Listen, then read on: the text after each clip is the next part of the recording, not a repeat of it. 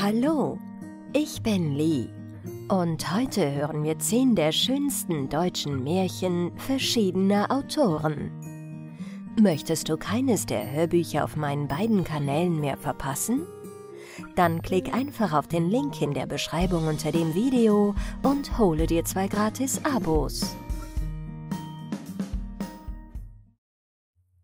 Prinz Goldfisch und das Fischermädchen es war einmal ein junger Königssohn, der war schön von Gestalt und von Herzen gut. Jedermann freute sich, wenn er ihn nur sah. Ja, es hatte sogar eine stolze Wasserfee, die in dem nahen Walde ihr Wesen trieb, ihn sehr lieb gewonnen. Und sie wünschte nichts sehnlicher, als dass er sie zur Frau nähme.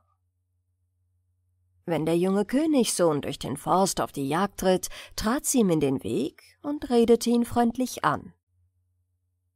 Er aber konnte ein für allemal die Fee nicht leiden. Daher drehte er dann auch dieser jedes Mal den Rücken, sobald er sie nur von fern erblickte. Weil nun die Fee im Guten die Zuneigung des Prinzen nicht gewinnen konnte, so versuchte sie mit ihren Wunderkünsten, ihn dazu zu zwingen. Als er einmal auf der Jagd sich verirrt hatte, lockte sie ihn in ihr Zaubertal und wie er dort in einem einsamen See badete und beim Baden unter das Wasser tauchte, verwandelte sie ihn in einen Goldfisch und zog ihn hinab in ihr Reich. Sie schwor ihm nicht eher die menschliche Gestalt wiederzugeben, als bis er ihr verspräche, dass er sich mit ihr vermählen wolle. Übrigens hatte sie ihm den Aufenthalt da unten so angenehm wie möglich gemacht. Er fand unter dem Wasser alles, wie er es nur zu Hause gehabt hatte. Schloss und Garten und Hofgesinde, und auch waren die Goldschuppen, mit denen er bekleidet war, so köstlicher Art, wie kein anderes Metall noch kein Edelstein auf Erden. Denn die Fee hatte darin ihre wertvollsten Zaubermittel verwendet. Doch was half das dem verwandelten Prinzen? Er war doch immer nur ein Fisch, und ehe er die Zauberin zur Frau genommen hätte, wäre er lieber gestorben. Nun kam es bisweilen vor, dass die Fee in fernen Ländern wichtige Angelegenheiten zu besorgen hatte und dann auf einige Monate ihr Reich verlassen musste. In solcher Zeit war es, wo einmal an einem hellen Maientage Prinz Goldfisch an die Oberfläche des Sees heraufkam um sich in der schönen Frühlingssonne seinen Kummer ein wenig zu verschwimmen. Wie er so still und traurig durchs Wasser zog, sah er im Schilf am Ufer einen grauen Kranich stehen, der ihn mit scharfen Blicken beobachtete. Sollte der mich fressen wollen? dachte der Fisch und wollte zuerst schnell untertauchen. Dann sprach er Nein, der kommt mir gerade recht, denn ich bin meines Lebens überdrüssig. So schwamm er denn schnell zu dem Kranich hin und sprach zu ihm Du, friss mich. Der aber machte ein ganz freundliches Gesicht und sprach Prinz Goldfisch, nur Mut, nur Mut. Ich bin dein Freund und nicht dein Feind. Noch gibt es ein Mittel, das dich von deiner Fischgestalt erlösen kann. Aber es ist schmerzhaft. Nenne es mir, rief der Fisch mit Hass, denn beim näheren Anblick des Kranichs fasste er Vertrauen zu ihm. Der Kranich erwiderte Merk auf. Es wird eine kommen, die wird dir gefallen. Du wirst ihr gut sein, sie wird dich steinigen. Als Fisch wirst du sterben, als Prinz wirst du leben. Doch die Goldhaut, die Goldhaut, die nimm mit dir. Gar mächtige Zauberkraft steckt in ihr. Wenn die Fee sie bekommt, wirst du es beklagen. Ade nun ade, mehr darf ich nicht sagen. Und nach diesen Worten erhob sich der Kranich und verschwand in den Lüften. Prinz Goldfisch merkte nun wohl, dass ein guter Geist in dem Vogel stecke. Neue Lebenslust erfüllte ihn. Die dunklen Worte des Kranichs gaben ihm vielen Stoff zum Nachdenken, und mit Sehnsucht sah er dem Tage entgegen, der ihm Befreiung bringen sollte. In demselben Lande, wo dieses geschah, stand am Meeresstrande, da, wo ein Bach aus dem Walde sich in den See ergoß, eine einsame Hütte. In der Hütte wohnte ein armer alter Fischer mit seiner Tochter, und die hieß Elsbeth. Sonst pflegte der Mann jede liebe Nacht, wenn Fischenszeit war, auf den Fang in den See zu fahren. Aber auch am Tage ging er wohl bisweilen mit der Angel in den Wald und holte sich da aus dem Bache die schönsten Forellen und Schmerlen. Mit den gefangenen Fischen pflegte er dann von Zeit zu Zeit auf den Markt nach der Hauptstadt zu gehen, wo er einiges Geld dafür löste. Das war zwar sehr wenig, doch lebte er davon mit seinem lieben Kinde zufrieden und von Herzen froh. Jetzt war aber der arme Mann seit einiger Zeit erblindet und vermochte nichts zu verdienen. Da entschloss sich Elsbeth, die nun schon sechzehn Jahre alt war, des Vaters Geschäft zu betreiben, so viel es einem Mädchen in ihrem Alter eben möglich war. Sie war kräftig und flink, obschon äußerst fein und zart, von schlanker Gestalt und lieblichem Antlitz. Eines Tages ging sie auch wieder mit Angel und Ness in den Wald, um im Bache zu fischen. Wohl zwei Stunden brachte sie dort an den gewohnten Stellen zu, doch kein Fisch wollte sich zeigen. Hm, geht's nicht hier, so geht's woanders, dachte sie und zog tiefer in den Wald hinein. Aber auch da wollte nichts kommen. So zog sie weiter und weiter, bis sie zu einer Stelle kam, wo das Wasser zwischen seltsamen runden Wänden einen tiefen, dunklen Weiher bildete. Ringsum standen schöne Blumen und farbige Büsche, und es alles gab einen anmutigen Widerschein in dem dunklen Spiegel des Wassers. Es war Mittag, alles still in weiter Runde. Kein Lüftchen ging, kein Blättchen bewegte sich, und alle Vögel in den Bäumen schienen zu schlafen. Nur einige blaue Libellen flatterten über dem Wasser hin und her und sogen hier und dort an den gelben Wasserlilien und den weißen Seetulpen. Nicht weit vom Ufer ragte ein weißer, plattgewaschener Stein aus der Flut heraus, gerade als wäre zu einem bequemen Sitz eingerichtet. Mit leichten Sprüngen hüpfte Elsbeth über die Kiesel zu dem Stein hin, setzte sich darauf warf ihre Angel aus und sagte mit klarer Stimme ihren Lockspruch. Fischchen, komm schnell, Sonne scheint hell. Mückchen im Sonnenschein wartet hier obendrein. Mückchen ist zart und frisch, hol's dir, du schöner Fisch. Kaum war die Schnur im Wasser, so biss auch schon etwas an, und wie sie's heranzog, war's ein Goldfisch. Als Elsbeth ihn von der Angel losmachen wollte, sah sie, dass er sich nicht am Haken, sondern in die Schnur eingebissen hatte. Auch ließ er sich ohne Sträuben von ihr in die Hand nehmen. Er schaute sie mit seinen klaren, klugen Augen lange an. Was siehst du mich denn so an, du hübscher Fisch? sprach Elsbeth und freute sich über den Glanz seiner Schuppen. Ich bin dir gut, antwortete ihr der Goldfisch, und ich will dich glücklich machen. Elsbeth erschrak und warf ihn ins Wasser zurück. Das Tier aber rief wieder von unten, und wenn du mir nicht glaubst, so hebe das große Blatt der Seetulpe auf, das rechts von deinem Stein sich über das Wasser legt. Dort schau hinunter. Mit diesen Worten schoss der Fisch in die Tiefe. Elsbeth wunderte sich ein wenig über dieses seltsame Abenteuer. Bald aber gefiel ihr die Sache, und sie tat, wie jener ihr geheißen. Als sie das gewaltige Blatt aufhob, sah sie wie durch einen Kristall tief auf den Grund des Sees. Ein klares Licht ergoß sich durch das Wasser. Da schaute sie Wunder über Wunder. In einem blühenden Garten stand ein Königsschloss, und vor dem Schloss zwei Thronsessel von weißem Samt. Auf dem einen lag der Goldfisch, der andere stand leer.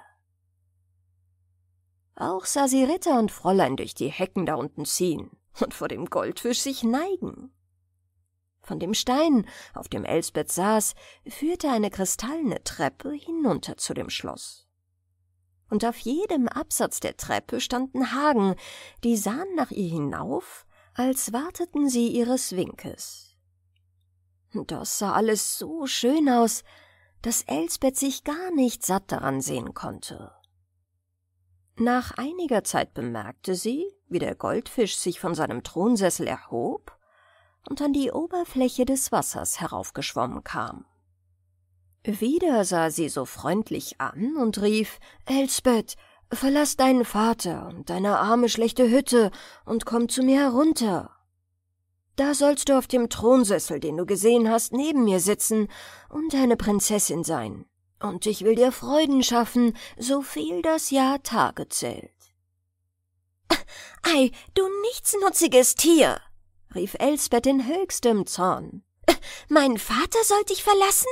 Da, nimm die Antwort auf deine dummen Reden.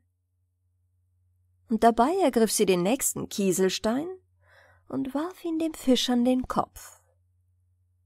Der Fisch und der Stein plumpsten ins Wasser. Aber in demselben Augenblick erhob sich ein Wirbelwind, und die Wellen des Sees spritzten mit weißem Schaum hoch in die Luft. Tief aus dem See herauf erscholl ein durchdringender Ton. Erst wehmütig und klagend, als wollte er einem das Herz mitten entzwei schneiden. Dann aber klang es wieder wie das lustige Flöten und Schalmeien, bis endlich auch diese Töne schwiegen. Die Wellen besänftigten sich, und das Wasser war so still und dunkelgrün als zuvor. Nun sah Elsbeth auch den Goldfisch wieder aus dem Wasser tauchen. Er schwamm aber nicht wie vorhin, sondern lag auf der Seite. Und als sie näher hinschaute, war's nur die Haut des Tieres, weder Fleisch noch Gräten darin. Schnell griff sie mit der Hand danach und hatte eben die Fischhaut über das Wasser hervorgezogen, als das große Blatt der Seetulpe neben ihr sich erhob und ein weißer Menschenarm darunter herauffuhr, der ebenfalls nach der Schuppenhaut greifen wollte. Aber schon hatte das Mädchen diese in ihre Schürze verborgen, und die weiße Hand zog sich wieder unter das Wasser zurück. Elsbeth sprang nun schnell von ihrem Steine wieder ans Ufer und machte, dass sie so rasch wie möglich aus dem Walde kam. Es war ihr doch an dem See recht unheimlich zumute geworden. Erst als sie den Wald hinter sich hatte, nahm sie die Schuppenhaut aus ihrer Schürze hervor. Wie war die schön! Wie funkelte sie im Lichte! Der Glanz schien wie lauter Abendgold und Abendröte. Es war wundervoll zu sehen. Und doch war Elsbeth auch wieder recht von Herzen traurig, wenn sie daran dachte, dass sie aus bloßer Übereilung den armen Fisch totgeworfen hatte. Der hatte es vielleicht mit seinen dummen Reden gar nicht so böse gemeint. Das Mitleid trieb ihr sogar die Tränen in die Augen. Als sie nach Hause kam, wollte sie erst dem Vater alles erzählen, was ihr begegnet war. Jedes Mal aber, wenn sie davon anfangen wollte, war es ihr wieder, als wenn ihr eine Stimme zurief Elsbeth, tu's nicht. So verschloss sie denn die Schuppenhaut heimlich in ihre Kiste. Sie hoffte, dieselbe ihrer seltenen Schönheit wegen in der Hauptstadt für ein paar Groschen verkaufen zu können und dem Vater eine unverhoffte Freude zu machen. Wenige Tage nachdem sich dies zugetragen hatte, war in den Städten und Dörfern des Landes großer Jubel. Herolde und Boten ritten auf allen Straßen umher und verkündeten dem Volke, der junge Königssohn, der vor längerer Zeit auf der Jagd, man wusste nicht wohin verschwunden war, ist in der Stadt wieder angekommen. Zugleich ward bekannt gemacht, dass er sich nun auch vermählen wolle, und zwar in der Art, wie das Gesetz des Landes es vorschrieb. Nach einem alten Brauche mussten dann nämlich die schönsten und reichsten Mädchen des Königsreich alle nach der Stadt kommen. Ein Schiedsgericht musste bestimmen, welche von diesen die allerschönste und zugleich die allerreichste sei. Und mit dieser feierte dann der Prinz nach drei Tagen seine Hochzeit. Da gab es nun überall, wo die Boten hinkamen, einen großen Lärm. Jedes Mädchen, das nur irgendein niedlich Näschen oder ein paar pfiffige Augen im Kopf hatte und dabei hoffärtig und eitel war, hielt sich für das Allerschönste. Aber selbst die Hässlichen dachten bei sich, kein Mensch sei ja vollkommen, und außer einigen kleinen Schönheitsmängeln seien sie doch viel schöner als andere. Andere, die zwar regelmäßige, aber sehr langweilige Gesichter hätten. Und dachten das nicht die Töchter, so dachten es doch manche ihrer Mütter. Was aber den Reichtum betraf, so verkauften die Herren Väter so schnell es nur ging ihre Häuser und Gärten, Wald und Feld, um nur reiche Kleider und Karossen und Dienerschaft für ihre Töchter anzuschaffen. Denn natürlich musste jede in dem Schmuck, den sie bei diesem Feste trug, ihren Reichtum bekunden. Der letzte Tag des Monats war als der Termin bestimmt worden, wo in der Hauptstadt die große Festlichkeit stattfinden sollte. Von all diesen Neuigkeiten war nun in der stillen Fischerhütte am Meer nicht das geringste bekannt geworden. Wie sollte auch zu der einsamen Gegend die Kunde davon dringen? Zudem hatte Elsbeth in den letzten vierzehn Tagen nur so viel Fische gefangen, wie sie und der Vater zu ihrem Unterhalt bedurften, und daher nichts nach der Stadt gebracht. Das war aber sehr traurig, denn ihr bisschen Geld war fast zur Neige. Da fiel dem Mädchen die kostbare Goldfischhaut ein, die sie in ihrer Kiste hatte. Und das machte ihr wieder neue Hoffnung.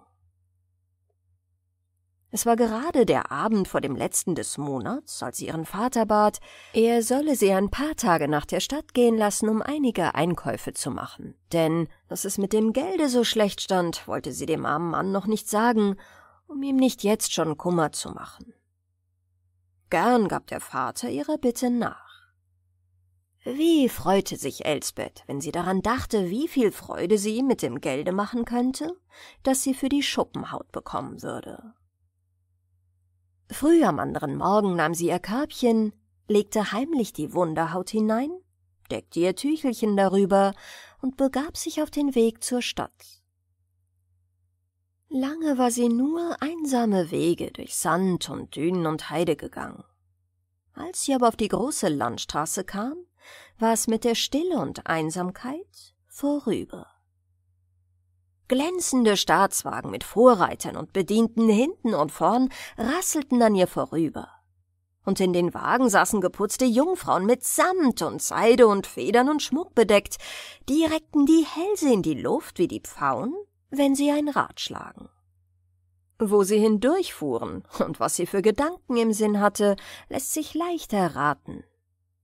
Der prächtigste Wagen aber kam zuletzt. Acht Schimmel, so weiß wie Wellenschaum, zogen ihn in vollem Galopp. Sie hatten meergrünes Geschirr und Schilfbüschel auf den Köpfen. Die Dame, die in der Kutsche saß, war ebenfalls weiß und meergrün gekleidet und sah zwar nicht schön, aber sehr stolz und wunderlich aus. Elsbeth war ganz in Staunen versunken, wie sie den blinkenden Wagen schon von weitem daherrollen sah. Sie merkte darüber gar nicht, dass ihr das Körbchen vom Arm rutschte und sein Inhalt auf den Weg fiel. In dem war der Wagen auch schon da, und sogleich fiel ein Sonnenstrahl auf die Schuppenhaut, so dass sie hell aufblitzte. Wie durch einen Zauberschlag standen die Rosse still. Und da rief die stolze Jungfrau aus dem Wagen mit laut klingender Stimme Mein Eigentum am Boden dort. Mein Zauberkleinod, die Schuppenhaut. Auf, Silberschwan, bring sie mir. und ein silberner Schwan, welcher auf der Decke der Kutsche dagesessen hatte, als wäre nur von totem Metall, hob seine Flügel, schoss vom Wagen herunter, ergriff die Fischhaut mit seinem Schnabel und ließ sie seiner Gebieterin durch die Öffnung des Wagens auf den Schoß sinken. Dann schwang er sich wieder auf die Kutschendecke, wurde steif und starr wie vorhin, und im Nu rollte der Wagen davon. Elsbeth wusste nicht, wie ihr geschah. Staunen, Schreck und Trauer über den verlorenen Schatz, auf dessen Verkauf sie all ihre Hoffnung gesetzt, alles das bewegte sie so, dass sie gar nicht wusste, was sie nun tun sollte. Sie setzte sich auf das Geländer der Brücke, legte den Kopf in die Hand, und dann schlief sie endlich vor Müdigkeit ein. Als sie erwachte, war es schon spät am Abend und die Sonne am Untergehen. Sie rieb sich die Augen und sah, wie neben ihr auf demselben Geländer ein klein winziges Männlein saß, grau und runzlig, aber freundlich und manierlich. Das Männlein ließ sich bald mit ihr in ein Gespräch ein, erzählte ihr allerlei von dem Feste in der Hauptstadt und fragte sie zuletzt, ob sie sich denn nicht auch dem Prinzen vorstellen wolle. Das kam dem armen Fischerkind doch gar zu komisch vor. Sie lachte laut auf und sprach im Scherz Warum denn nicht? Hab ich doch ein Gesicht, braun wie die Seeflunder, und bin ich doch so reich wie die Kirchenmaus. Führ mich nur hin. Das Männchen lächelte und strich sich mit schlauem Blick seinen langen weißen Bart. Dann erzählte es, es wäre ein studierter Doktor und könne Blinde sehend machen. Elsbeth dachte an ihren armen Vater und fragte hocherfreut, was es kosten wolle, wenn das Männlein ihm sein Augenlicht wiedergäbe. Oh, sprach jener und schüttelte den Kopf. Du sagst, du bist arm wie eine Kirchenmaus. Aber die Kirchenmaus hat kein so schwarzes Haar und so feine weiße Zähne wie du. Das kann ich beides gebrauchen. Gibst du mir deine drei vorderen Zähne und lässt dir von mir die Haare vom Kopf scheren, so mache ich deinen Vater gesund. Das Mädchen ging mit voller Freude auf den Handel ein. Nun aber noch eins, sprach das Männlein. Wir müssen jetzt nach der Stadt, ich, um meine Salben und Kräuter zu holen, du, um dir das Haar abschneiden und die Zähne ausbrechen zu lassen. Denn nur dort kann das geschehen. Und Elsbeth war auch dazu bereit. Hatte sie ja doch die Hoffnung, dass ihr blinder Vater sehen würde. Nun führte der Doktor sie auf einem Fußweg in den Wald, denn dort, sagte er, liege im Flusse ein Schifflein, und das könne sie schon in einer Stunde nach der Stadt bringen, während sie auf der Landstraße viel längere Zeit zu gehen hätten. Erst war der Fußsteig bequem, dann aber zog er sich durch unwegsames Dickicht unter alten Bäumen hin, durch deren dunkle Wipfel fast kein Abendschimmer dringen konnte. Weiße Spinnweben zogen sich darin überall von Busch zu Busch, und legten sich die Mädchen, indem sie durchschlüpfen wollte, um Hand und Gesicht, um ihr rotes Mieder und ihr blaues Röckchen.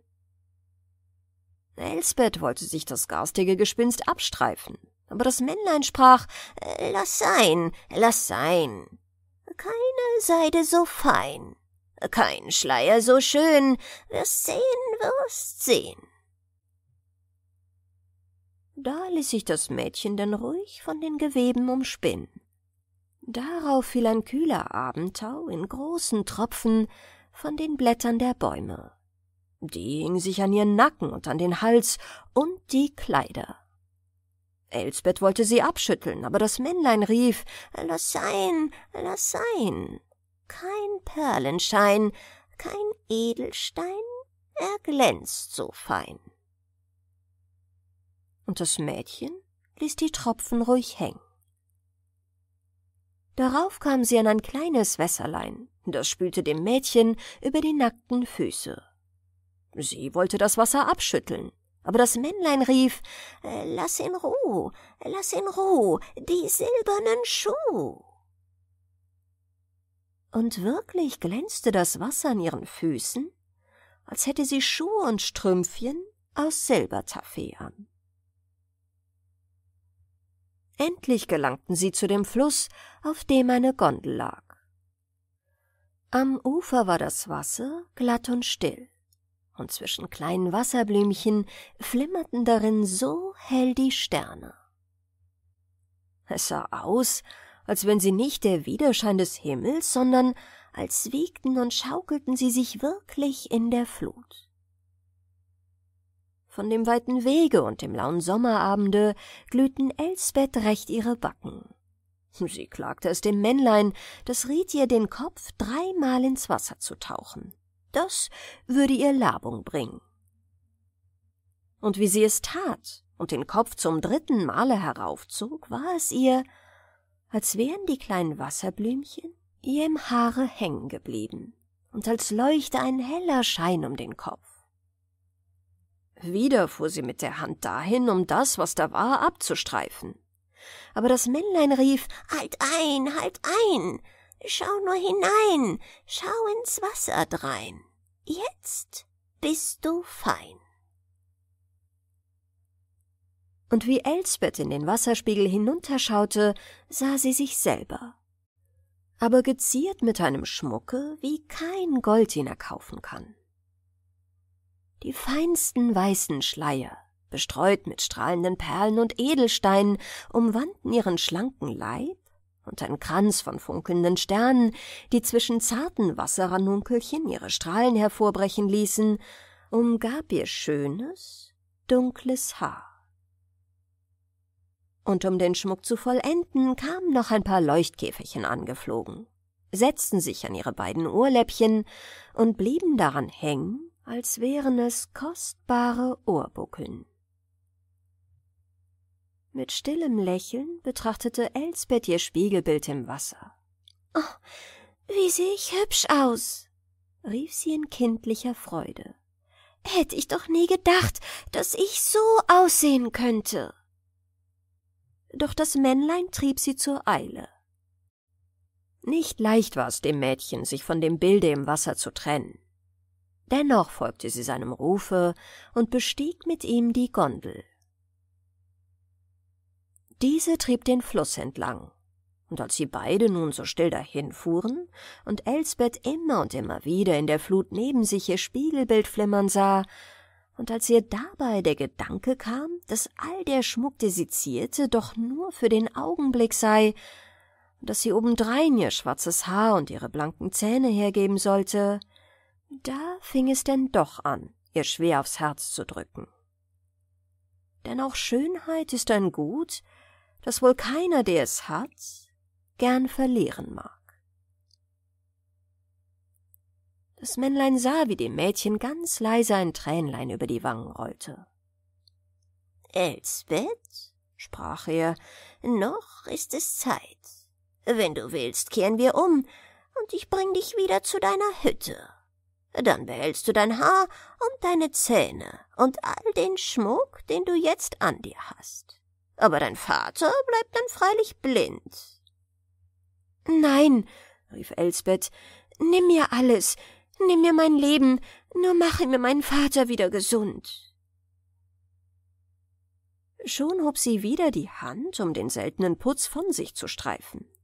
Aber der Kleine ließ es nicht zu, und nur mit Mühe gelang es ihm, sie zu beruhigen. Indes waren sie auf dem Fluss bis in die Hauptstadt und in die königlichen Gärten hineingekommen wo eben mit großer Festlichkeit die Hochzeitswahl einer Prinzessin gefeiert wurde. Hoch über ihren Köpfen sah Elsbeth den Widerschein der Fackeln und Feuerbecken. Sie hörte Klänge einer rauschenden Musik und das Gesumme einer großen Volksmenge. Aber die hohen Mauern, zwischen denen der Fluss hindurchführte, ließen sie nichts von dem Feste selbst wahrnehmen. Endlich landeten sie an einem Hügel. Sie traten aus der Gondel und bestiegen den Gipfel des Hügels, der von einer dichten Lorbeerhecke umgeben war. Dort oben bog das Männlein einen Lorbeerzweig zurück und sprach zu dem Mädchen Hier, schau hinunter.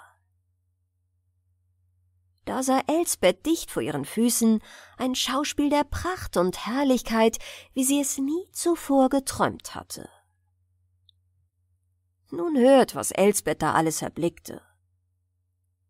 Im Hintergrunde ragte mit seinen Türmen und Zinnen und mit seinen hell erleuchteten Fenstern das königliche Schloss hoch in die Mondnacht hinein. Vor dem Schlosse war eine lange, breite Terrasse. Darauf standen unter einem Thronhimmel zwei Lehnstühle von weißem Samt, gerade wie sie Elsbeth im See des Zauberwaldes gesehen hatte. Einer dieser Stühle war leer aber auf dem anderen saß der junge, schöne Königssohn und hinter ihm der König, sein Vater, und der ganze königliche Hofstaat. Diesen gegenüber stand eine ganze Reihe von wohl hundert rotseidenen Sesseln. Darauf saßen die Jungfrauen, die zur Wahl sich hergegeben hatten, mit allem Reichtum der Erde behangen und umwickelt und umflittert. Dann war auf der einen Seite ein himmelblaues Gerüst, auf dem die ersten Maler und Bankiers des Landes versammelt waren, damit sie als Richter der Schönheit und des Reichtums ihr Amt verwalteten. Ihnen aber gegenüber auf einem orangefarbenen Gerüste bliesen die Posaunenbläser, paukten die Trommler und strichen die Geiger ihre Instrumente, dass es eine Lust anzusehen und anzuhören war. Rechts und links von dieser Terrasse schossen herrliche Springbrunnen roten und weißen Wein hoch in die Luft. Und um die Brunnen standen gedeckte Tafeln, die waren mit den köstlichsten Speisen besetzt. In einem großen Halbkreis auf der Wiese, die das Schloss umgab, lagerte das Volk unter Gehängen von farbigen Laternen, die an den Lorbeerbäumen befestigt waren. Den ganzen Nachmittag hatten nun schon die Richter beraten, welche von den angekommenen Jungfrauen es wert sei, die Frau des jungen Prinzen zu werden. Und da hatte es wie gewöhnlich viel Streit gegeben. Die Maler verstanden nicht den Reichtum zu beurteilen, die Bankiers hatten mitunter ganz verkehrte Ansichten von der Schönheit. Jetzt war aber die Stunde gekommen, wo sie die letzte Entscheidung aussprechen sollten. Noch einmal setzten sie daher ihre Brillen auf die Nasen und legten ihre Perspektive an die Augen, um noch die letzte Prüfung auch bei Lampenbeleuchtung anzustellen. Denn der Schicklichkeit wegen durften sie die Jungfrauen nicht zu nahe betrachten. Da blies plötzlich von der Zinne der Burg der Türmer. Dies war ein Zeichen, dass soeben noch eine Jungfrau als Mitbewerberin ankomme. Bald rollte eine Kutsche daher. Die war ganz von Kristall und mit acht weißen Schimmeln bespannt. Und siehe da, die stolze Donna, die aus der Kutsche stieg, war dieselbe, die der Elsbeth auf der Landstraße ihre Goldhaut geraubt hatte. Mit kecken Schritten und einer Miene, der man ansah, sie wäre ihres Sieges gewiss, ging sie auf den Platz, welcher in der Reihe der Jungfrauen noch, wie es schien, für sie offen gelassen war. Sie hatte denselben Anzug an wie heute Mittag, meergrün und weiß, und doch erschien sie jetzt viel schöner. Denn ein Kranz von goldenen Schuppen, die wie Abendgold und Abendröte glänzten, warf über ihr Antlitz einen wunderbaren Schönheitszauber, so dass der Putz aller übrigen dagegen matt und wässrig erschien. Aller Blicke richteten sich auf die stolze Erscheinung, und kaum hatten die Richter sie wahrgenommen, als sie die Köpfe zusammensteckten, und ihre Mienen plötzlich die größte Übereinstimmung verrieten. Nun stieg eine rote Fahne in die Luft, zum Zeichen, dass diejenige als künftige Königin begrüßt werden sollte, die man dazu für würdig befunden. Eine Deputation der Richter erhob sich, Trabanten und Herolde schlossen sich an, und ihnen folgte ein Page, der eine kleine goldene Krone auf einem Kissen vor sich trug. Der Zug bewegte sich geradewegs zu derjenigen hin, die zuletzt angekommen. Triumphierend erhob sich die übermütige Jungfrau von ihrem Sitze. Ihre Blicke schienen alles um sich her, wie der Hagel die Wiesenblumen, niederzuschmettern. Und schon begann der Präsident des Gerichtes der Schönheit und des Reichtums eine zierliche Anrede in Versen, worin er die hohen Eigenschaften der Welten pries. Der Page kniete nieder und hielt die Krone empor. Gierig streckte die Jungfrau die Hände danach aus. Da erbrauste auf einmal ein ungeheurer Wirbelwind mit solcher Gewalt, dass die Krone vom Kissen geweht wurde, und alle Lampen und Fackeln ringsumher erloschen. Nur die erleuchteten Fenster des Schlosses ergossen noch einen matten Schimmer über den Platz. Sogleich aber legte sich auch der Wirbelwind, und alles war still wie zuvor. Auch der Lorbeerbusch, der Elsbeth bisher verdeckt hatte, war vom Sturme niedergerissen. Allen sichtbar stand nun das Fischermädchen da, in ihrem leuchtenden Sternenkranz, umweht von den Schleiern, in denen die Tauperlen als Edelsteine funkelten und in dem Glanze dieser reinen Lichter erschien ihr unschuldiges Angesicht wunderbar verklärt. Das Krachen des umstürzenden Baumes hatte die Blicke der Menge nach dem Hügel hingelenkt. Ein lautes Ach der Verwunderung unterbrach die Stille. Darauf rief alles, Volk und Richter, wie aus einem Munde Seht, seht, da steht die schönste und reichste Jungfrau der Welt. Da steht unsere zukünftige Königin. Sie lebe hoch. Und es schmetterten die Trompeten, Kanonen wurden gelöst, Raketen flogen durch die Luft, und der Jubel des Volkes wollte kein Ende nehmen. Wie aber der junge Königssohn in hohen Freuden von seinem Thron sich erhob, um die ihm erwählte Braut zu begrüßen, und als er vorbeischritt an der Jungfrau, deren Stolz soeben gedemütigt worden, da riß diese den goldenen Schuppenkranz aus ihrem Haar, warf ihn dem Prinzen vor die Füße und sprach Nimm hin dein Eigentum. Fühl's, mein Reich und mein Leben geht zu Ende. Mein Stolz ist besiegt.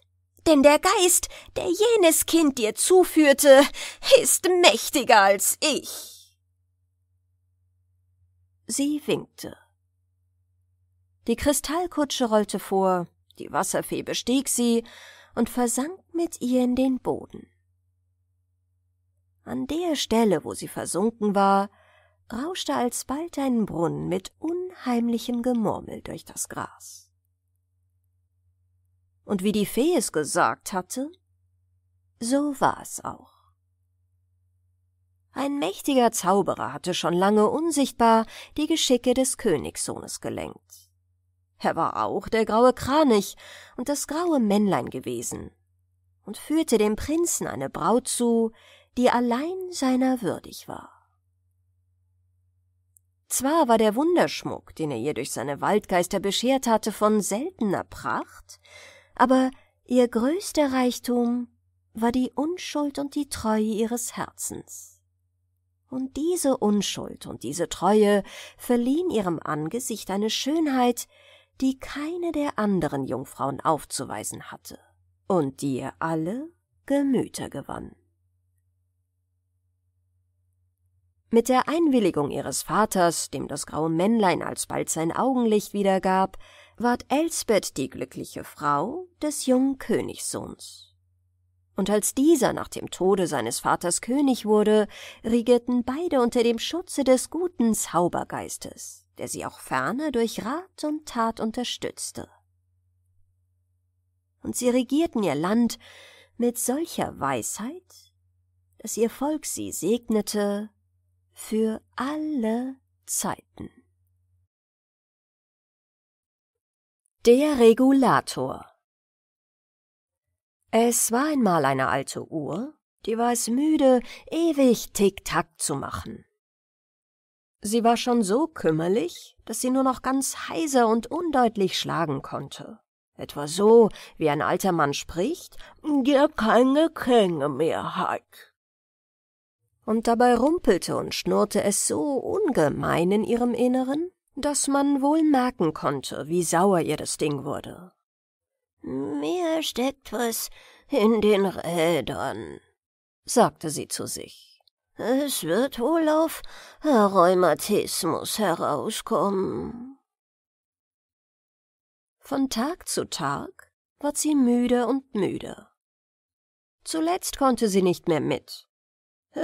Die Zeit ist schneller als ich, sagte sie. Was nützt es, dass ich ihr nachlaufe? Und damit stand sie still. Sie war zum Uhrendoktor geschickt. Dieser tappte mit spitzigen Gerätschaften in ihr herum und schaute mit großen Augengläsern in ihre innersten Eingeweide, schüttelte den Kopf und sagte dann zu dem Vater des kleinen Heini, dem die Uhr gehörte, »Da hilft nichts mehr, es ist Altersschwäche. Ich könnte wohl machen, dass sie noch eine Weile geht, allein es kann doch nie etwas Rechtes werden. Am besten, Sie kaufen sich eine neue. Dies geschah auch. Und es kam eine sehr nobel und poliert aussehende Uhr ins Haus, die sich mit einem ausländischen Namen Regulator nannte und das Gefühl erweckte, als müsste sie unbedingt mit Herr angeredet werden. Sie sah beinahe so ernsthaft und würdevoll aus wie ein geheimer Kanzleiregistrator, hatte einen pünktlichen Gang und eine so laute Stimme, dass man im ganzen Hause wissen konnte, wie viel es geschlagen hatte. Außerdem besaß sie eine so große Kraft in ihrem Inneren, dass sie nur alle vierzehn Tage einmal aufgezogen zu werden brauchte während die andere es niemals hatte vertragen können, wenn dies auch nur einen Tag versäumt wurde. Die alte Uhr war aber eine sehr hübsche alte Uhr. Und deshalb sagte die Mutter des kleinen Heini, nun, wenn sie auch alt und wackelig ist und nicht mehr geht, so putzt sie doch noch immer. Und so behielt sie ihren Platz auf dem Silberschrank, wo sie immer gestanden hatte. Der Vater aber sagte, hm, sie ist nun pensioniert und hat sich in den Ruhestand zurückgezogen, den sie ehrlich verdient hat. Sie war zugegen, als mein Vater geboren und als mein Großvater begraben ward. Und sie hat mir die Stunde bezeichnet, in der ich mit deiner Mutter zum Traualtar ging. Sie gehört zur Familie. Als der kleine Heini dies gehört hatte, und der Vater fortgegangen war, stand er eine ganze Weile nachdenklich vor der alten Uhr und betrachtete sie. Es war ihm noch nie vorher so aufgefallen, wie merkwürdig hübsch sie war.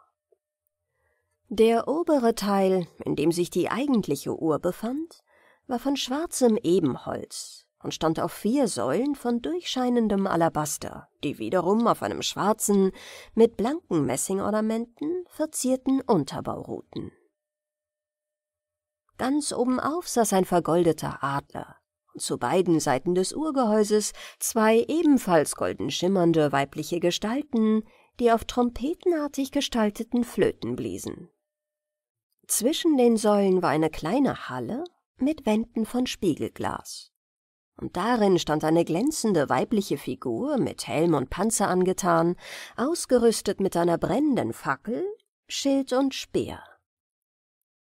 Sie stellte die römische Göttin Minerva vor. Der Perpendikel war wie ein Gesicht gestaltet, mit einem flammenden Strahlenkranz ringsumher und bedeutete wohl gar die Sonne selbst.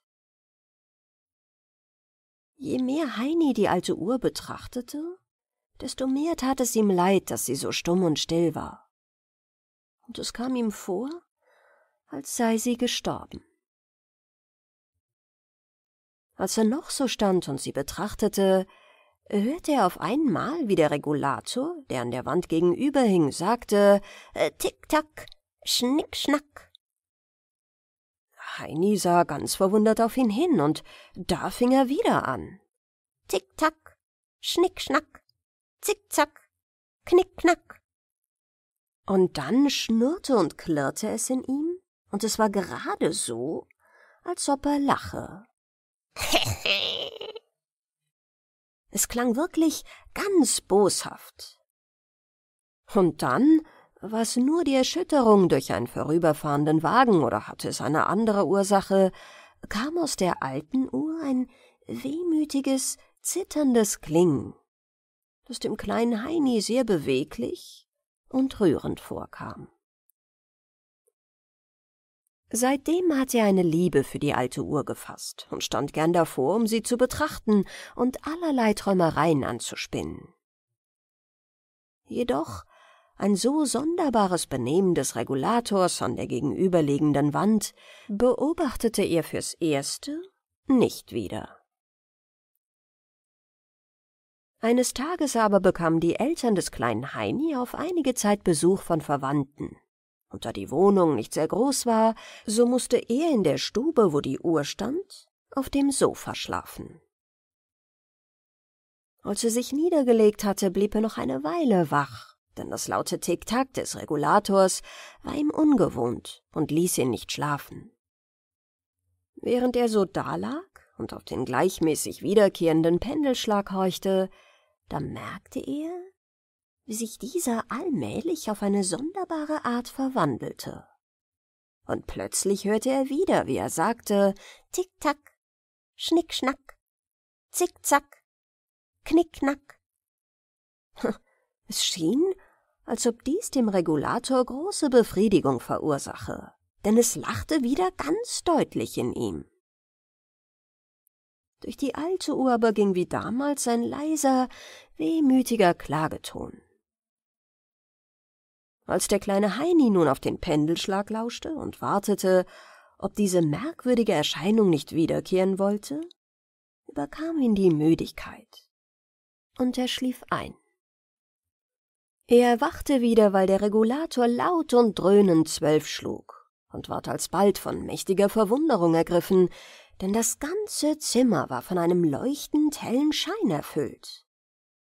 Sollte das der Mond sein, der ein so starkes Licht verbreitete? Aber noch ehe er sich von der Ursache dieser Erscheinung unterrichtet hatte, ward seine Verwunderung noch vergrößert. Denn er hörte plötzlich die alte Uhr in dem bekannten heiseren Tone ebenfalls zwölf schlagen. Eben wollte er sich aufsetzen und sich nach ihr umsehen, als er eine seltsam goldglänzende Erscheinung vor seinem Bette bemerkte. Es war die Minerva von der alten Uhr, aber in der Größe eines erwachsenen Menschen. In der einen Hand trug sie den Speer, und mit dem anderen Arme hielt sie den Schild und die Fackel. Sie verbeugte sich vor ihm und sprach die alte Uhr lässt dich um eine Unterredung bitten. Der kleine Heini wollte schnell in seine Kleider fahren, allein mit Erstaunen bemerkte er, dass er seinen blausamtenen Sonntagsanzug bereits anhatte. Er stieg schnell aus dem Bett und sah nun, dass mit dem Zimmer eine merkwürdige Veränderung vorgegangen war. Es war anzusehen wie eine riesengroße, weite Halle und an deren Ende stand die alte Uhr, aber ebenfalls mächtig gewachsen. Sie war anzusehen wie ein kleiner Palast, und das Licht, das Heini vorhin bemerkt hatte, ging von dem schwingenden Perpendikel aus, der wie die Sonne leuchtete und von den Spiegelwänden ringsum mächtig zurückgestrahlt ward. Die goldglänzende Minerva ging panzerklirrend vor Heini her und als sie näher kamen, bliesen die weiblichen Gestalten zu beiden Seiten des Uhrgehäuses mächtig in ihre Trompeten. Und der Adler obendrauf schlug mit den Flügeln und drehte sich dreimal um sich selbst. Zu dem Unterbau führte eine Treppe hinauf, die Heini bis jetzt noch niemals bemerkt hatte. Sie schritten die Stufen empor und befanden sich nun in der offenen Halle mit den Spiegelwänden, wo zu ihren Häupten der Perpendikel strahlend hin und her schwankte. Auf einen Wink der Minerva tat sich jetzt der hintere Spiegel wie eine Flügeltür voneinander. Und wo sonst weiter gar nichts als die Hinterwand gewesen war, bemerkte man nun eine Halle. Eine Halle, in der ein ganz alter Mann mit eisgrauem Bart, den Kopf auf die Hand gestützt, traurig an einem Tische saß. Heini trat hinein, und dann schlossen sich die Türen wieder. Der alte Mann hob müde sein Haupt empor, sah mit fast erloschenen Augen auf den Knaben hin und sprach mit schwacher Stimme Es freut mich, dass du kommst. Ach, könntest du mir doch eine Erleichterung meiner Leiden bringen. Der kleine Heini wusste gar nicht, was er sagen sollte. Er sah den Mann mit großen Augen verwundert an. Dieser aber fuhr fort Ich bin der Uhrenmann. Die Uhr und ich, wir sind ein und dasselbe. Wir haben unsere Pflicht getan, lange Jahre hindurch, bei deinen Urgroßeltern, deinen Großeltern und zuletzt bei deinem Vater und deiner Mutter. Alle glücklichen und traurigen Stunden haben wir ihnen angezeigt und nimmer sind wir ermüdet, solange uns nur ein wenig Kraft innewohnte. Jedoch auch Stahl und Metall sind vergänglich und fallen der alles vernichtenden Zeit zum Opfer. Unsere Glieder sind alt und zittrig geworden und unsere Stimme heiser und schwach. Was du dort siehst, und er zeigte über sich, wo die alten, verrosteten Räder mühsam drehten. Was du dort siehst, ist nur das Scheinleben einer kurzen Geisterstunde. Dein Vater hat es gut gemeint und uns in den Ruhestand versetzt. Allein er hat uns anderen Qualen hingegeben, die Tag für Tag wiederkehren. Er hat uns den neumodischen polierten Nachfolger gegenüber gehängt, der uns im Bewusstsein seiner brutalen Kraft täglich mit höhnischer Rede verspottet. Horcht, schon beginnt er seinen schändlichen Gesang. Ach, das frisst ins Mark. Heini hörte, wie der Regulator draußen wieder begann. Tick-Tack, Schnick-Schnack, Zick-Zack, Knick-Knack. Ein wehmütiger Seufzer durchwehte die Halle, und der Alte fuhr fort. Äh, du verstehst nicht, was es heißt. Ich will es dir erklären. Tick-Tack machen, das ist die Hauptsache. Alles Übrige ist Schnickschnack und keinen Pfennig wert. Zickzack geht's in der Welt. Was oben war, kommt unten zu stehen. Knickknack, und mit dem alten Gerümpel ist es vorbei. Das ließe sich noch ertragen, wenn es sich nicht täglich wiederholte, und wenn dies gemeine, höhnische Lachen, das hinterher folgt, nicht so tief ins Herz schnitte. Wir sind altes Gerümpel, das ist wahr, und wollen gern dahin, wo wir hingehören, in die Rumpelkammer, wo wir unter unseresgleichen sind und nicht ferner dem Spotte eines brutalen Empörkömmlings ausgesetzt. Und das ist der Dienst, den ich von dir verlange. Suche deinen Vater zu bewegen, dass wir in die Rumpelkammer kommen. Dort werden wir erst wahre Ruhe und Frieden finden.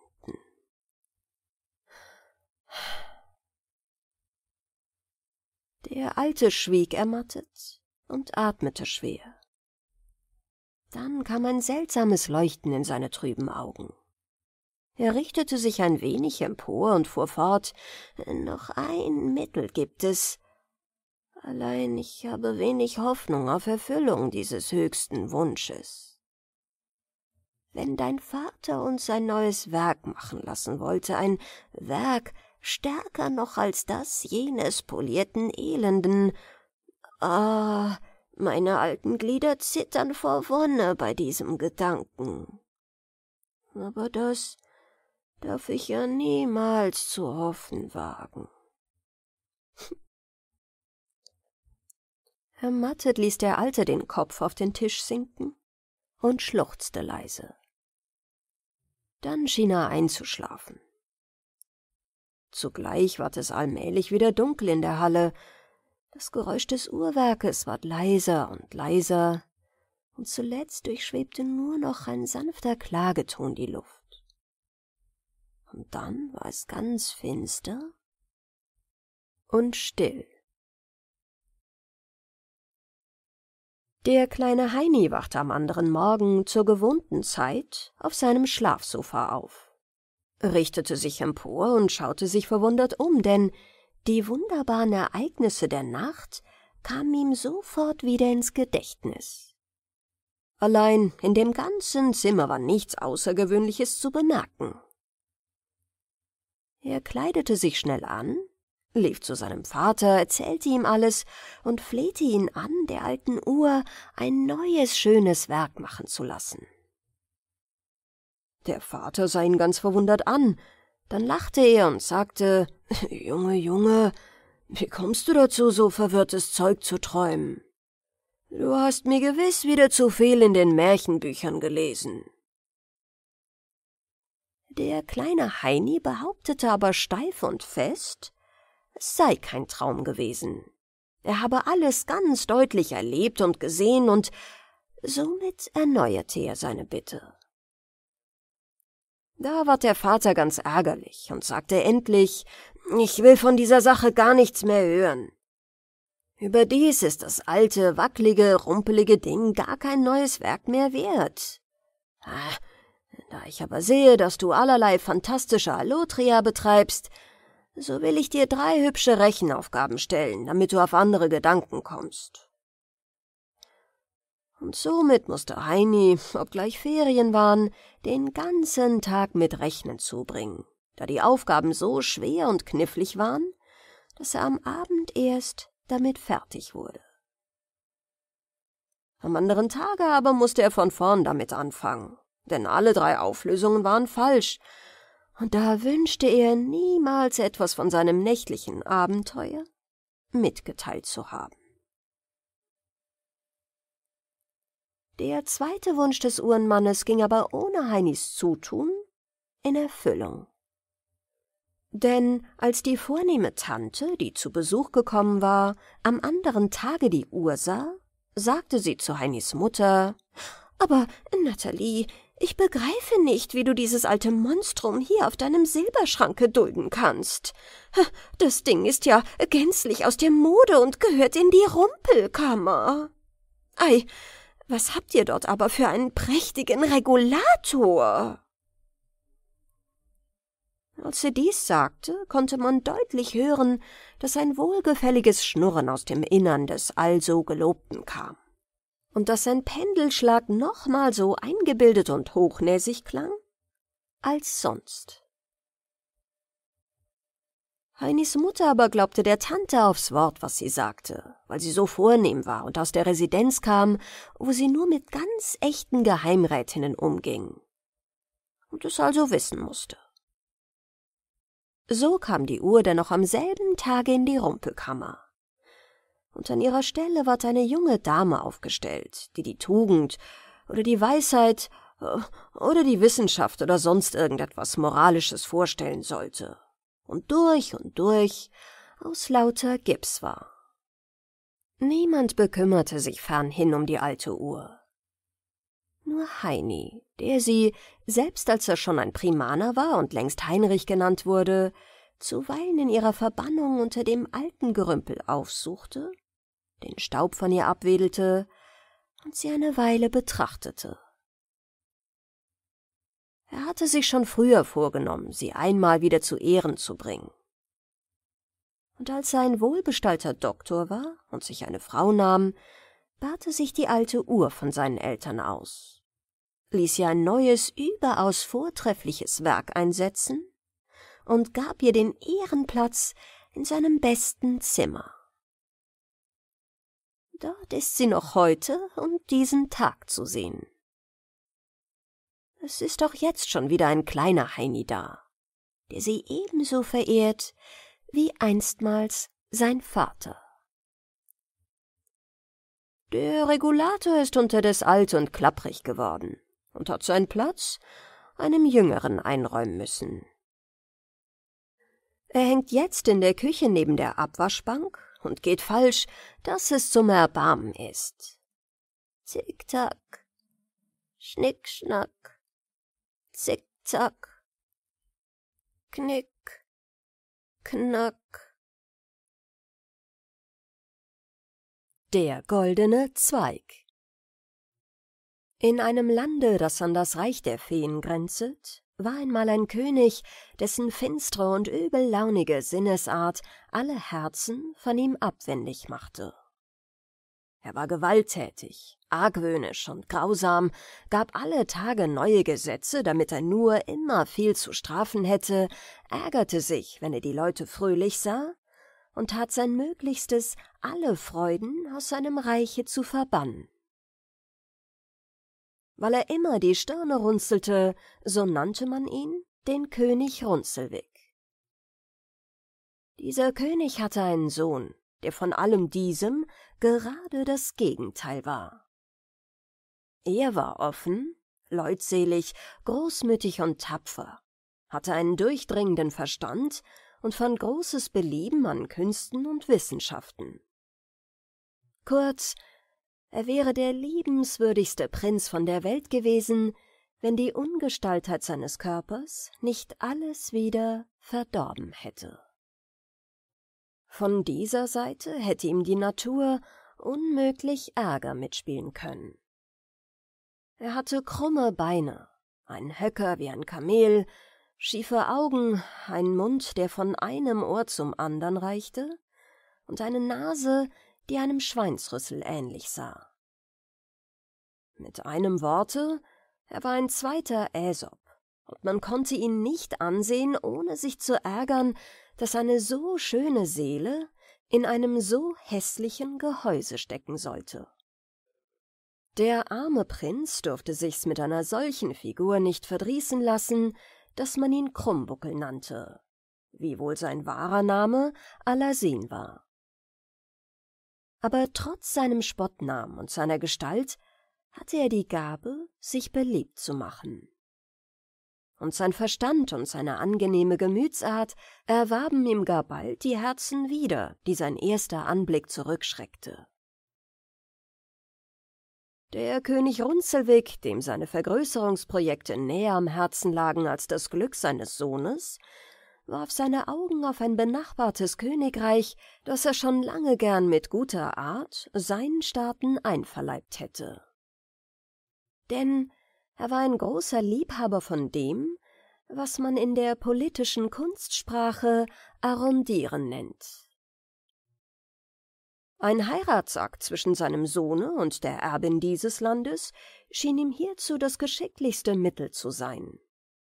Und er war, ohne den ersten zu fragen, schon so weit damit gekommen, dass nichts mehr daran fehlte als die Hochzeit.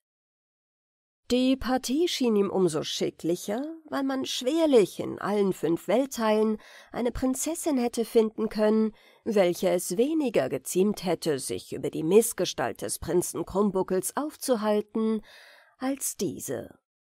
Denn, um ihr Bild mit einem Zuge zu machen, sie waren Seele und Leib das wahre Seitenstück des Prinzen.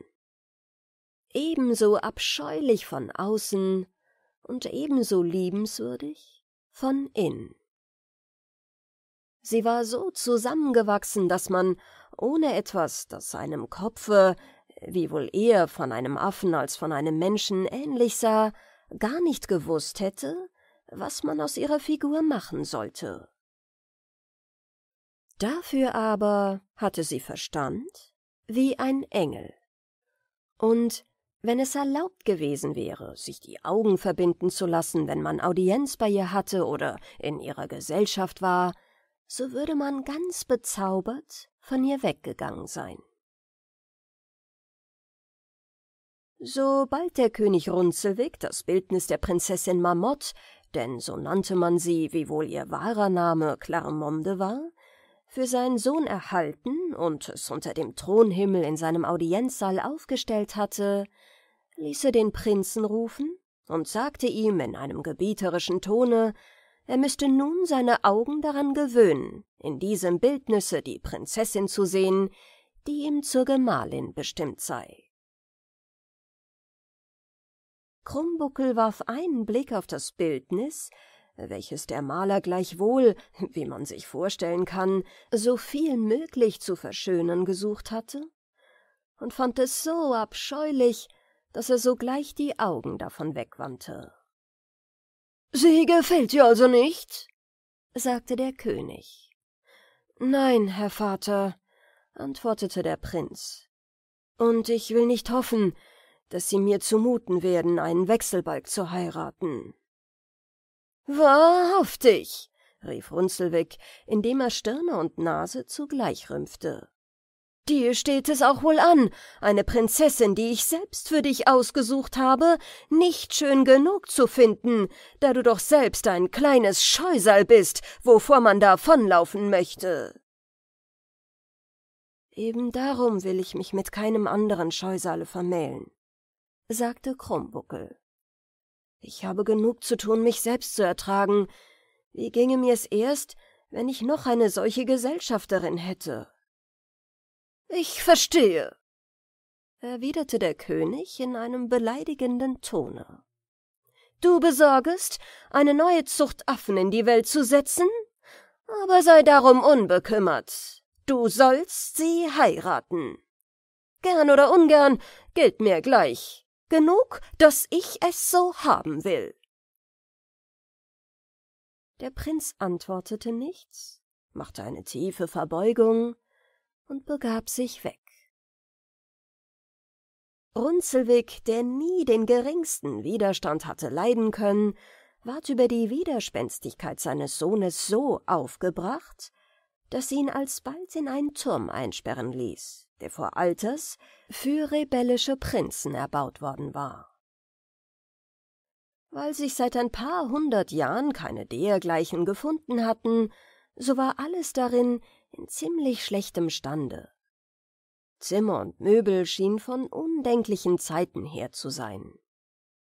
Der Prinz verlangte zu seiner Unterhaltung Bücher, und man erlaubte ihm, deren so viel er wollte, aus der Bibliothek des Turms zu nehmen. Aber da er sie lesen wollte, fand er die Sprache so alt, dass er nichts davon verstehen konnte. Er ließ sie liegen, nahm sie über eine Weile wieder vor, und da er nicht nachließ, bis er endlich hier und da einen Sinn herausbrachte, so halfen sie ihm wenigstens, die Zeit in seiner Einsamkeit zu kürzen. Inzwischen hatte der König Runzelwig durch Abgesandte bei seinem Nachbar förmlich um Marmotten anhalten lassen. Das Bildnis des Prinzen Krummbuckel wurde in einer prächtigen Galerie aufgestellt und die Prinzessin herbeigeholt, um ihren künftigen Gemahl in Augenschein zu nehmen. Da sie den feinsten Geschmack und eine nicht gemeine Zärtlichkeit der Empfindung besaß, so kann man sich einbilden, wie ihr dabei zumute ward. Die arme Prinzessin fühlte auf den ersten Blick die ganze Grausamkeit ihres Schicksals. Sie schlug die Augen nieder und weinte bitterlich. Der König, ihr Vater, ungehalten über ein solches Betragen, das nach seiner Vorstellungsart äußerst albern und unschicklich war, nahm ein Spiegel hielt ihn seiner Tochter vor die Nase und sagte in einem unfreundlichen Tone Da ist auch wohl noch viel zu weinen. Schau einmal hierher und bekenne, dass du nichts zu beklagen hast. Wenn's mir so not um einen Mann wäre, gnädiger Herr, antwortete sie so hätte ich vielleicht Unrecht, so delikat zu sein. Aber ich wünsche und verlange ja nichts anderes, als mein Schicksal allein zu tragen, ohne den Verdruß, mich zu sehen, mit jemandem teilen zu wollen. Man lasse mich doch die unglückliche Prinzessin Marmott bleiben, so will ich wohl zufrieden sein oder mich doch wenigstens über nichts beklagen.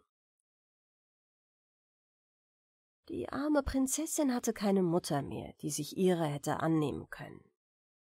Der König, ihr Vater, dessen Fehler die Weichherzigkeit nie gewesen war, blieb bei ihren Vorstellungen und Tränen ungerührt, und sie musste mit den Gesandten des Königs Runzelwig abreisen. Während nun alles dies vorging, hatte Prinz Krumbuckel schlimme Zeit in seinem Turme. Kein Mensch durfte ein Wort mit ihm reden. Er hatte außer seinen alten Büchern nicht den geringsten Zeitvertreib. Man gab ihm schlecht zu essen, und seine Hüter hatten Befehl, ihn durch alle Arten von übler Begegnung mürbe zu machen. König Runzelwig war ein Mann, der sich Gehorsam zu verschaffen wusste. Aber gleichwohl hatten die Leute den Prinzen so lieb, dass die Befehle seines hartherzigen Vaters eben nicht aufs strengste vollzogen wurden. Eines Tages, da in einer großen Galerie auf und ab ging und den Gedanken über sein trauriges Schicksal nachhing, das ihn so hässlich und missgeschaffen hatte geboren werden lassen, und ihm nun mit aller Gewalt auch noch ein Scheusal von einer Gemahlin aufdringen wollte, warf er die Augen von ungefähr auf die Fensterscheiben, die er mit Gemälden von trefflicher Zeichnung und von den lebhaftesten Farben bemalt sah. Weil er ein großer Liebhaber der Kunst war, so verweilte er sich mit desto mehr Vergnügen bei dieser Glasmalerei. Aber was die darauf vorgestellten Historien zu bedeuten sollten, konnte er nicht herausbringen. Seine Verwunderung nahm nicht wenig zu, da auf einem dieser Gemälde einen Menschen erblickte, der ihm so ähnlich sah, als ob es sein Bildnis gewesen wäre. Dieser Mensch befand sich in dem obersten Geschosse des Turmes und suchte in der Mauer wo er einen goldenen Kugelzieher fand, mit welchem er ein Kabinett aufschloss.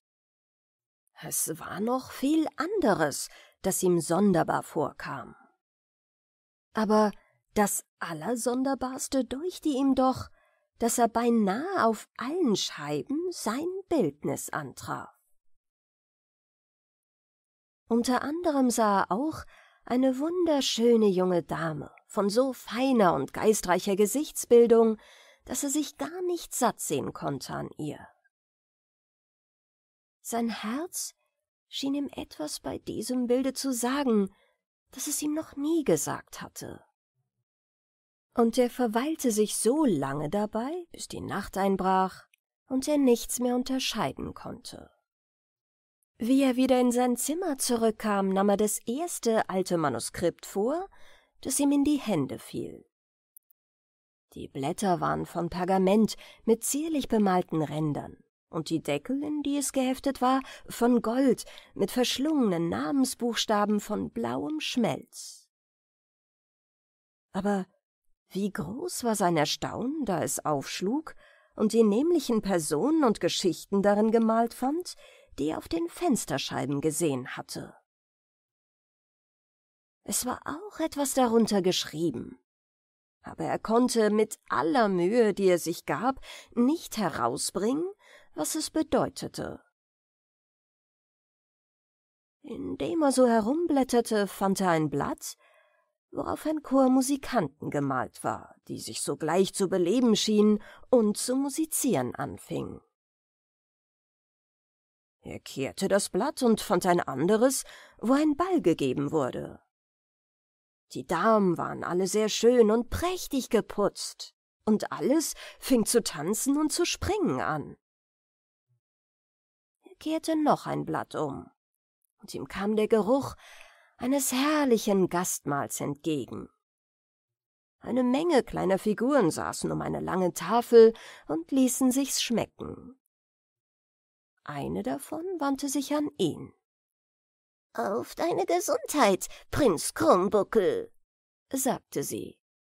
Lass dir's angelegen sein, uns unsere Königin wiederzugeben.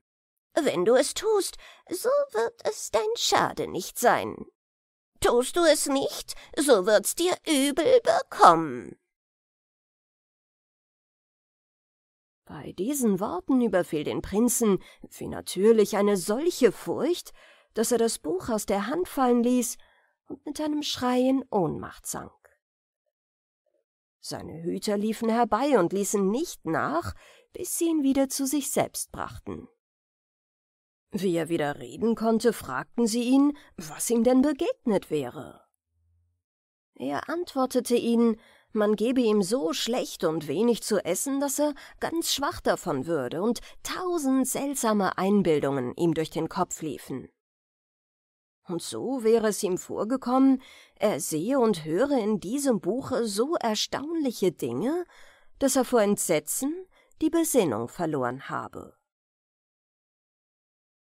Seine Hüter betrübten sich darüber und brachten ihm sogleich was Besseres zu essen, wiewohl es ihnen scharf verboten war. Als er gegessen hatte, nahm er das Buch in ihrer Gegenwart wieder vor und da von alledem, was er vorhin gesehen zu haben glaubte, nichts mehr fand, so zweifelte er nicht mehr, dass es bloße Einbildung gewesen sein müsste. Am folgenden Tage ging er wieder in die Galerie und sah alles wieder, was er gestern auf den gemalten Fensterscheiben gesehen hatte. Auch sah er die schöne junge Person wieder, die ein Abdruck ihres Bildes in seinem Herzen zurückgelassen hatte. Überall fand er sich selbst in einer ebensolchen Kleidung wie die seinige. Und immer stieg diese Figur in das oberste Geschoss des Turmes und fand einen goldenen Kugelzieher in der Mauer. Dahinter muss ein sonderbares Geheimnis stecken, sprach er zu sich selbst. Diesmal hab ich gut gegessen, es kann keine Einbildung sein. Vielleicht finde ich im obersten Geschoss etwas, das mir Licht in der Sache gibt. Er stieg hinauf, schlug mit seinem Hammer gegen die Mauer, glaubte eine Stelle, welche hohl schallte, zu bemerken, schlug ein Loch hinein und fand einen zierlich gearbeiteten, goldenen Kugelzieher. Indem er sich bedachte, wozu er ihn wohl gebrauchen könnte, ward er in seinem Winkel eines alten Schrankes von schlechtem Holze gewahr. Er sah sich überall daran nach einem Schlosse um, aber vergebens, er konnte nirgends etwas finden, wie er aufzumachen wäre. Endlich bemerkte er ein kleines Loch. Und da ihm sogleich einfiel, dass ihm sein Kugelzieher hier dienlich sein könnte, so steckte er ihn hinein, zog hierauf mit aller Gewalt, und der Schrank ging auf. Nun fand sich's, dass er von innen so schön war, als er von außen alt und schlecht geschienen hatte. Alle Schubladen waren von zierlich ausgestochenem Ambra oder Bergkristall und wenn man eine herauszog, fand man oben, unten und zu beiden Seiten wieder kleinere, die mit Deckeln von Perlmutter voneinander abgesondert und mit einer unendlichen Menge seltener und kostbarer Sachen angefüllt waren. Der Prinz fand darin die schönsten Waffen von der Welt, reiche Kronen, schöne Bildnisse, herrliche Juwelen und andere Dinge, die ihm großes Vergnügen machten. Er zog immer heraus, ohne müde zu werden und ohne, dass es ein Ende nehmen wollte. Endlich fand er auch einen kleinen Schlüssel, der aus einem einzigen Smaragd geschnitten war, und womit er eine kleine Türe am Boden des Schrankes aufmachte. Als sie aufging, wurde er von dem Glanz eines Karfunkels ganz verblendet, der den Deckel einer aus dem nämlichen kostbaren Steine gearbeiteten großen Schale ausmachte. Er hob ihn ab. Aber wie wurde ihm zumute, als er sie mit Blut angefüllt und eine abgehauene Manneshand darin sah, die ein reich besetztes Bildnis zwischen den Fingern hielt. Er fuhr bei diesem Anblick zusammen, seine Haare richteten sich empor, seine Knie schlugen gegeneinander, und er konnte sich kaum auf seinen Füßen erhalten. Er setzte sich auf den Boden und hielt die Schale noch mit weggewandten Augen in der Hand, unschlüssig, ob er sie wieder hinlegen, wo er sie gefunden, oder was er mit ihr anfangen sollte. Dass irgendein großes Geheimnis unter alledem, was ihm in diesem Turme begegnet war, verborgen sein müsse, schien ihm nicht zweifelhaft.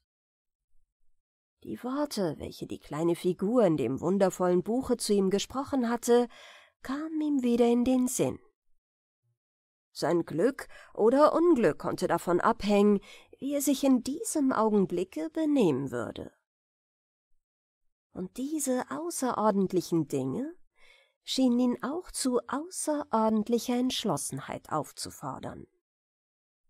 Kurz, er rief allen seinen Mut zusammen, tat sich Gewalt an, die Augen auf diese in Blut badende Hand zu heften und »O du unglückliche Hand«, sprach er, »wenn du mich durch irgendein Zeichen von deinem Schicksale benachrichtigen kannst und ich fähig bin, dir zu dienen, so sei gewiss, dass ich ein Herz habe, alles für dich zu tun.«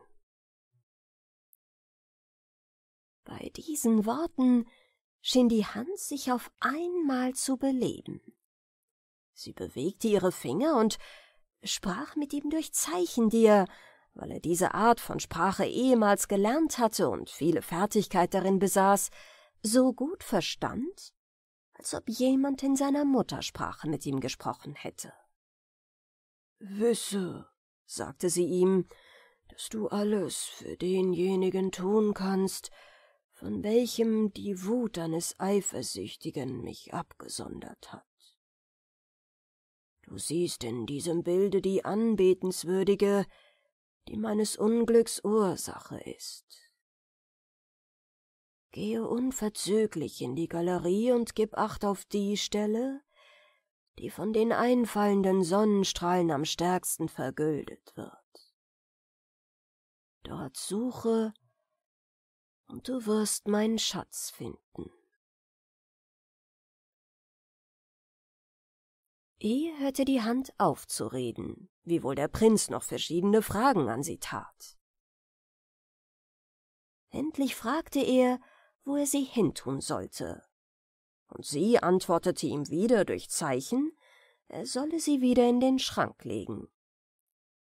Er gehorchte schloss alles wieder zu, verbarg den Kugelzieher in der Mauer, wo er ihn gefunden hatte, und stieg voll Ungeduld nach dem weitern Erfolg wieder in die Galerie hinab. Bei seinem Eintritt fingen die Fensterscheiben außerordentlich an zu zittern und zu klirren.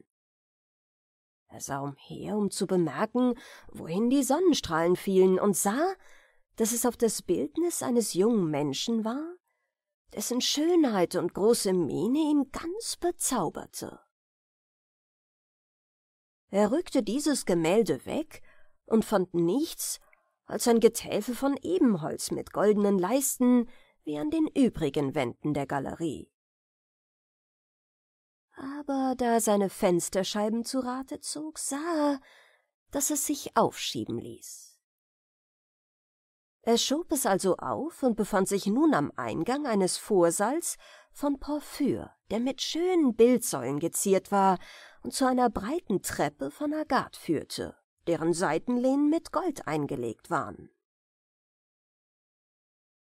Er stieg hinauf, kam in einen Saal, wo die Wände mit spiegelhellem Lasur überzogen waren und aus diesem in eine lange Reihe herrlicher Zimmer, deren immer eines das andere an Pracht und Glanz und Schönheit der Malereien und Kostbarkeit der Möblierung übertraf, bis er sich endlich in einem Kabinett befand, wo auf einem prächtigen Ruhebette eine Dame von außerordentlicher Schönheit erblickte, die zu schlafen schien.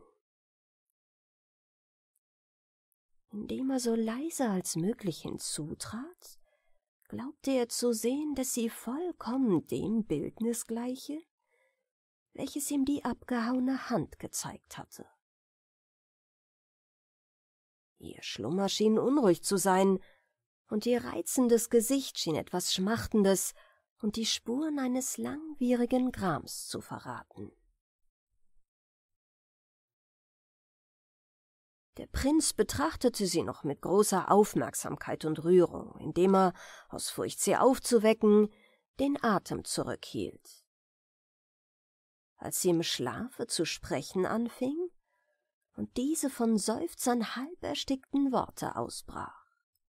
Denkst du, Treuloser, dass ich dich jemals lieben könne, nachdem du mich von meinem Alcindor entfernt hast?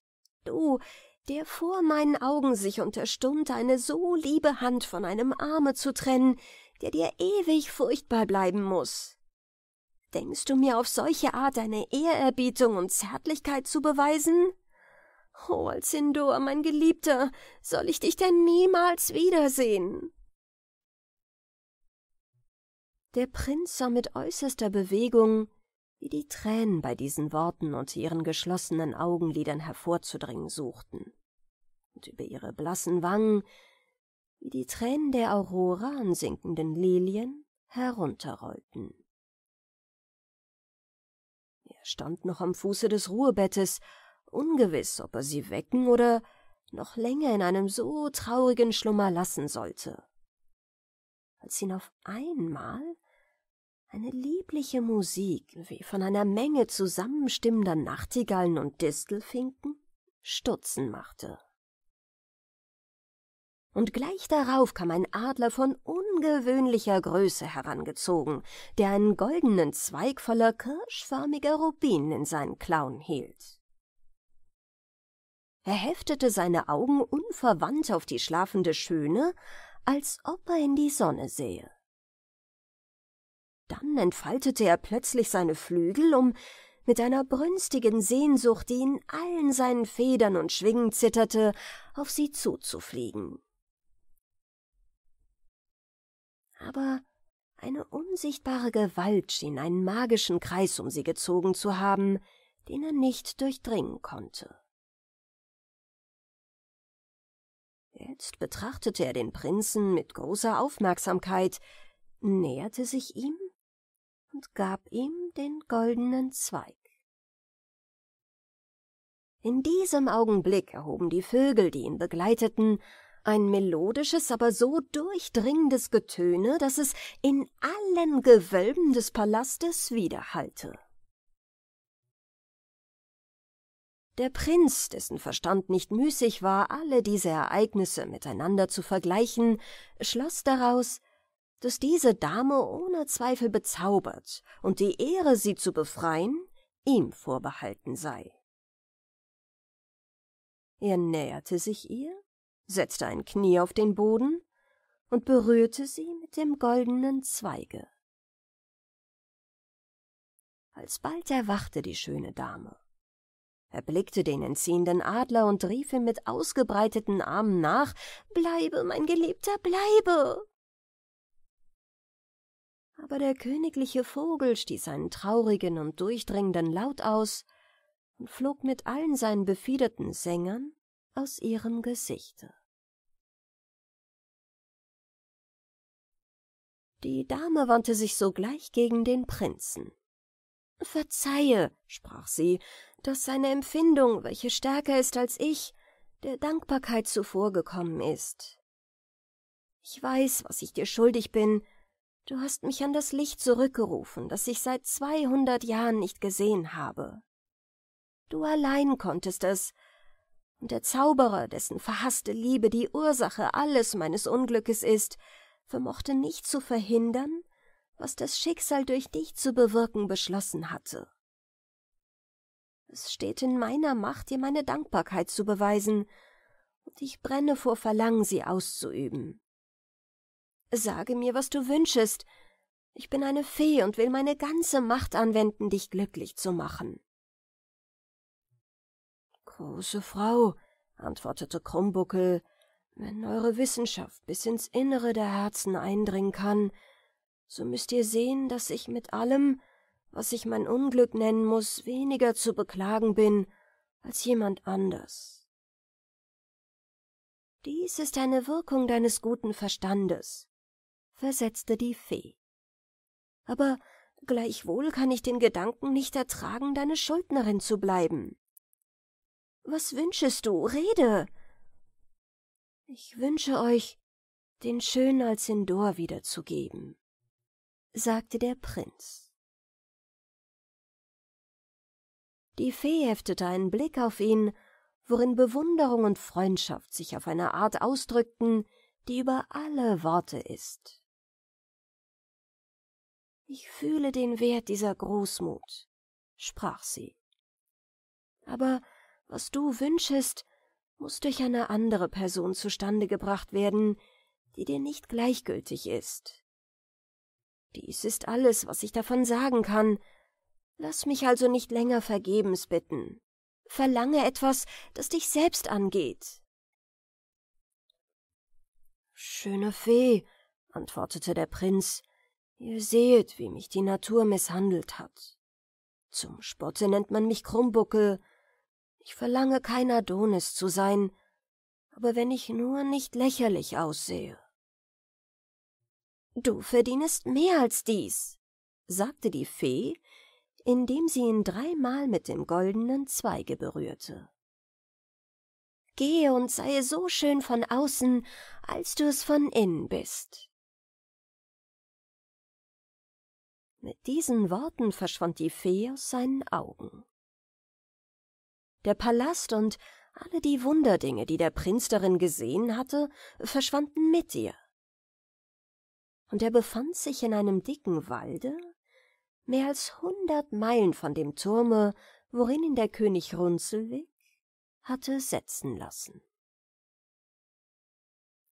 Während sich dieses mit dem Prinzen zutrug, gerieten seine Wächter in die entsetzlichste Verlegenheit, wie sie ihn um die Zeit des Abendessens nicht in seinem Zimmer fanden. Sie suchten ihn überall im ganzen Turme, und fielen schier in Verzweiflung, da nirgends die geringste Spur, was aus ihm geworden sein könnte, zu sehen war. Dem Könige die Wahrheit von der Sache zu hinterbringen, war keine Möglichkeit. Er würde ihnen nicht geglaubt, sie für Mitschuldige an der Flucht seines Sohnes gehalten und sie dafür auf grausamste Art bestraft haben. Nach langem Beratschlagen fanden sie keine bessere Auskunft, als den Kleinsten aus ihrem Mittel mit einem großen Buckel auszustaffieren, ihn, als ob es der Prinz wäre, bei gezogenen Vorhängen in Krummbuckels Bette zu legen und dem Könige die Nachricht zu bringen, dass sein Sohn sehr unpässlich sei. Dieser Anschlag wurde ungesäumt ins Werk gesetzt. Runzelwig, der sich einbildete, der Prinz stelle sich nur krank, um ihn zu erweichen und seine Freiheit wieder zu erhalten, würdigte die Nachricht von seiner vorgegebenen Krankheit keiner Aufmerksamkeit. Je gefährlicher sie die Sache machten, je gleichgültiger zeigte sich der König dabei. Und dies war es eben, was die Hüter gehofft hatten. Inmittelst war die Prinzessin Marmott in eine Sänfte bestmöglich eingepackt, am Hofe des König Runzelwigs glücklich angelangt. Der König ging ihr entgegen. Aber wie man sie nicht ohne viele Mühe aus ihrer Maschine herausgehoben hatte, und er sie so verwachsen, krüppelhaft und missgeschaffen fand, dass sie kaum einer menschlichen Figur ähnlich sah, konnte er sich nicht entbehren, ihr ein Kompliment zu machen, das für eine Schwiegertochter und zum Willkommen eben nicht sehr verbindlich war. Ei, zum Henker, Prinzessin Mammut, sagte er. Es steht Ihnen auch wohl an, mein Krummbuckel zu verachten. Ich leugne es nicht, Er ist ein hässliches Tier, aber er ist es noch bei weitem nicht so sehr als Sie. Gnädiger Herr, antwortete die Prinzessin, ich gefalle mir selbst nicht wohl genug, um über die Unhöflichkeiten, so Sie mir sagen, empfindlich zu werden. Indessen weiß ich nicht, ob Sie es für ein Mittel halten, mich desto eher zur Liebe Ihres reizenden Krummbuckels zu verführen.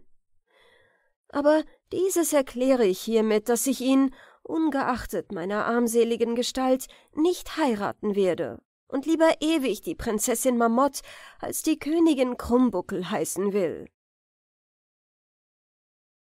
Der König Runzelwig entrüstete sich nicht wenig über diese Antwort. Sie irren sich stark, versetzte er.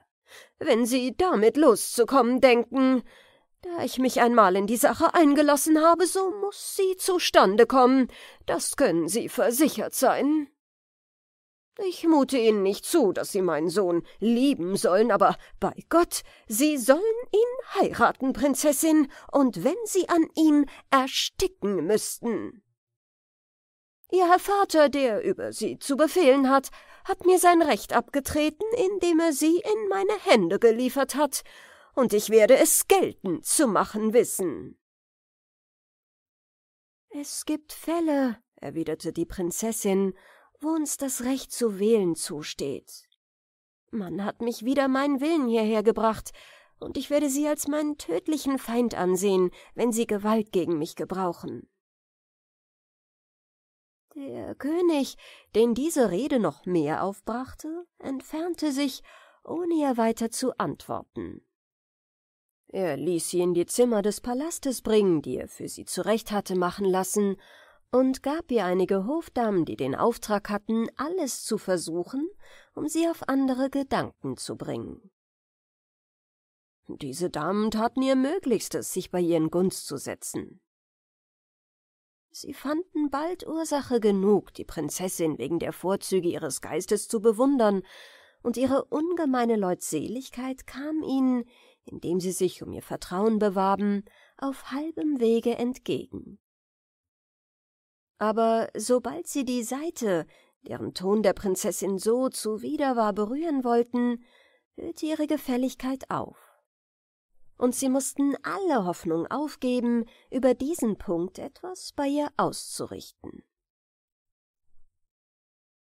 Bald hernach kamen die Hüter des Prinzen, welchen bange ward, dass der König ihre List und die Flucht seines Sohnes auf die eine oder andere Art entdecken möchte.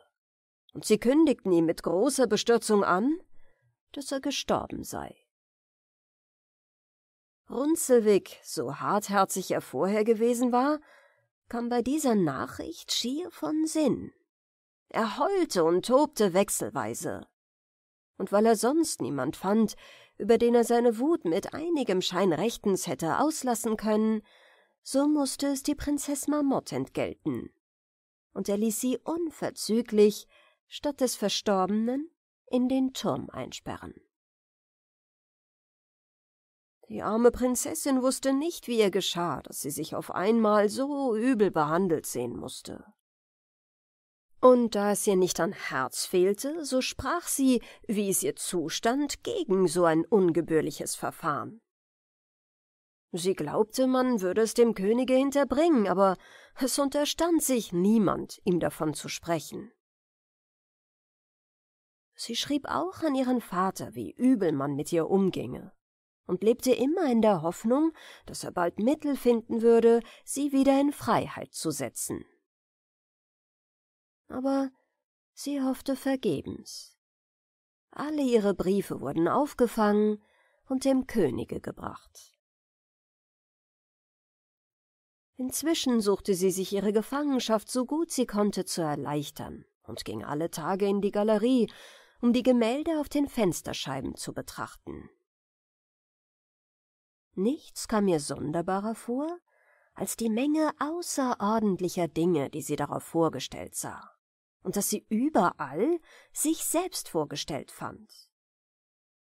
Es muss, dachte sie, seit ich in diesem Lande bin, die Maler eine seltsame Krankheit überfallen haben, dass sie so viel Vergnügen daran finden, mich zu malen, als ob es sonst keine lächerlichen Figuren gäbe als die meinige. Oder ist ihre Absicht nur, die Schönheit dieser reizenden jungen Schläferin durch den Kontrast noch mehr zu erheben? Gleich darauf fiel ihr auch ein junger Schäfer in die Augen, dessen ungemeine Schönheit sie nicht gleichgültig betrachtete. Wie sehr ist man zu bedauern, sagte sie, wenn man von der Natur so unmütterlich behandelt worden ist wie ich. Wie glücklich müssen sich diese schönen Leute fühlen. Bei diesen Worten traten ihr die Tränen in die Augen. Sie warf einen Blick in einen Spiegel und fand sich so abscheulich, dass sie sich nicht schnell genug wieder umdrehen konnte. Indem sah sie, nicht ohne Entsetzen, ein kleines, altes Weibchen vor sich stehen, die noch weit hässlicher war als sie selbst.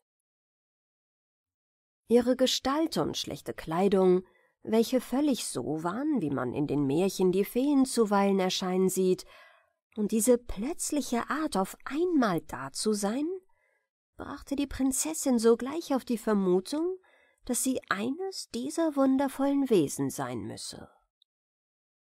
Prinzessin, sprach das alte Mütterchen zu ihr, wie du mich hier siehst, bin ich mächtig genug, dir das zu geben, dessen Ermangelung dir so schmerzlich ist. Wähle zwischen Schönheit und Tugend. Willst du schön sein, so sollst du es werden. Aber sobald du schön bist, wirst du eitel, einbildisch kokett und noch etwas Ärgers werden. Willst du bleiben, wie du bist, so wirst du gut, verständig und bescheiden bleiben. Wähle. Da ist nichts zu wählen, antwortete Mammut, indem sie der Fee in die Augen sah. Aber ist denn die Schönheit mit der Tugend so unverträglich? Nicht schlechterdings, antwortete die Alte. Aber wenn sie nun gerade bei dir unverträglich sind? Nun, rief die Prinzessin in entschlossenem Tone, so will ich ewig hässlich bleiben. Bedenke dich wohl, Marmott, sprach die Fee, ich will dir nichts Unangenehmes sagen. Aber es ist doch etwas seltsam, dass jemand lieber Grausen erwecken als gefallen wollen kann. Lieber alles Unglück in der Welt, erwiderte die Prinzessin, als einen Augenblick aufhören, edel und gut zu sein. Ah, ich hatte bloß für dich meinen weiß und gelben Muff mitgebracht, fuhr die Alte fort. Hättest du am gelben Ende hineingeblasen, so würdest du auf der Stelle so schön geworden sein, wie diese Schäferin, die du so sehr bewundert hast. Und du würdest den schönen Hirten, dessen Bild deine Augen mehr als einmal auf sich zog, zum Liebhaber bekommen haben. Hauchest du hingegen am weißen Ende hinein, so wirst du bleiben, wie du bist, aber immer fester auf dem Wege der Tugend fortschreiten, den du schon so mutig betreten hast. »Ach, mein liebes Mütterchen«, rief die Prinzessin, »versagt mir diese Wohltat nicht. Sie wird hinlänglich sein, um mich über die Verachtung der Welt hinwegsetzen zu können.« Die Fee gab ihr den Muff, und Marmott vergriff sich nicht.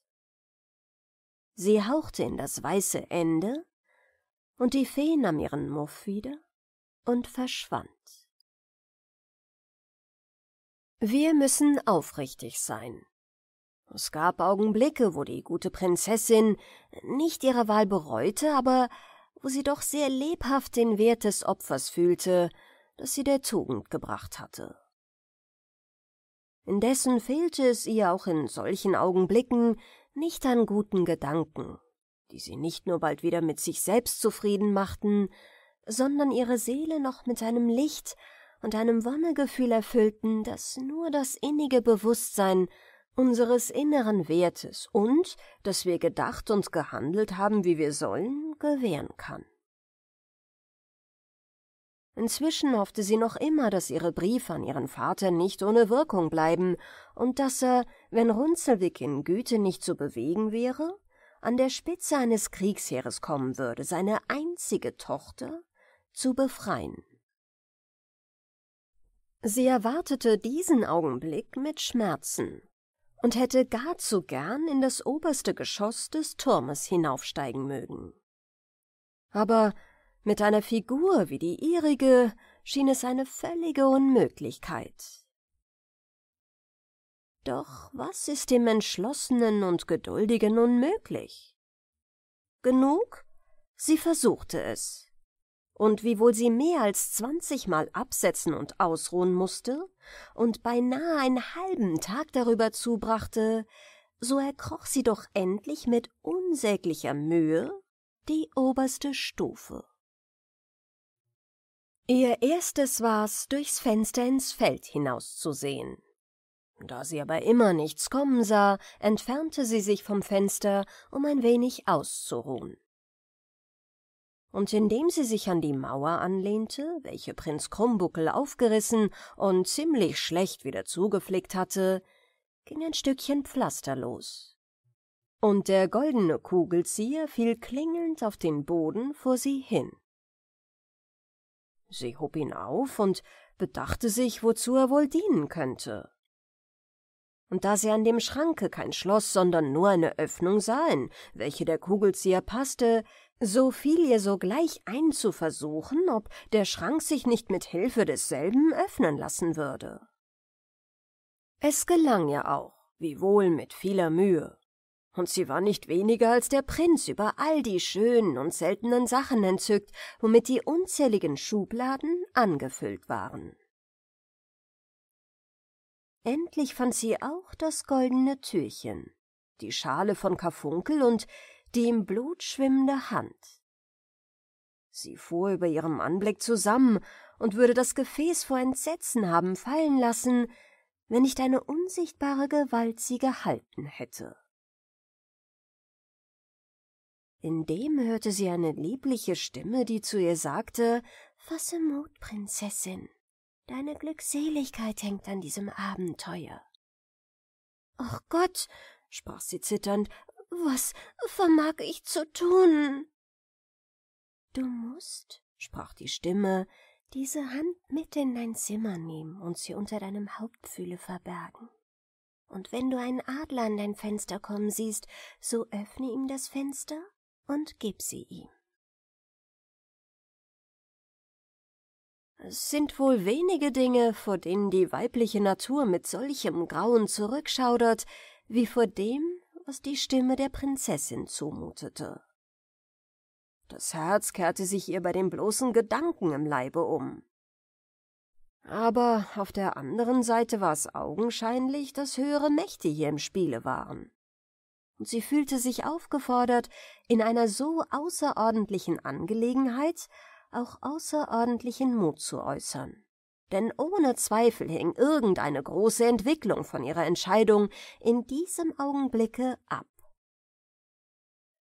Sie nahm also all ihre Herzhaftigkeit zusammen, ergriff schaudernd die abgehauene Hand, die einem Körper von großer Schönheit und Stärke angehört zu haben schien, und er staunte nicht wenig, sie, sobald sie aus dem Gefäße herausgenommen war, so rein zu sehen, als ob sie aus dem weißesten Wachse gebildet wäre.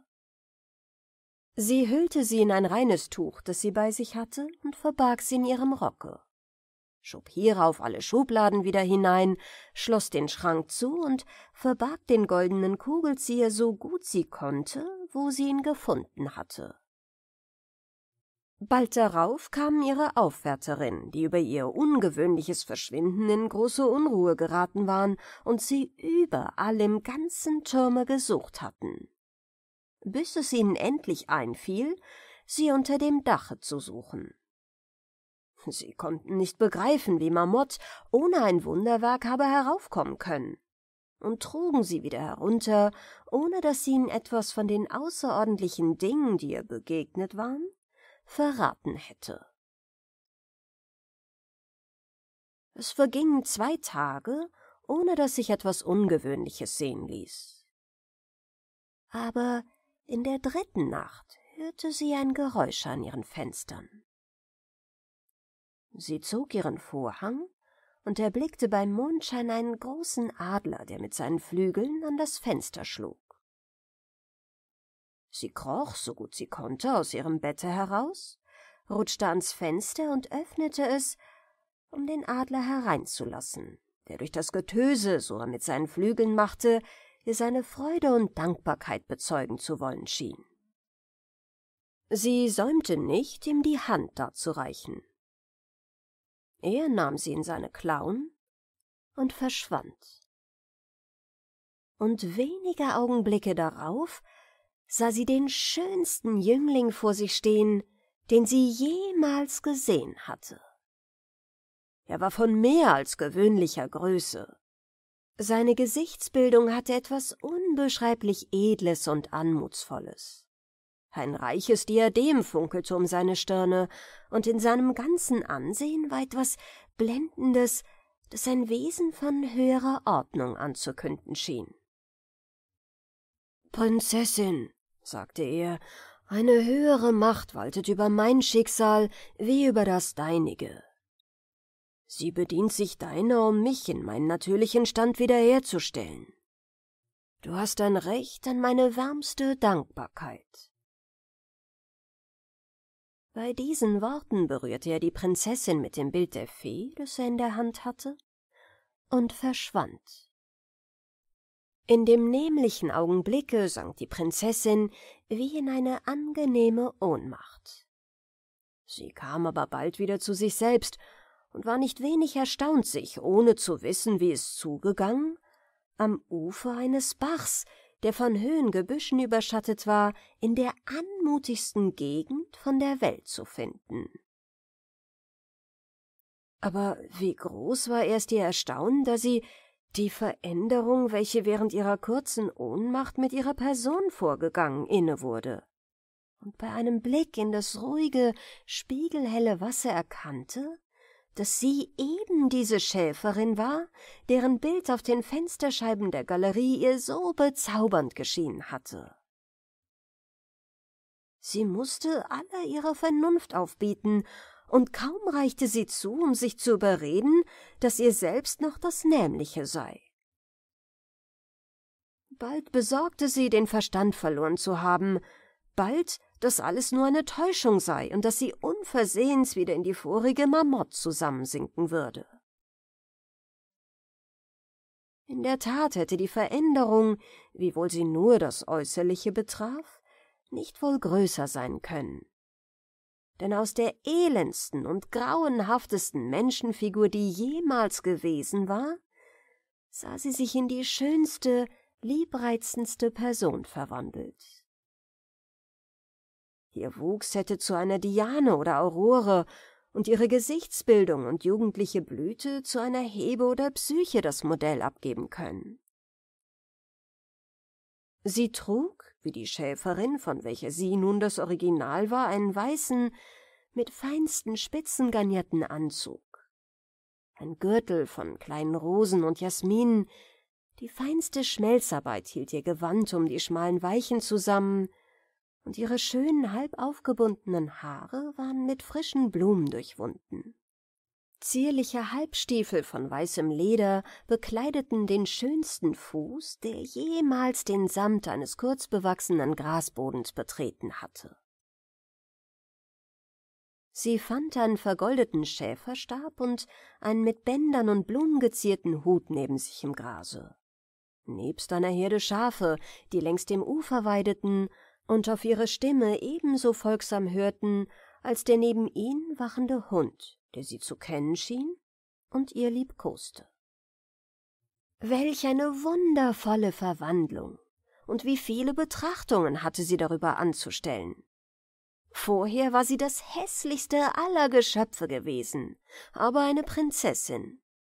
Jetzt das schönste Mädchen, das die Sonne jemals beschienen hatte, aber dafür auch nichts als eine Schäferin. Hatte sie beim Tausche gewonnen oder verloren? Gewonnen, ohne allen Zweifel. Wenigstens sagte sie es sich selbst mit der lebhaftesten Freude. Aber es gab doch auch Augenblicke, wo ihr der Verlust ihres hohen Rangs nicht ganz gleichgültig war. Da die Sonne noch sehr hoch stand und nur schwache Lüftchen, die unter dem Laubgewölbe, wo sie sich befand, zu wohnen schienen, die Hitze des Tages milderten, so schlummerte sie unter diesen Betrachtungen unvermerkt ein. Und wir benutzen diese Gelegenheit, um zu sehen, was indessen aus dem Prinzen Alasin, wie wir ihn künftig nennen wollen, geworden ist. Wir verließen ihn bei der Verschwindung der Fee und des Zauberpalastes, wo ihm so wunderbare Dinge begegnet waren. Hundert Meilen von seinem Turme in einem ihm unbekannten Walde, wo er, sobald er zu sich selbst kommen konnte, über die Verwandlung, die ihm vorgegangen war, nicht weniger als die Prinzessin Marmotte über die ihrige in die angenehmste Bestürzung geriet. Die Veränderung, welche das Berühren mit dem goldenen Zweige in seiner Figur hervorgebracht hatte, war so groß, dass Alasin den vormaligen Krummbuckel gar nicht mehr erkannte. Es brauchte einige Zeit, bis er das fortdauernde Gefühl, dass er die nämliche Person sei, die er kaum gewesen war, mit seiner jetzigen Gestalt, die ein ganz neues Wesen aus ihm zu machen schien, in den gehörigen Einklang bringen konnte. Er kam inzwischen unvermerkt an einen von hohen Erlen beschatteten Teich, wo sein Erstaunen aufs höchste stieg, indem er die Entdeckung machte, dass er Zug vor Zug dem schönen Schäfer glich, den er so vielmals, nicht ohne eine schmerzliche Vergleichung mit seiner damaligen Missgestalt, auf den bemalten Fensterscheiben betrachtet hatte. Die Ähnlichkeit erstreckte sich bis auf die Kleidung. Auch fand sich, damit ihm nichts zu einem Schäfer nach der Weise der Esträer oder der Hirten des gessnerischen Arkadiens abginge, unvermerkt eine Herde schöner Schafe bei ihm ein, die ihn für ihren Herrn und Führer erkannte. Sogar für eine Hütte hatte die dankbare Fee gesorgt. Alasin fand sie, mit allem Zugehör einer schäferischen Haushaltung, am Ende des Waldes in einem anmutigen Tale, durch welches sich ein Bach schlängelte, an dessen Ufern zu beiden Seiten hier und da verschiedene Schäferwohnungen zwischen fruchtbaren Bäumen oder aus halbverdeckten Gebüschen hervorragten. Das süße Gefühl der Freiheit und das Vergnügen, eines verhaßten Namens mit einer noch verhaßteren Gestalt los zu sein, ließ ihn eine gute Weile nicht daran denken, dass er mit dieser Figur und diesem Rahmen auch sein Königreich verloren hatte, und dass der Sohn und Erbe eines Königs sich nun gefallen lassen musste, seinem Zepter nichts als eine Herde Schafe und einen getreuen Hylas untertan zu sehen.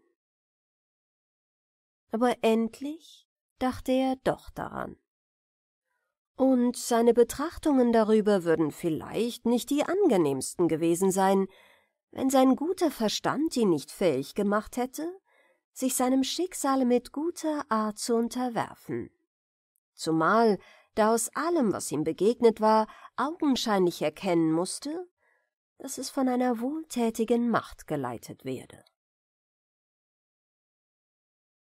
Alasin hatte schon einige Zeit in diesem Hirtenlande gelebt, wo ihm seine Gestalt und sein gefälliges Betragen in wenigen Tagen die Herzen der rohen, aber gutartigen Einwohner gewonnen hatte. Als ihn ein geheimer Zug, den er für Zufall hielt, an den Ort führte, wo die schöne Schäferin schlummerte. Kaum war er nahe genug hingetreten, um sie genau zu betrachten Himmel, wie wurde ihm zumute, da das Original eben dieser reizenden Schäferin in ihr erkannte, die er auf den Fensterscheiben der Galerie so vielmals abgebildet gefunden und niemals ohne die zärtlichste Regung hatte ansehen können. Er würde, wofern er sich nicht gleich an einen Baum angehalten hätte, von der heftigen Wirkung, die diese Überraschung auf sein ganzes Wesen machte, der Länge nach hingestürzt sein. Aber er holte sich bald wieder, um sie aufs Neue anzuschauen. Oder vielmehr das unbeschreibliche Vergnügen, das er beim Anschauen eines so vollkommenen Gegenstandes empfand, war die beste Stärkung seiner vom ersten Anblick betäubten Sinne. Er ließ sich vor ihr auf die Knie nieder sein Auge, sein Herz, sein ganzes Wesen schien in eine einzige, von ihr ausgefüllte Empfindung zusammengezogen. Und er würde bis in die Nacht in diesem wonnevollen Anschauen unverwandt beharret haben, wenn sie nicht von selbst erwachet wäre. Claremonde, denn wir werden ihr nun wie billig ihren eigenen Namen wiedergeben, hatte kaum die Augen aufgeschlagen, als sie in dem schönen Schäfer, den sie in der ehrerbietigsten Stellung vor sich knien sah, eben denjenigen erkannte, dessen Bild ihr in der Galerie öfters vorgekommen war. Dieser Umstand, der ihn gewissermaßen zu einer alten Bekanntschaft machte, milderte bei ihr die Verlegenheit, in welcher sie sich befunden hätte, wenn ihr ganz fremd gewesen wäre. Ihre Augen waren schon mit seiner Schönheit bekannt, und ihr Herz, an eine gewisse zärtliche Regung bei seinem Anblicke ebenso gewöhnt, war bereits zu sehr dazu gestimmt, gut von ihm zu denken, als dass es ihr hätte einfallen können, einiges Misstrauen in ihn zu setzen. Zwei so vollkommene Personen, wie sie beide waren, und deren Inneres so schön und rein zusammengestimmt ist, können einander nicht ansehen, ohne dass jedes das andere seiner würdig finde. Sie verstehen einander in der ersten Minute besser als gemeine Menschen nach einem jahrelangen Umgang. Das Erste, was sie füreinander fühlen, ist Wohlwollen. Und dieses Wohlwollen ist Freundschaft. Und diese Freundschaft ist bei einem jungen Schäfer und einer jungen Schäferin Liebe. Hiezu kommt noch, dass Claremonde mit ihrer Verwandlung aus einem missgeschaffenen Murmeltier in das schönste aller Mädchen zugleich aus einer Prinzessin in eine Schäferin verwandelt war. Zwar nicht so, dass sie die Erinnerung an ihre Geburt und an die Vorrechte ihres vorigen Standes ganz darüber verloren hätte, aber bei einer Person von ihrem Geiste und Herzen mussten diese Vorrechte in ihrem neuen Stande viel von ihrem anscheinenden Werte verlieren. Der Rang einer Prinzessin hatte seine Ungemächlichkeiten, der niedere Stand einer Schäferin seine Vorteile Überdies, was für Ursache hätte die Schäferin Claremonde haben können, ihren ehemaligen Stand noch immer geltend machen zu wollen? Was für Hoffnung konnte sie sich machen, wofern sie auch den Weg in die Staaten ihres Vaters gefunden hätte, jemals für die Prinzessin Marmotte erkannt zu werden? Sie hätte die Geschichte ihrer Umgestaltung noch so lebhaft erzählen mögen. Wer würde sie geglaubt haben? Mit dem schönen Alasin hatte es vollkommen die nämliche Bewandtnis. Und Claremunde und Alasin zeigten bei aller Verwunderung, womit sie einander in der ersten Überraschung ansahen, ein Zutrauen gegeneinander, welches uns zu beweisen scheint, dass ihre Herzen schon einverstanden waren, ehe sie Zeit hatten, sich gegeneinander zu erklären. Ist's möglich? Rief Alasin, sind Sie es selbst? Eben diese Frage schwebt auch auf meinen Lippen, sagte Claremonde. Es sind nur wenige Wochen, seit ich Ihr Bild auf den gemalten Glasscheiben meines alten Turmes gesehen habe, worin ich gefangen gehalten wurde, sagte der schöne Schäfer.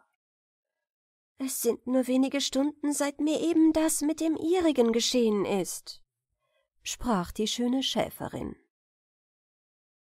Meine Geschichte ist seltsam. Sie würden sie unglaublich finden, wenn ich sie Ihnen erzählte, sagte der Schäfer.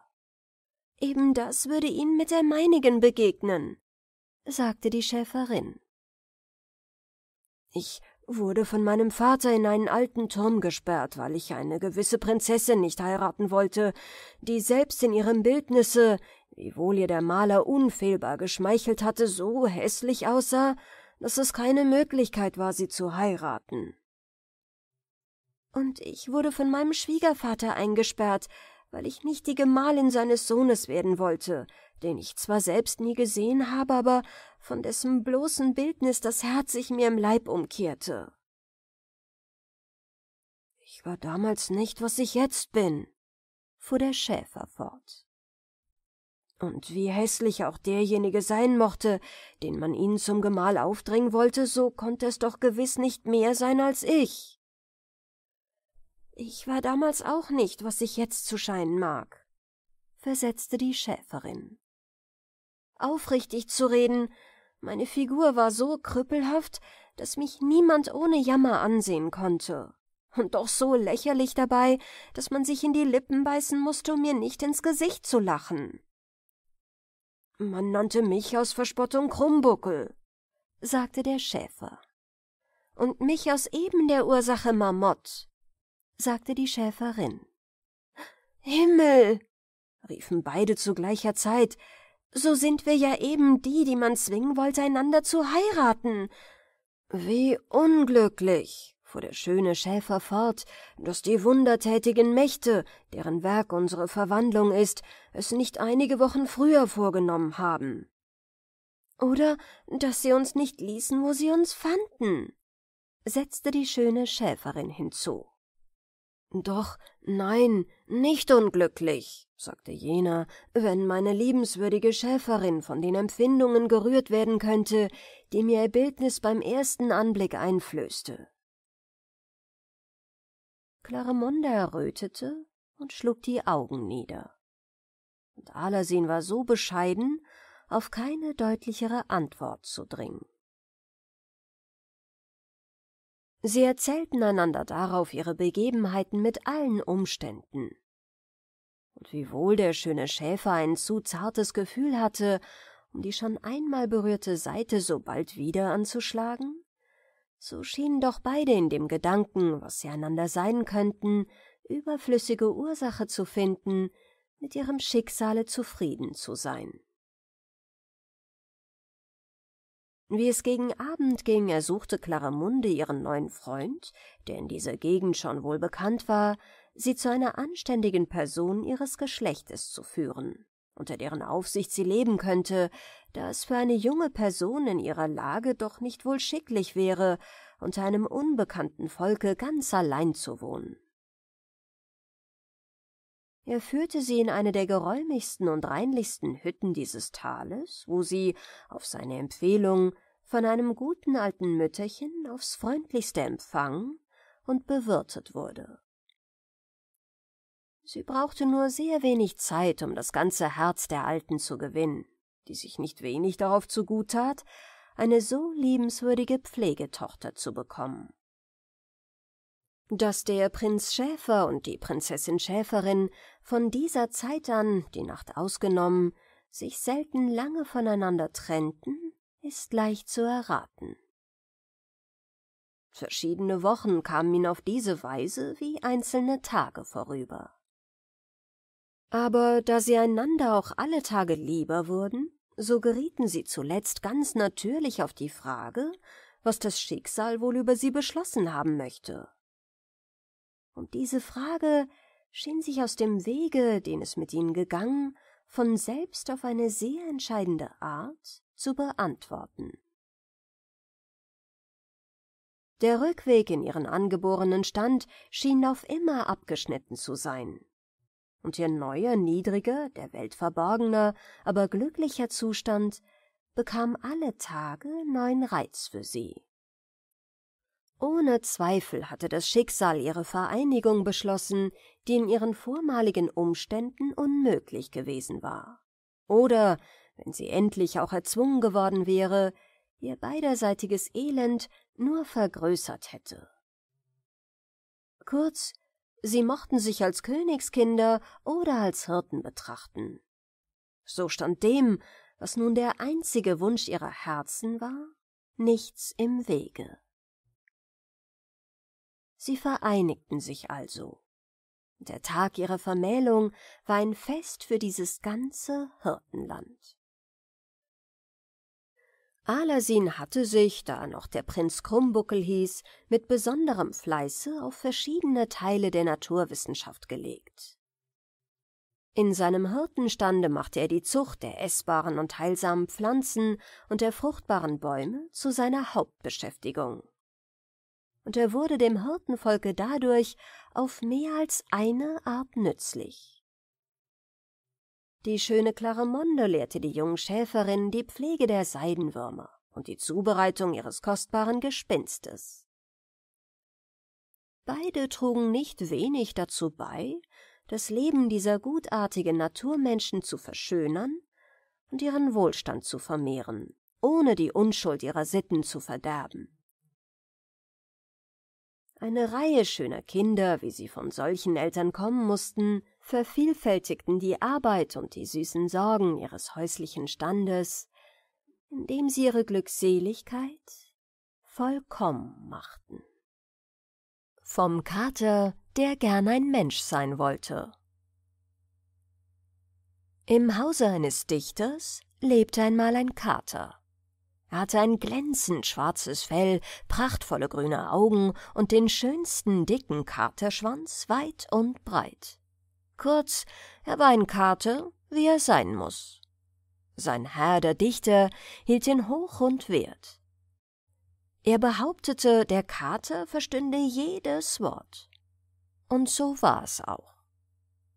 Eines Abends, als der Dichter Besuch hatte, pfiff er dem Kater und ließ ihn auf den Tisch springen.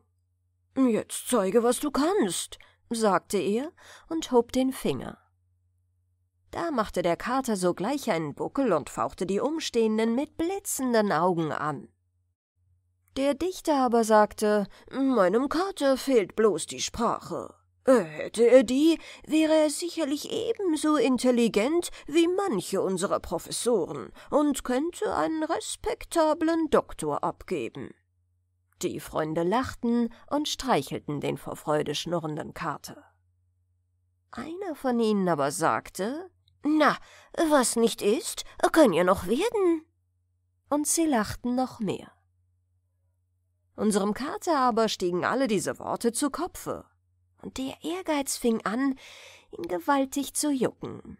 »Wäre ich doch ein Mensch«, dachte er, Oh, es muss herrlich sein, seinen tiefsten Gefühlen in Worten Ausdruck geben zu können. Wie armselig ist unsere Katzensprache. Gelänge es mir doch, menschlich zu sprechen, meinen Schwanz würde ich dafür hergeben. Er wurde ganz melancholisch und klagte nachts auf den Dächern dem Monde sein Leid. Der verstand ihn aber nicht, ebenso wenig wie seine Nachbarin, die weiße Katze, die ihren Freund von der Seite ansah und sich erschrocken mit einem angstvollen Miauen zu ihrem Vetter, dem grauen Kater, flüchtete. Er sah ihr nur verächtlich nach. Hm, sie passt doch nicht zu mir, dachte er. Was weiß sie von meiner Sehnsucht? Und aufs neue ließ er seine klagende Stimme tönen. Endlich hörte ihn eine zahme Krähe, die eine tüchtige Fertigkeit in der menschlichen Sprache besaß. Willst du mir einen Teil deines Mittagbrotes abgeben? krächzte sie. Ich kann dich schon lehren, kann dich schon lehren. Oh, sagte der Kater erfreut. Alles, alles und noch ein paar Mäuse dazu, liebe, verehrte Frau Krähe. Ha, Sie machen mich unendlich glücklich. Sie verabredeten nun Ort und Stunde, und der Unterricht begann. Zuerst lernte der Kater herzlich schwer. Sein altes Miau kam ihm mitten in die schönsten Silben aber schließlich begriff er, wie er die Zunge halten müsse. Und es gelang ihm, das erste Wort auszusprechen. Wie glücklich und stolz war unser Freund, und wie fleißig übte er im Schatten des Schornsteins seine neue Kunst. Nach ein paar Monaten konnte er schon einen ganzen langen Satz hersagen und bald übertraf er seine Lehrmeisterin, der ein ganzes Gedicht vorsprach, das er von Fritzchen, dem Sohne des Dichters, gehört hatte. Nun fühlte er sich ganz wie ein Mensch und beschloss, in die Welt zu gehen, um was Rechtes zu werden. Er schlich in Fritzens Kinderstube, wo im Schrank der Sonntagsanzug hing, zog ihn an und freute sich, wie schön er passte.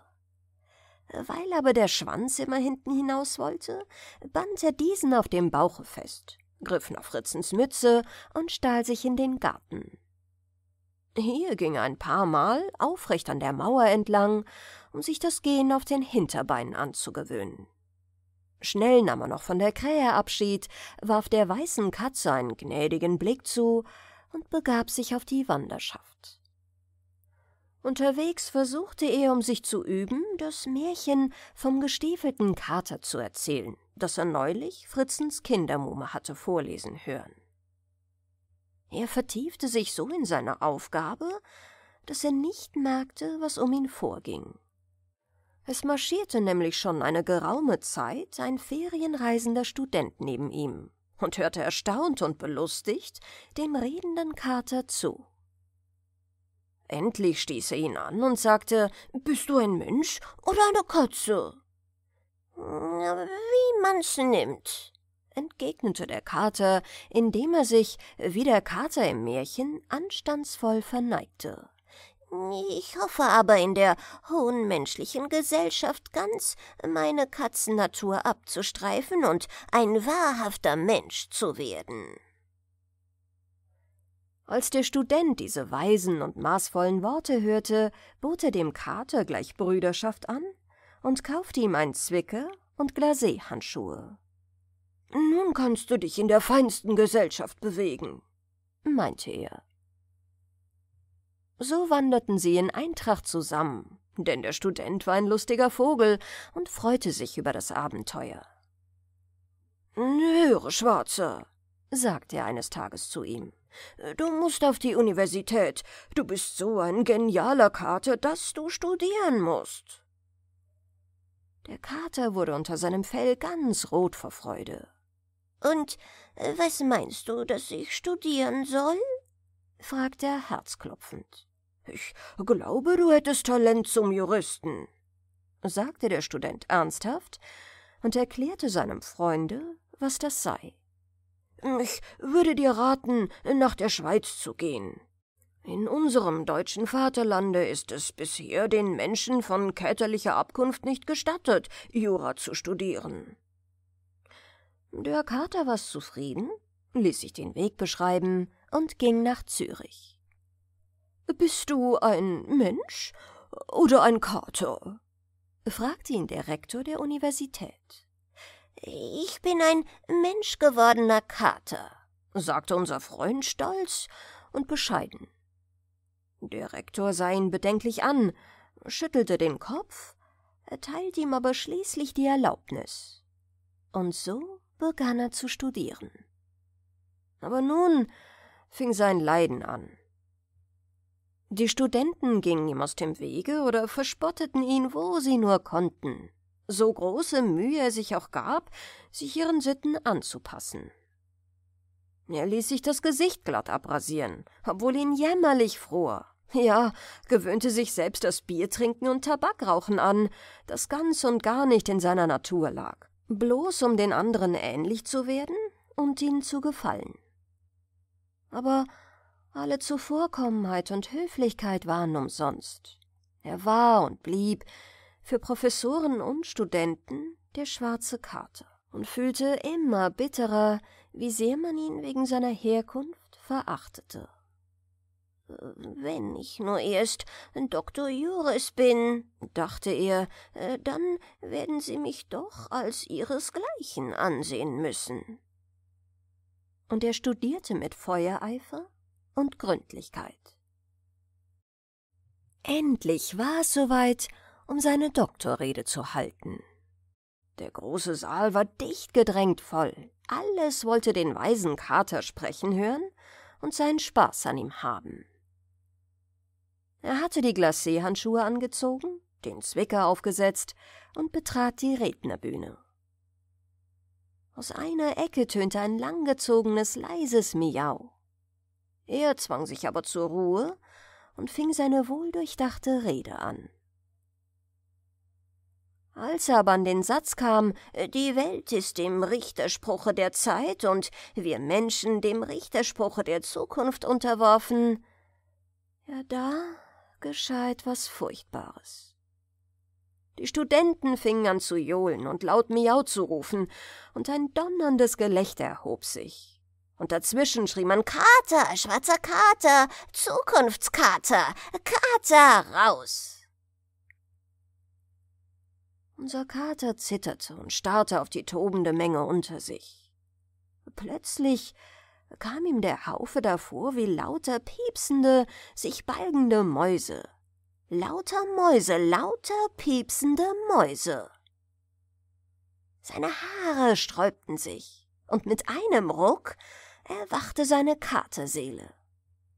Wütend riss er sich die Kleider vom Leib, dass sein schwarzer Schwanz steil in die Höhe fuhr und während sie im Saale noch lauter jachten und johlten, sprang er mit einem herzzerreißenden Miaugeheul den Zuhörern auf die Köpfe, brauchte seine scharfen Krallen und fauchte Lauter Mäuse, lauter Mäuse. Da ergriff die Menge eine furchtbare Angst. Und mit den gellenden Rufen Der Kater ist toll geworden, stürzten sie in wilder Flucht den Türen zu und bald war der Saal leer. Der Kater aber beruhigte sich nach und nach und sprang auf das Katheder, wo er das in Unordnung gebrachte Fell hübsch sauber und glatt leckte. Na, es lohnt nicht der Mühe, Mensch zu werden, dachte er. Wir Kater sind doch ein edleres Volk. Darauf reckte er, wie erlöst, seinen geschmeidigen Katzenkörper, schnurrte, machte einen Buckel und verließ mit hoch erhobenem Schwanze die Universität. Sein Herr, der Dichter, freute sich, als er ihn wieder zurückkehren sah. Und er verzieh ihm gern seine Streiche. Einmal des Nachts, als die beiden allein waren, erzählte ihm der Kater seine Abenteuer und der Dichter hat sie zur Warnung für alle anderen ehrgeizigen Kater aufgeschrieben. Wenn ihr aber den gelehrten Kater sehen wollt, so geht nach der Mühlenstraße Nummer drei. Da sitzt er auf dem Laubendach und unterhält sich mit seiner Nachbarin, der weißen Katze.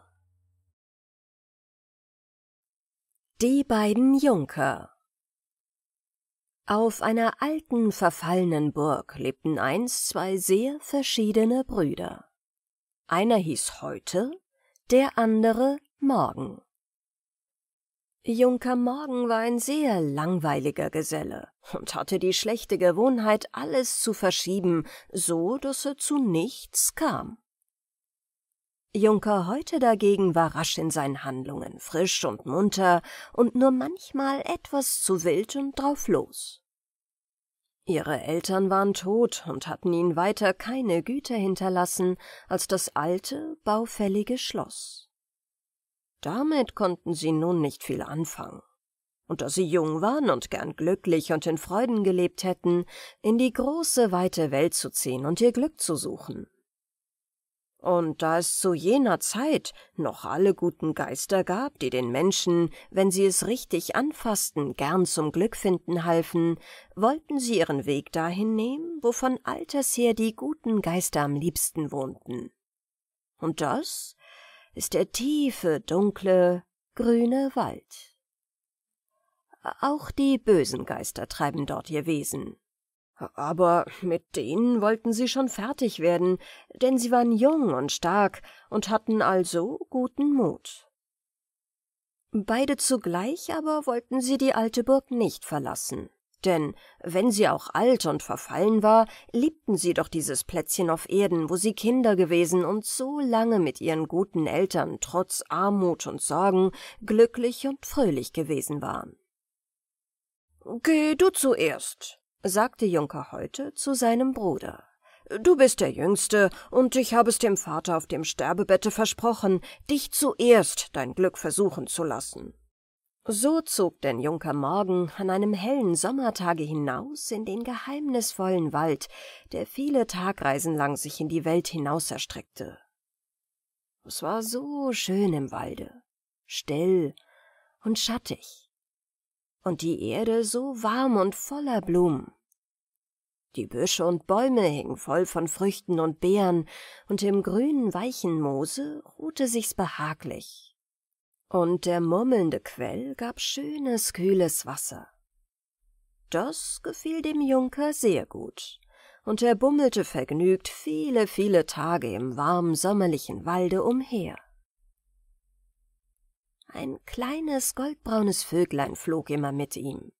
Es setzte sich auf einen Ast neben ihn und zwitscherte leise Glück, Glück.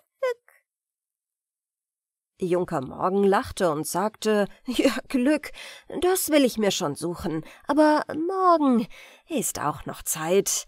Es ist zu schön hier und er aß von den saftigen Früchten und trank aus dem klaren Quell, schlief auf dem weichen Mooslager und freute sich an den vielen bunten Blumen, von denen jede ihm ein anderes, neues Geschichtchen zu erzählen wusste. So ging er immer tiefer in den Wald, viele, viele Tage lang.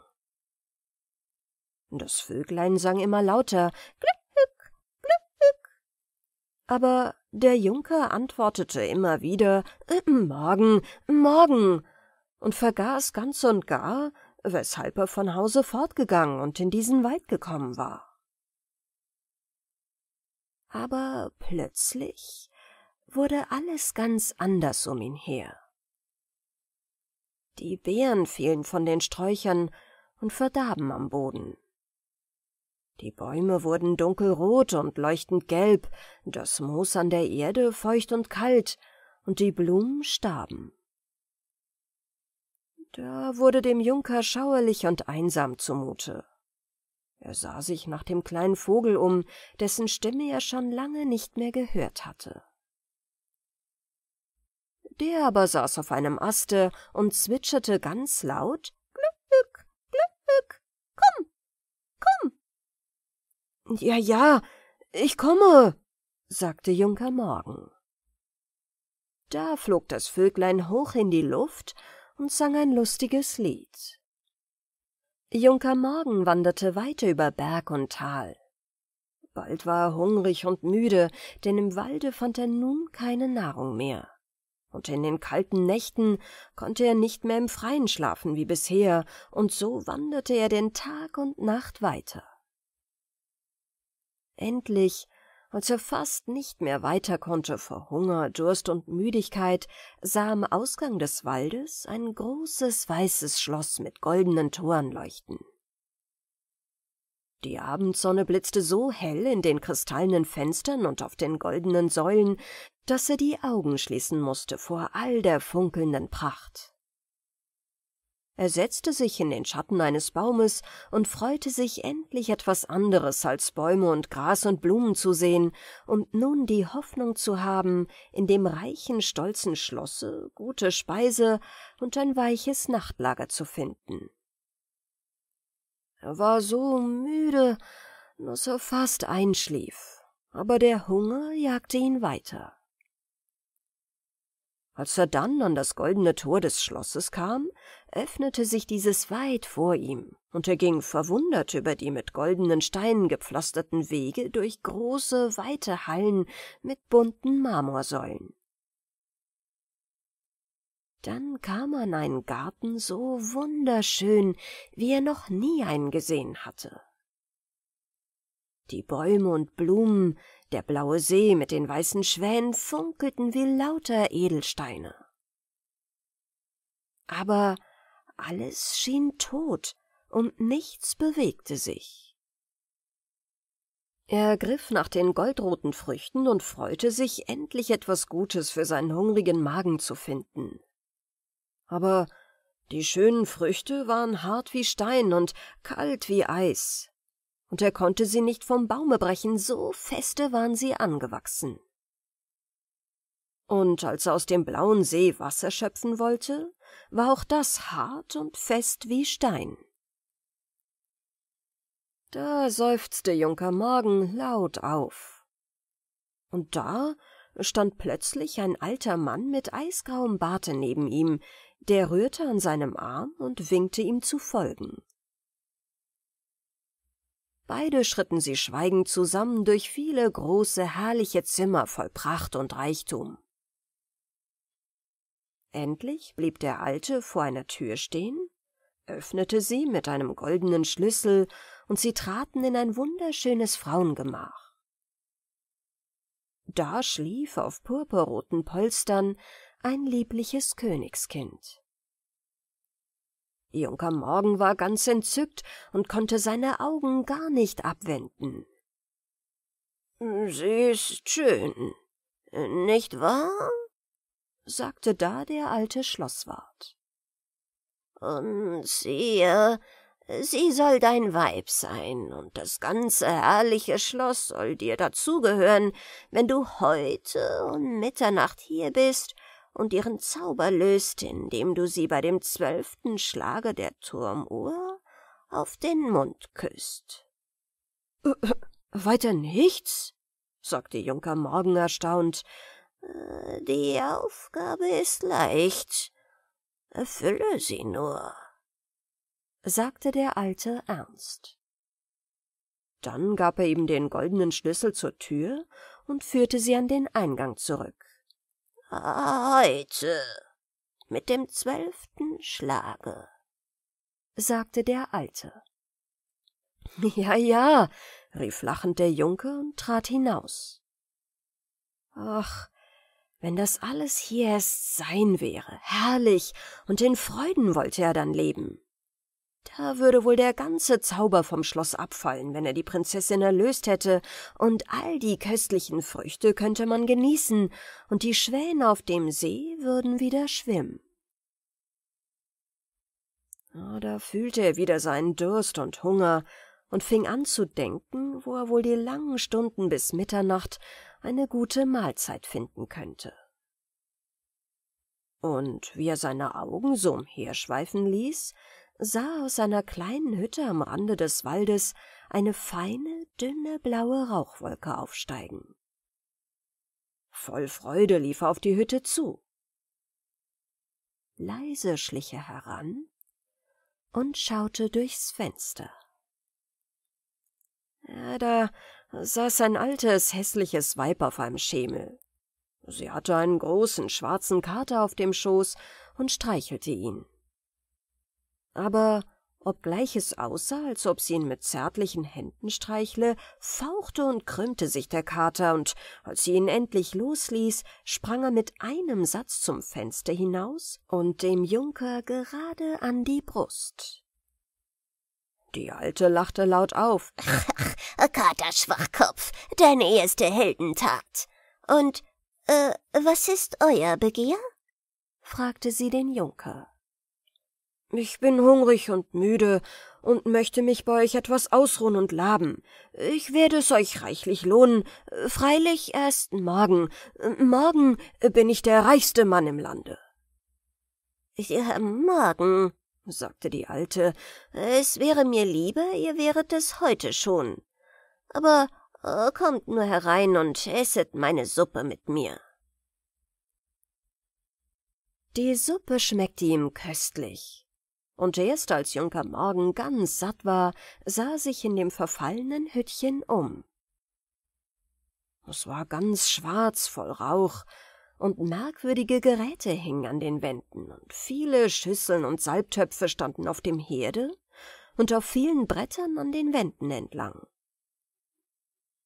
Die Alte kauerte am Boden und murmelte leise, unverständliche Worte in ein Gehäuse von Holz hinein, in dem eine Menge schneeweißer Mäuse unruhig hin und her liefen. Nun bin ich satt und müde und will schlafen, sagte der Junker. Aber weckt mich zur rechten Zeit um Mitternacht, hab ich ein wichtiges Geschäft vor. Wenn das vollendet ist, soll's euer Schade nicht sein, mich so barmherzig aufgenommen zu haben. Äh, so, so. Und gar geheimnisvoll seid ihr.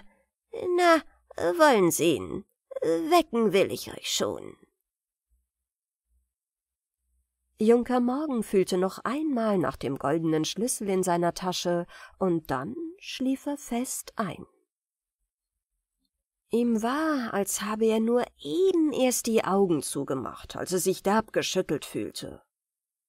Die Alte stand am Bett und lachte ihn mit ihren bösen Augen an. Auf, auf, sagte sie, es ist gleich Mitternacht, und ihr hattet doch solch eine wichtige Sache auszuführen. Auf, auf. Och, sagte Junker Morgen, ich bin so müde Och, lasset mich doch schlafen. Aber euer Glück und all das Gold, das ihr mir verspracht. Glück, Gold, brummte der Junker schlaftrunken. Morgen ist auch noch ein Tag. Hört, es schlägt vom Turm. Eins, zwei. Was wolltet ihr denn tun? Erinnert euch doch. Ja, es war etwas mit einer schönen Frau. Schöne Frauen warten nicht gern. Es ist der fünfte Schlag. Aber Junker Morgen drehte sich faul herum und brummte Lasst mich heute noch schlafen. Morgen.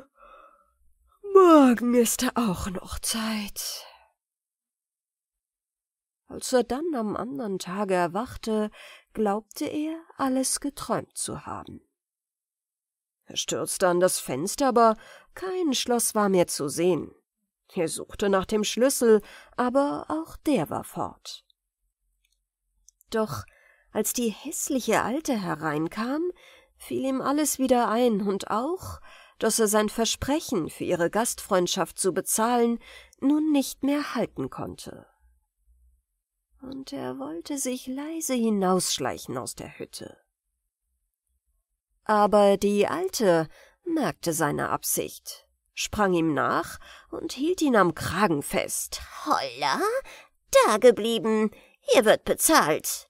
Wenn der faule Herr kein Gold hat, dann muss er mir eben anders dienen und sie packte den Junker mit beiden Händen und schüttelte ihn furchtbar und sprach allerlei wirre Worte dazu.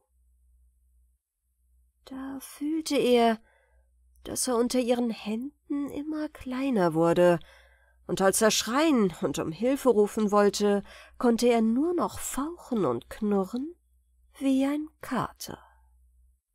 Ha, schöner schwarzer Herr, sagte boshaft die Alte, nun will ich euch die Faulheit austreiben. Marsch, an die Arbeit, fort auf die Mäusejagd, ha?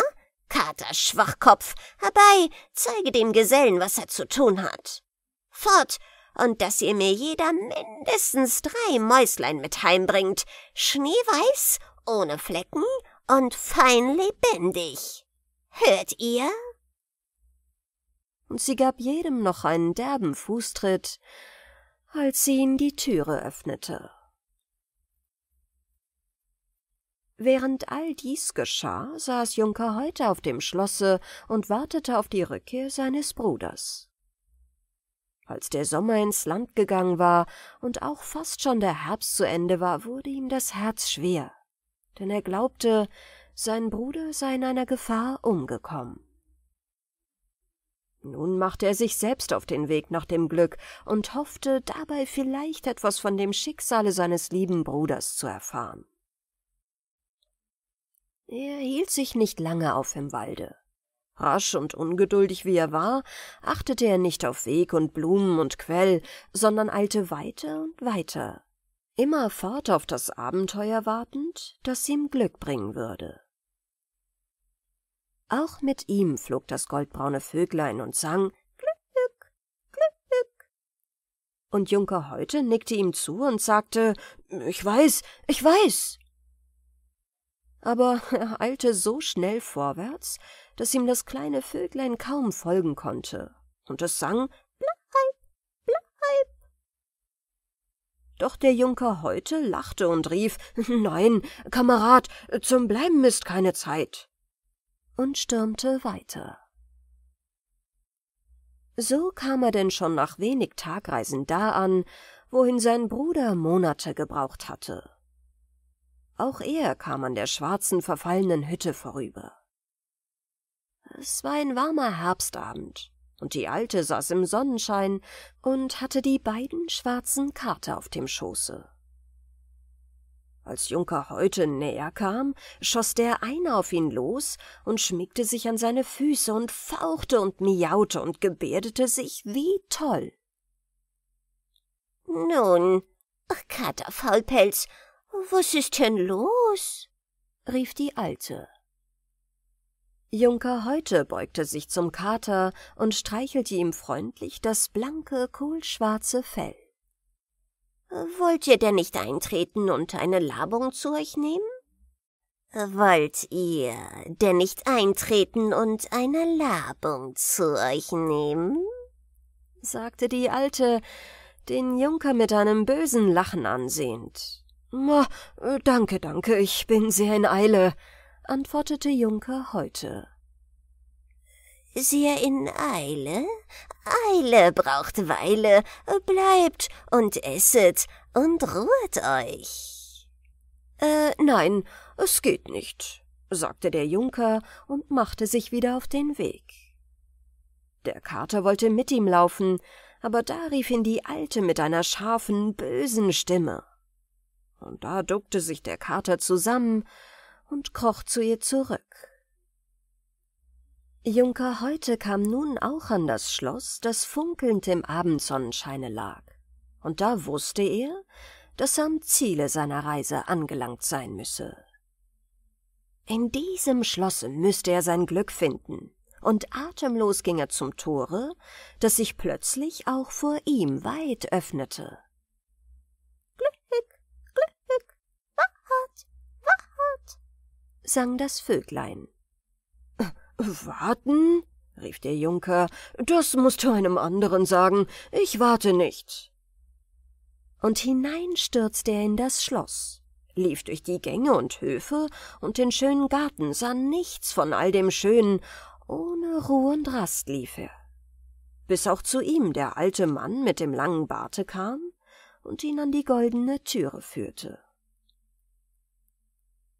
Junker Heute zitterte vor Ungeduld und als er das schöne, wundersame Königskind auf dem purpurnen Lager sah, fiel er vor Entzücken auf die Knie und breitete die Arme nach ihm aus. Sie ist schön, nicht wahr? sagte der Alte. Und äh, siehe, sie soll dein Weib sein, und das ganze herrliche Schloss soll dir dazugehören, wenn du morgen um Mitternacht hier bist und ihren Zauber löst, indem du sie beim zwölften Schlage der Turmuhr auf den Mund küsst. Da sprang der Junker heute auf. Morgen, sagst du? Morgen? Da liegt mein Glück vor mir, und ich soll bis morgen warten? Nein, heute, Heute muss es mein werden. Und er lief auf die schlafende Königsmaid zu und umschlang sie. Da dröhnte ein furchtbarer Schlag durchs Schloss, und alle Herrlichkeit stürzte mit dem Ritter in tiefe Finsternis. Als er erwachte, lag er auf der Landstraße am Rande des Waldes. Der schwarze Kater stand neben ihm und leckte ihm zärtlich die Hände. »Och, du gutes Tier, willst mich trösten«, sagte Junker heute traurig. Er hob sich und setzte sich auf einen Stein am Wege und nahm den Kater auf seine Knie. »Ja, ja«, sagte er, »so ist's. Nach dem Glück zog ich aus, und als ich es beinahe hatte, musste ich es mir durch meine Ungeduld zerstören. Ja, so war ich immer, und mein armer Bruder hat es sich wohl durch seine Trägheit vernichtet. Ach, Bruder Morgen, wärest du doch wieder bei mir, da wollten wir es zusammen noch einmal versuchen. Als er so sprach, sprang der Kater ganz wild von seinen Knien herunter heulte fürchterlich, zerrte an seinen Kleidern, lief zur verfallenen Hütte, kam wieder zurück und zerrte wieder an seinem Rocke. Da merkte der Junker, dass das Tier etwas von ihm wolle, stand auf und folgte dem Kater in die Hütte. Dort stand die Alte am Herde und rührte in einer Schüssel, aus der ein hässlicher Geruch aufstieg, und sie murmelte leise, unverständliche Worte dazu.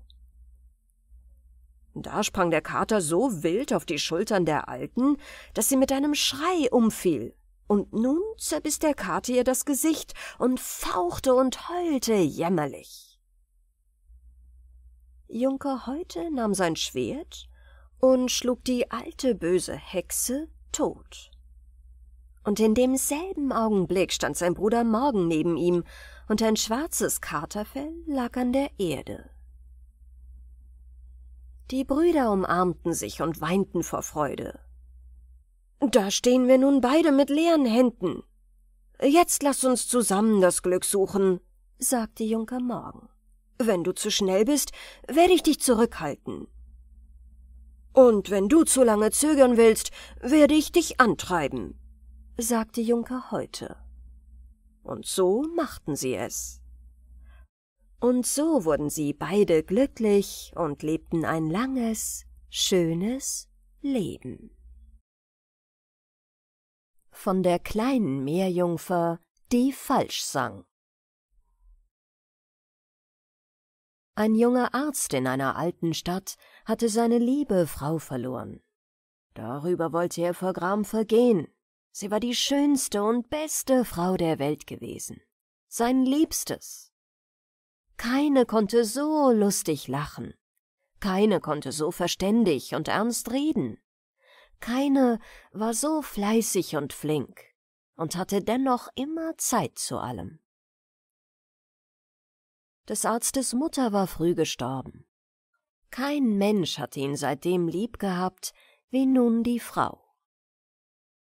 Über die Maßen froh waren sie gewesen, dass sie einander hatten. Ein kleines Haus war ihnen eigen. Auch ein liebes kleines Kindchen hatten sie gehabt. Aber das hatte die sterbende junge Mutter gleich mitgenommen. Kaum eine Stunde hatte es gelebt.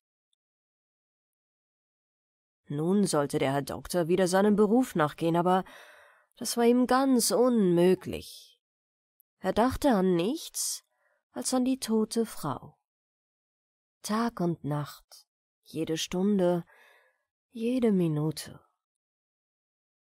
Immer war es ihm, als müsste er sie rufen, als müsste sie kommen, und sie kam doch nicht wieder. Sein schönes Haus schien ihm ganz verödet. Er lief von einem Zimmer zum anderen, er saß an ihrem Nähtisch, an ihrem kleinen Schreibtisch, an ihrem Bett. Nein, so konnte es nicht weitergehen. Er musste doch einmal Ruhe finden. Schon seiner Kranken wegen musste er sich doch fassen. Aber es ging eben nicht. Der Schmerz war zu groß, unerträglich waren die Stunden. Da gab ihm sein Verstand den Rat, er möge es doch einmal mit seiner Reise versuchen. Seit seinen Knabenjahren liebte er leidenschaftlich die See.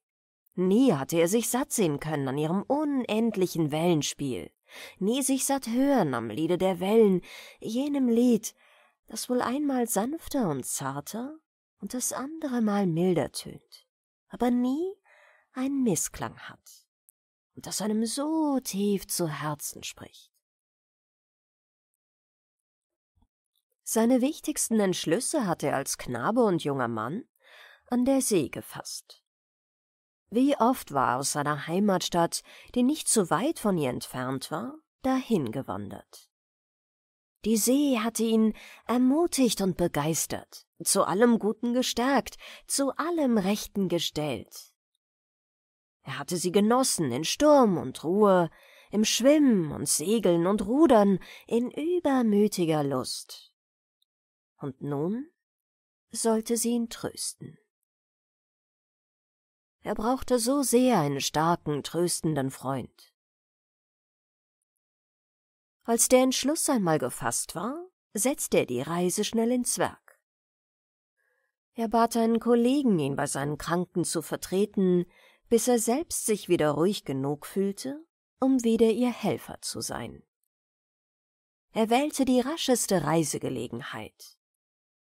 Und im Mittagssonnenschein stand er am Strande. Vom äußersten Punkt der Mole aus blickte er hinaus auf die blitzende, unruhig bewegte Fläche. Mit ganzer Seele lauschte er auf die urewige Sprache der Wellen und Wogen. Die See sang ein lautes, brausendes Lied. Aber das Lied brachte dem traurigen Manne kein Frieden. Nein, er wusste nicht, woher es kam, nicht woran es lag. Die Musik des Meeres schien nicht mehr die herrliche reine. Er konnte sie kaum hören, so weh tat sie seinem Ohr und seinem Herzen. Ein falscher Ton ging durch, störte alle Harmonie. Irgendwo fehlte es. Irgendetwas stimmte nicht. Ein Misstönen, das nie vorher dagewesen war, klang aus jedem Wellenschlag. Ganz leise war's. Aber die Musik war eben nicht mehr rein. Der Mann litt durch sie, litt noch mehr als zu Hause. Eine quälende Unruhe trieb ihn vom Strand in die Dünen, von den Dünen wieder an den Strand, trieb ihn im Boote weit hinaus auf die hohe See und wiederum uferwärts.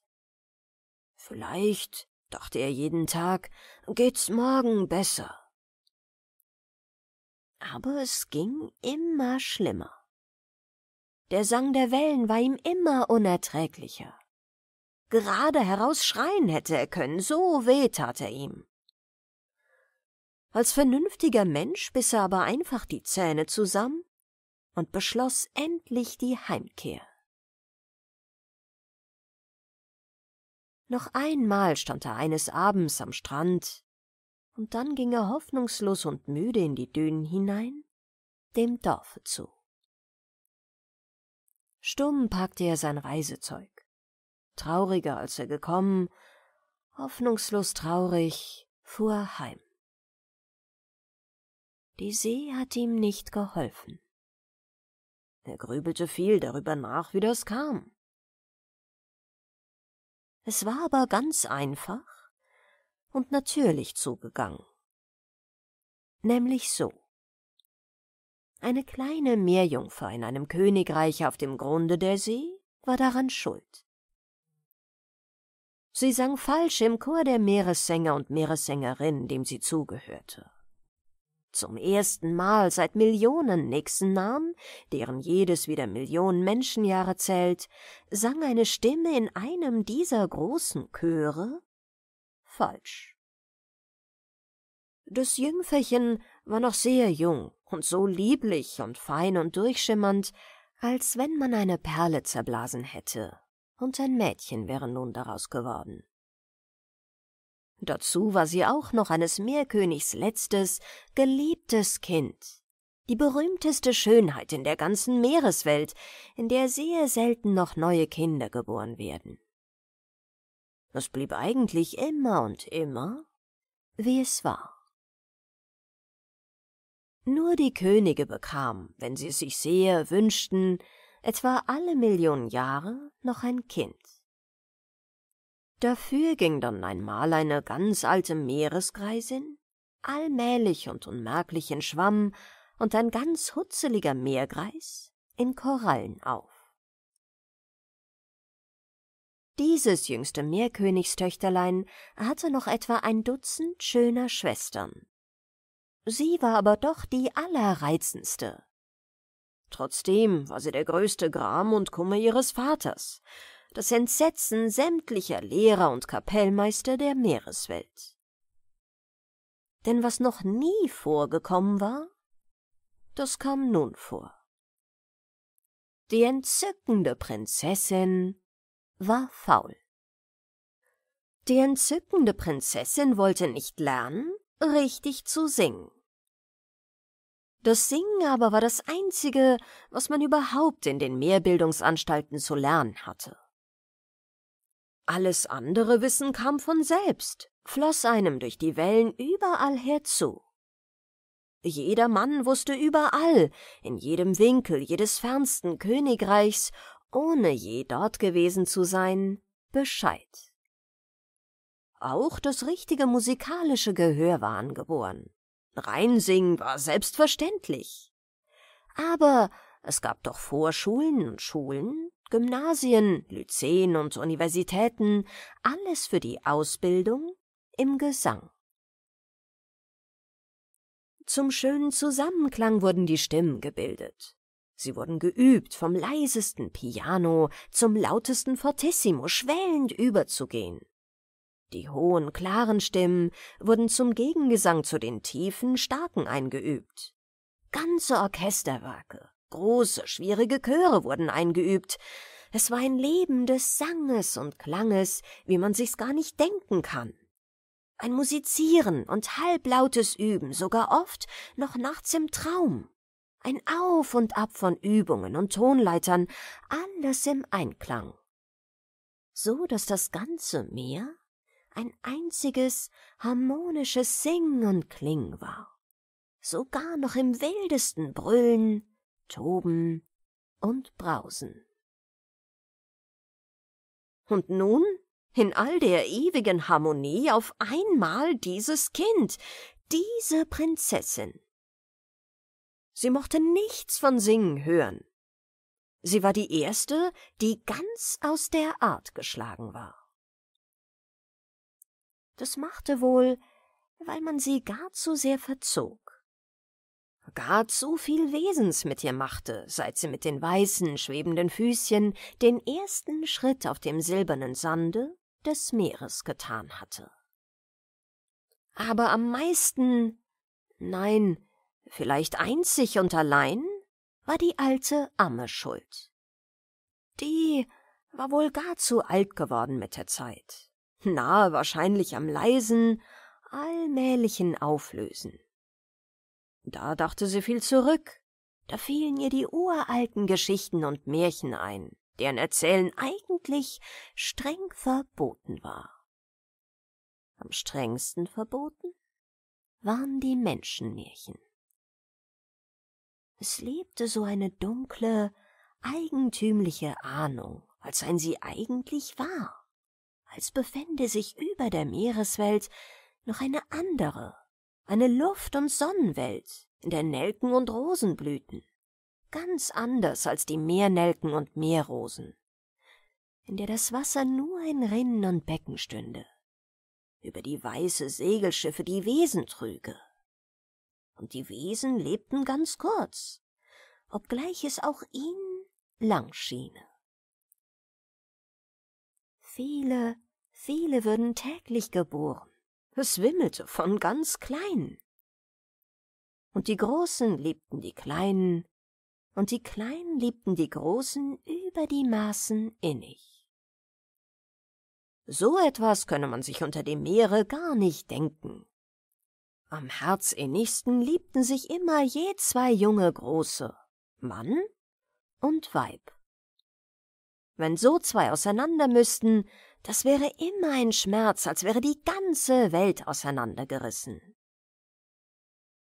Und doch käme es, ach, gar so oft vor. Denn aus Geburt und Liebe und Tod bestände in der Hauptsache das Menschenreich. Der Tod ende die Menschenleben, wie es ihm einfiele, treffe jung und alt, täglich müssten viele Menschen sterben, und die, die sie geliebt hatten, blieben an Leib und Seele grausam verwundet zurück.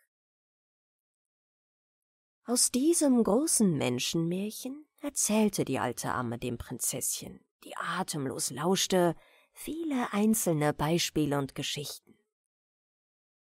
Sie wusste längst selbst nicht mehr, von wem sie die Sachen wusste. Alle diese Geschichten von Finden und Sehnen, von Trauer und Seligsein, von Liebe und Tod der Erdenmenschen. Und dadurch wurde das Prinzesschen ganz versonnen und versponnen. Am liebsten saß sie irgendwo in einem goldenen Winkel des Schlosses und träumte und sann. Das war aber genau so, als wenn bei uns Menschen jemand verhungert wäre aus Liebe zu Märchen. Ohne Singen musste man im Meerreich einfach verwelken, verschwinden, vergehen. Und dass man nicht sang, das gab's einfach deshalb nicht. Die Prinzessin war in dieser Art die allererste. Die hätte die Gesangsstunden einfach vergessen, hätten die Schwestern sie nicht in ihrem Traumwinkel aufgespürt und mit Gewalt hervorgezogen. Schnell, schnell, schnell, oder wir kommen zu spät zur Singstunde, drängelten sie immer in des Prinzesschens stille Gedanken hinein. Sie fassten sie an der Hand und schwebten mit ihr davon. Die Lakaien, die von etwas schwererem Stoff waren, prusteten luftschnappend hinterher. So ging's immer noch gut. Knapp vorm ersten Aufschlag des Taktstockes war man zur Stelle. Natürlich ganz vorn. Die Älteren, acht waren es, behielten die Jüngste womöglich in ihrer Mitte. Nämlich um das Unerhörte und Schreckliche mit ihren eigenen süßen und vollen Stimmen zu verdecken. Aber es half nichts. Es war da. Es war wahr. Es war nicht mehr zu verleugnen. Die Kunde davon setzte sich schon fort bis in die fernsten Winkel des Meeralls. Die Prinzessin sang falsch. Ganz verlegen, mit einem Gesicht, als wollte er sich am liebsten selbst zerreißen, hatte der Kapellmeister sie zuerst auf ihren Fehler aufmerksam gemacht. Ein Flüstern und Starren, ein Aufrauschen des Entsetzens war um sie her. Sie merkte es kaum. Ihr war es ganz egal. Sie sang ruhig weiter. Misstöne und Misstönchen. Da wurde sie in einer offenen Ansprache vor dem ganzen Chore ehrlich und mutig getadelt. Der Kapellmeister zitterte und war leichenblass. Er müsse sich ja unter den Boden des Meeres schämen. Sie verderbe nicht nur seinen eigenen Rheinchor, sondern überhaupt sämtliche Meereschöre. Denn bis in die fernsten Enden der fernsten Königreiche höre und empfinde man den falschen Ton. Er hätte schon Fernsprecheranfragen von allen Kollegen aller Meeresteile bekommen, was denn um Himmels willen los sei. Ja, das Prinzesschen hätte eigentlich vor Scham zerfließen müssen. Aber diese Rede focht sie auch nicht weiter an. Die ganze Sache machte ihr nicht den geringsten Eindruck. Sie war viel zu sehr mit sich selbst beschäftigt viel zu sehr in ihr Träumen versunken. Nicht einmal als ihr Vater sie vor versammeltem Volk vor seinen Thron berief, erzitterte sie. Sie nickte wohl zerstreut bei seiner donnernden Strafrede und äh, machte ein Mäulchen, was Besserungsvorsätze andeuten sollte.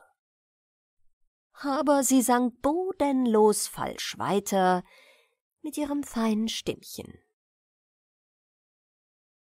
Nun wurde schon im Volk erwogen, sie einfach nicht mehr singen, das heißt, also sie sterben zu lassen.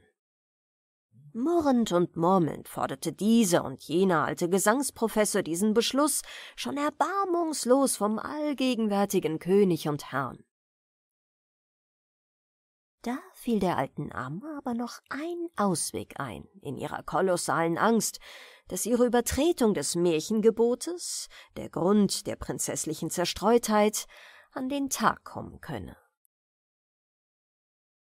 nachdem sie sich schon beinahe in einen Schwamm verwandelt hatte vor lauter Grübeln und Sinnen, kam ihr zum Glück noch einmal der rettende, scharfe, klare Verstand. Man müsse die Prinzessin einmal hellen Blickes einen Augenblick in die Welt der Menschen hineinsehen lassen, fiel ihr ein. Die Uramme behauptete nämlich vor ein paar verschwiegenen Nixenfreunden steif und fest, das Märchen von den Menschen sei wirklich nicht erfunden, sondern entschieden wahr. Man müsse einfach ein Flugwerkzeug bestellen, eine mächtige Luftblase, in der sie mit Prinzessinhoheit aufsteigen könne, höher als man bisher gestiegen sei. Sie wolle sich recht gern opfern, um ihren Liebling flugs einmal die Welt da oben blicken zu lassen. Sie wusste plötzlich, nach vergessener Überlieferung mit deutlich und klar erwachter Erinnerungskraft, wie sie alte Leute manchmal haben, die Sache sei so. Jeder, der da hinaufkäme und in der Schein einer gewissen Leuchtkugel, Sonne benannt, berühre, müsse sofort in Schaum zerfließen und vergehen. Deshalb sollte eben jenes Märchen durchaus totgeschwiegen werden. Nun sei sie selber ja nächstens sowieso am Verschwammen. Ob sie stattdessen in Schaum zerfließe, sei ihr gleich. Sie wolle als Schaumwelle im Moment ihres Zerfließens ihr geliebtes Prinzesschen einhüllen und eingehüllt in die Höhe halten dass das teure Kind ohne eigenen Schaden einmal um sich blicken könne im Menschenreich. Prinzesschen solle ihr nur versprechen, dass sie sich dann bemühen wolle, richtig zu singen. Weiter nichts. Voller Entzücken sagte die Prinzessin ja, als sie von dieser Sache hörte. Mitleid mit der Amme war weiter nicht nötig. Es war nicht so im Meeresreich, dass man sich über die Millionen Alten härmte, die ganz sanft in einen anderen Naturzustand überging. Im Allgemeinen wusste man so gut wie gar nichts von Gefühl. Aber doch durchlebte die Prinzessin eine Regung stürmischer Freude, als die Luftfahrt im glasklaren Ballon am anderen Tage vor sich ging. Es kam alles, wie die gescheite Alte es gesagt hatte. Im Zerfließen und Zersprühen hielt sie ihren holden Pflegling noch mit festen Armen in die Höhe. Sie hüllte ihn ein in sich selbst, in ihre ganze Liebe, die kühle, blitzende, stäubende Gischt, in der alter Körper sich bei der Berührung mit der Welt auflöste und durch den schönen, blitzenden Schleier, in den sie zerstob, sprach sie mit ihm. Sie sprach, Liebling, nun schnell, schnell. Mir wird so eigen überglücklich in diesem aufopfernden Zerstieben, dass ich fürchte, nicht mehr viel reden zu können.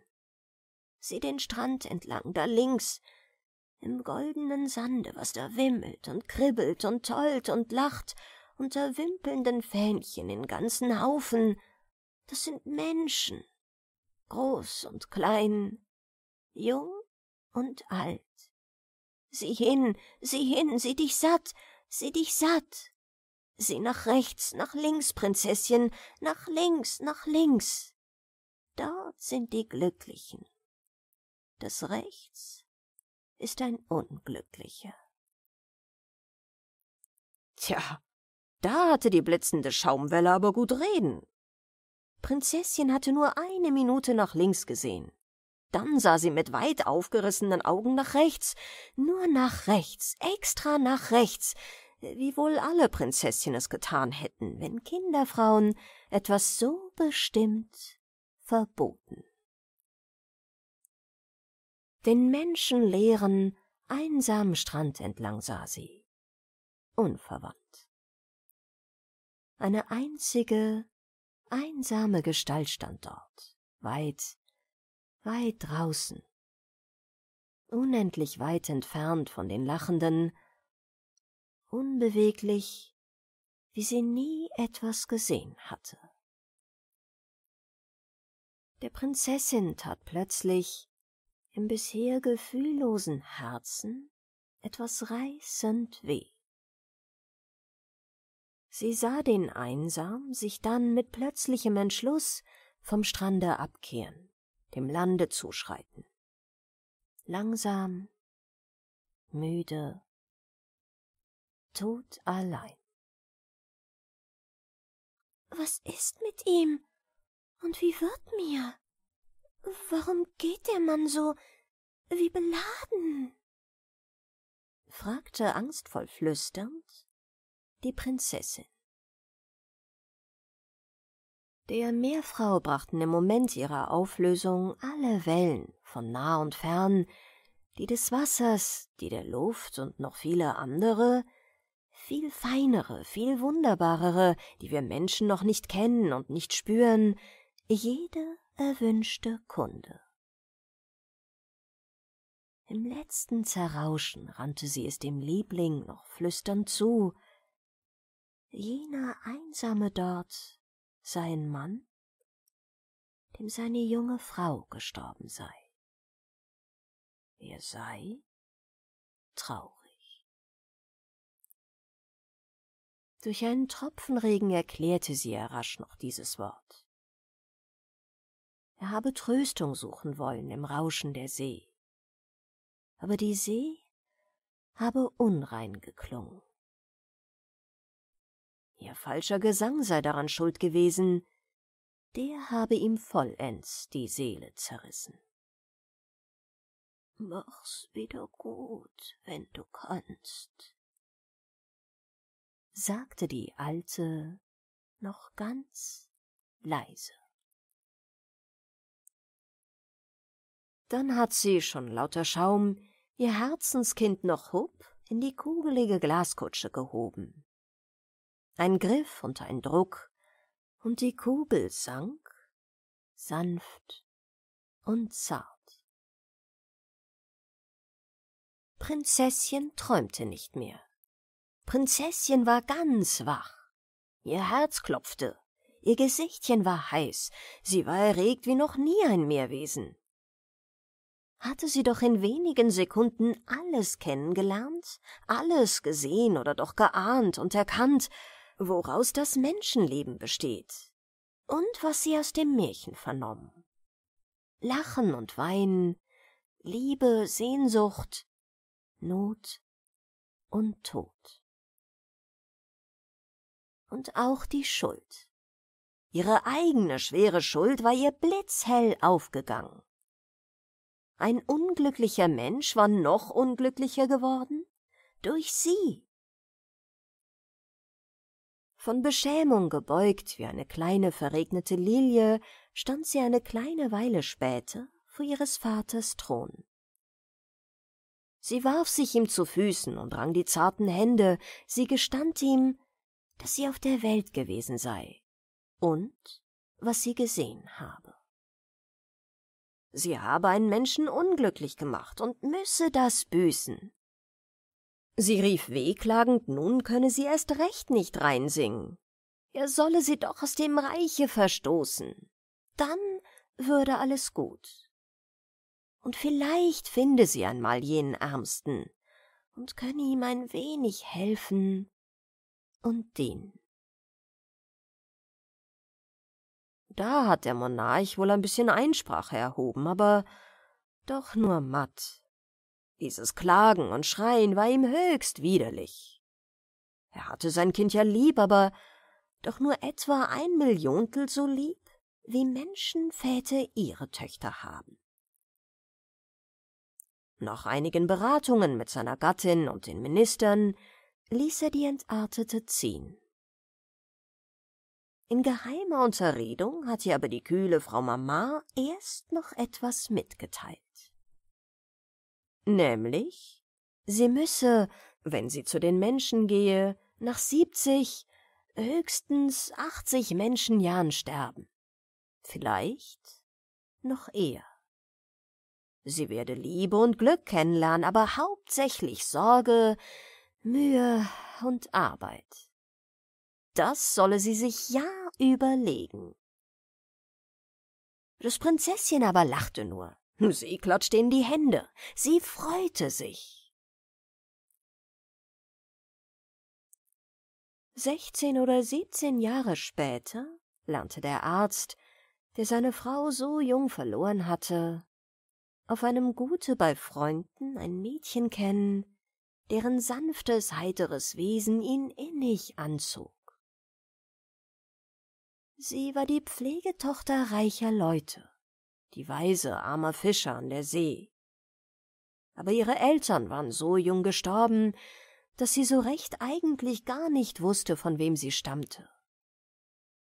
Als der Arzt, der damals schon ein berühmter, herrlicher Helfer der Menschheit war, sie sah, strömte ein Gefühl durch sein Herz, als könne er noch einmal ganz glücklich werden. Über des Mädchens Gesicht aber ging bei diesem ersten Sehen ein Strahl wie von ganz seltsamem Wiedererkennen. Der Arzt war ja der, um dessen Willen sie aus der Meerestiefe auf die Erde gekommen war. Sie war ja die Prinzessin, die falsch gesungen hatte, wenn sie es auch selbst nur noch ganz dämmerhaft wusste, als hätte sie es in ganz ferner Zeit einmal geträumt. Es kommt nämlich ein merkwürdiges Vergessen über die Meerleute, wenn sie auf die Erde gehen. Der Arzt hat das liebe Mädchen geheiratet. Sie wurde die glücklichste Frau und Mutter und hat Glück und Leid treulich mit ihrem Manne geteilt.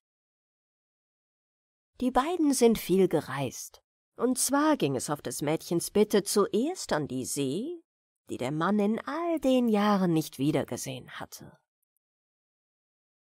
Nun wurde sie aber wieder seine treue Freundin. Er konnte sich nicht satt hören an ihrem Rauschen. Das klang wieder rein, rein wie seit der Erschaffung der Welt. Natürlich doch. Die kleine Meerjungfer, die falsch sang, war ja zu seinem Glück ohne dass er dies wusste, für immer da unten hinausgeworfen worden. Die schöne Gärtnerstochter In der Gegend von Florenz gab es einmal einen Gärtner, dessen Frau gestorben war und ihm eine wunderschöne Tochter hinterlassen hatte. Es stand aber recht traurig mit diesem Kind, weil es seit seiner Geburt nicht nur blind, sondern auch etwas verkrüppelt war, so dass es nur mühsam gehen konnte. Bis zu seinem zwölften Lebensjahr war das Kind bei einer Amme geblieben, die es gepflegt hatte. Eines Tages aber brachte die Amme das Kind ins Gärtnerhaus zurück und sagte dem Vater, sie könne das Mädchen auf keinen Fall länger bei sich behalten.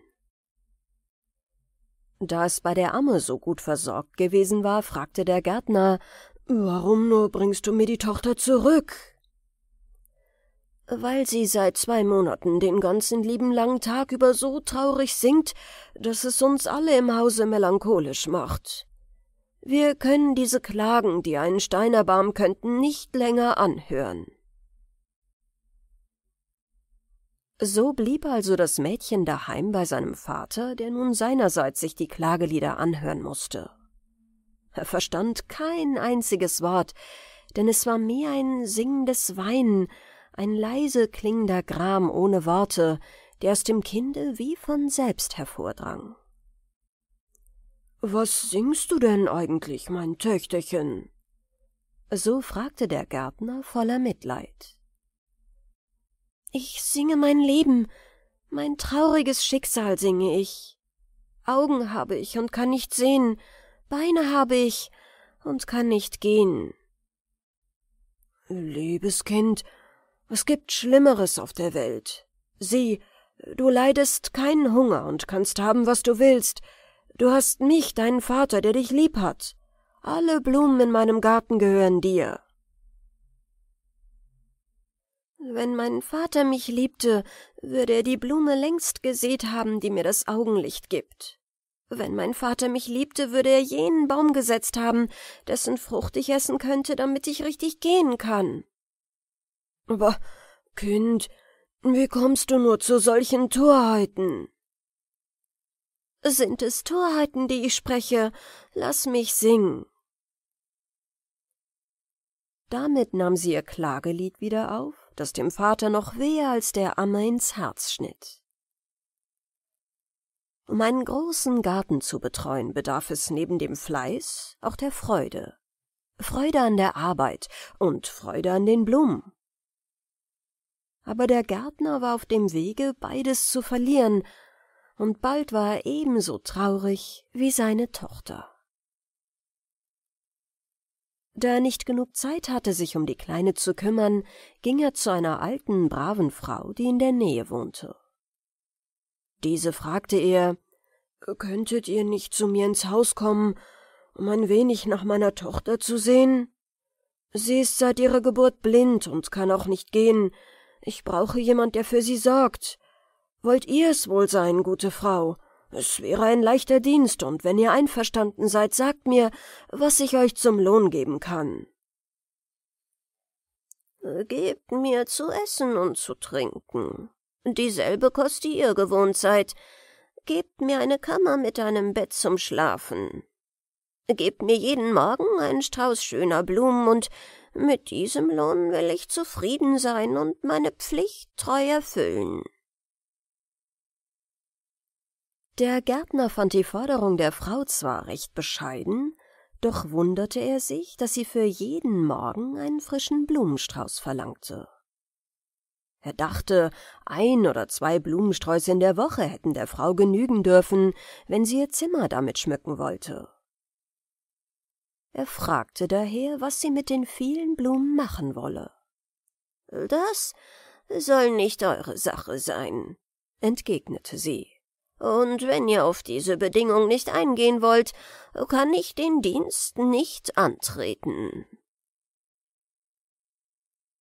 Da die Frau offensichtlich eine große Blumenfreundin war, nahm der Gärtner auch an, dass sie eine besonders gütige Person sei. Und da gerade eine solche für seine Tochter suchte, war er einverstanden und sagte der Frau alles zu, was sie für ihren Dienst als Entgelt begehrte. Die Blinde ließ sich nun von der alten Frau willig ankleiden, das Haar kämmen, das Essen vorsetzen, pflegen und spazieren führen, doch blieb sie im Übrigen der freundlichen Wärterin gegenüber recht verschlossen. An sonnigen Tagen führte die Frau das Mädchen in einen lauschigen Gartenwinkel, wo es unter dem schattenspendenden Baume stundenlang verblieb, während der leise Sommerwind ihm den Duft der vielen Blumen zutrug, deren süße Schönheit das Mädchen nie gesehen hatte. Da saß die arme Kleine und summte ihre zarten Klagelieder vor sich her. Im Winter sowie an Regentagen ließ die alte Frau das Kind am Fenster sitzen, und ein Vorübergehender hätte meinen mögen, das Mädchen betrachte die schöne Landschaft, die sich weit ausdehnenden Äcker und Wiesen, die nahen Gärten, die fernen Wälder, die träumend auf halber Höhe des Berges lagen. Am Horizont erhoben sich die kühnen Kurven der Gebirgskette in einem warmen Braun und Grün vom reinen Blau des italienischen Himmels herab. Doch war dem kleinen Mädchen versagt, die Schönheit seiner Heimat, die herrliche Natur Gottes zu betrachten und zu bewundern. So sang sie denn wieder und immer wieder ihr Klageliedchen, das natürlich auch für die alte Frau anzuhören recht schmerzlich war. Manchmal sagte sie zu dem Kinde Lass mich bei dir bleiben, ich will dir von den Blumen erzählen. Nein, ich will nichts hören, ich will singen. Aber Herzchen, du wirst dich langweilen. Nein, lass mich allein, ich will singen. Hör, ich will dir ein sehr schönes Märchen erzählen. Es gibt keine schönen Märchen für mich. Ich will singen. Lass mich allein, ich will singen. Es war wirklich nicht ganz leicht, mit diesem Kinde umzugehen. Doch musste man seine Wunderlichkeiten seines Leidens willen geduldig hinnehmen, denn es ist sicherlich ein hartes Los, nicht sehen und kaum gehen zu können. Darum ließ man auch das Kind singen, solange es wollte. Es summte aber viele Stunden vor sich her, bis es am Ende vor Müdigkeit einschlief, das Köpfchen leicht zur Seite geneigt. Der Vater war zufrieden, dass sein Kind von der alten Frau gut versorgt wurde.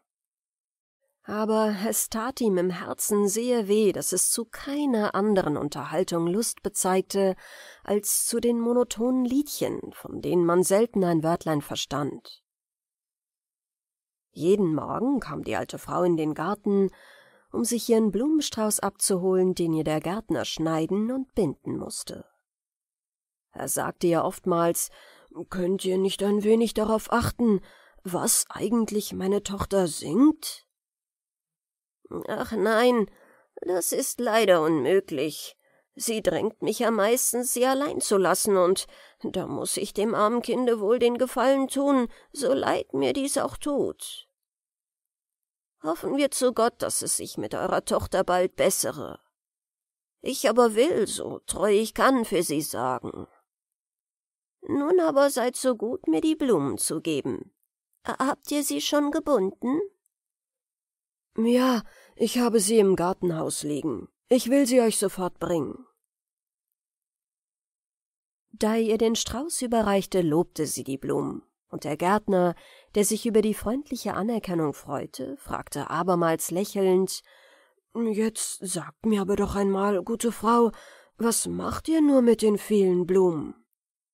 Meine vornehmste Kundschaft braucht nicht so viele Blumen als ihr. Ich möchte doch zu gern wissen, was ihr mit den vielen Blumen anfangt. Da wurde das Gesicht der Alten plötzlich abweisend. Ich habe euch schon einmal gesagt, dass euch dies nichts zu kümmern hat. Nun denn, nichts für ungut, erwiderte der Gärtner. Aber die Geschichte kam ihm doch etwas verdächtig vor, zumal die Alte jeden Tag sich wenigstens für eine Viertelstunde vom Haus entfernte, was an sich betrachtet nichts Besonderes gewesen wäre, wenn sie für ihr Fortgehen eine harmlose Erklärung angegeben hätte. Dies aber war nicht der Fall. Der Gärtner machte die Entdeckung, dass die Frau mit einer gewissen Scheu als habe sie etwas zu verbergen, die äußere Gartenmauer entlangstrich. Der Gärtner wollte nicht misstrauisch sein, weil die Frau sein Kind so gut behütete. Aber als dieses eines Tages zu singen aufhörte, sich auch sonst recht einsilbig zeigte, konnte der Gärtner sich eines schlimmen Verdachtes gegen die Wärterin nicht länger erwehren. Er nahm sein Töchterchen an einer arbeitsfreien Stunde beiseite und fragte Sag mir doch, mein Liebling, warum singst du denn jetzt gar nicht mehr?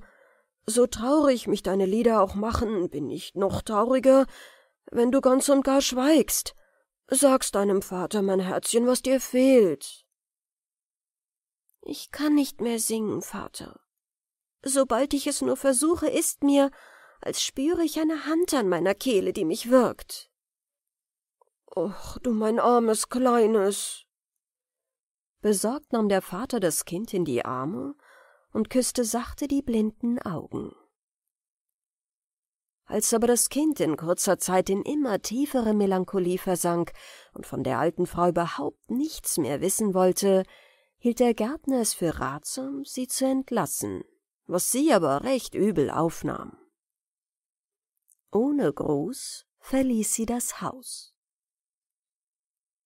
Kaum aber hatte sie die Tür hinter sich geschlossen, als auch schon das Kind wieder zu singen begann.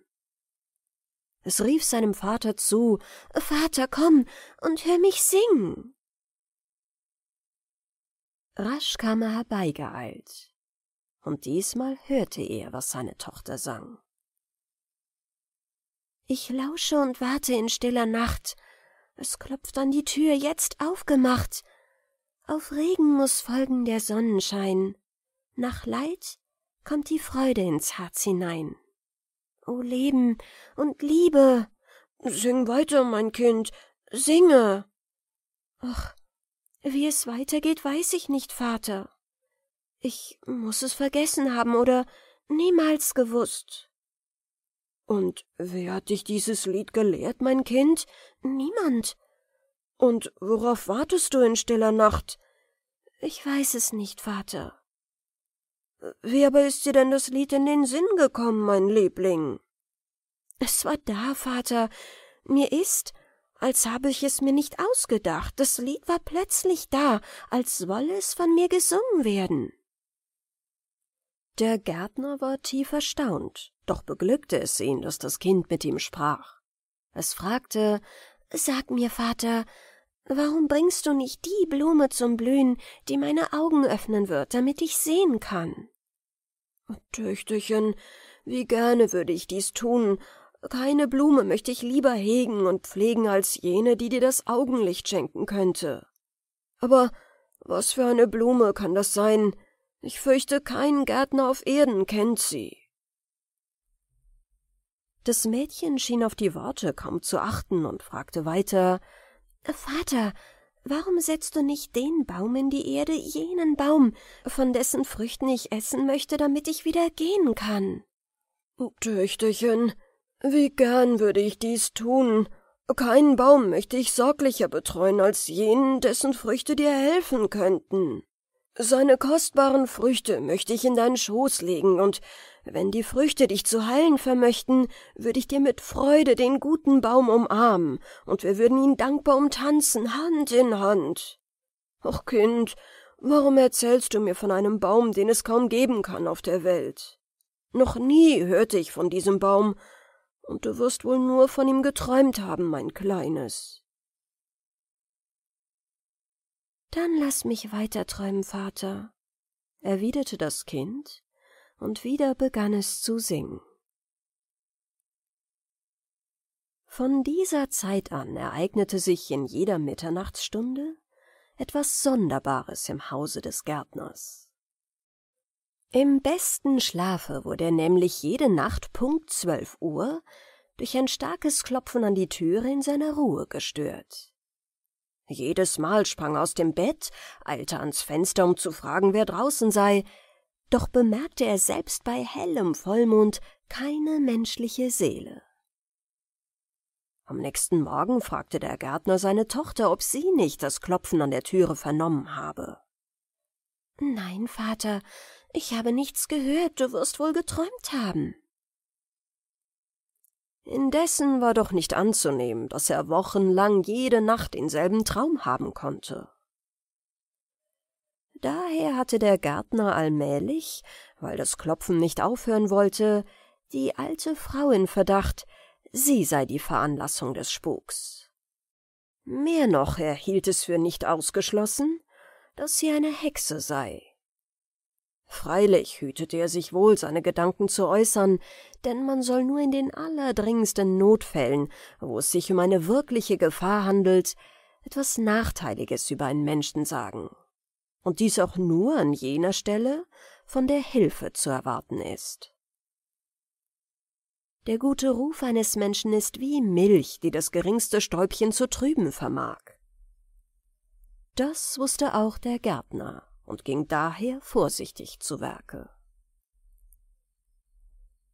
Er ging zur alten Frau in der Hoffnung, von ihr zu erfahren, was sie ihrerseits von der Klopferei hielte, und aus Antwort und Benehmen vielleicht äh, seine Schlüsse zu ziehen. Die alte Frau aber war fortgezogen, und kein Mensch in der Nachbarschaft wusste wohin. Man erzählte dem Gärtner, dass sie viel das Spinnrad gedreht habe, doch habe niemand gewusst, was sie mit dem vielen Garn anstelle. Das ging ja nun freilich kein Menschen etwas an, aber neugierig, wie Leute ja manchmal sind, hatte man die alte Frau doch befragt. Was macht ihr nur aus dem vielen Gesponnenen? Da hatte die Frau ärgerlich gebrummt, ich drehe eine Schnur, an der ihr euch aufhängen könnt. Ja, das war nicht liebenswürdig geantwortet, aber die alte Frau war eine Einsiedlerin, die ungestört für sich leben wollte. Als nun der Gärtner in Gedanken versunken in sein Haus zurückkehrte, fiel ihm auf dem Wege eine längst vergangene, halb vergessene Geschichte ein, die ihm seine verstorbene Frau erzählt hatte. Diese nämlich hatte eines Tages vor der Gartentüre einen schönen Knäuel Zwirn gefunden, den sie bei sich aufhob. Sie nahm an, irgendeine Nachbarin habe den Zwirn verloren und würde ihn vielleicht bei ihr suchen kommen. Die Frau vergaß jedoch ihrerseits sich zu erkundigen, ob jemand den Zwirn verloren habe.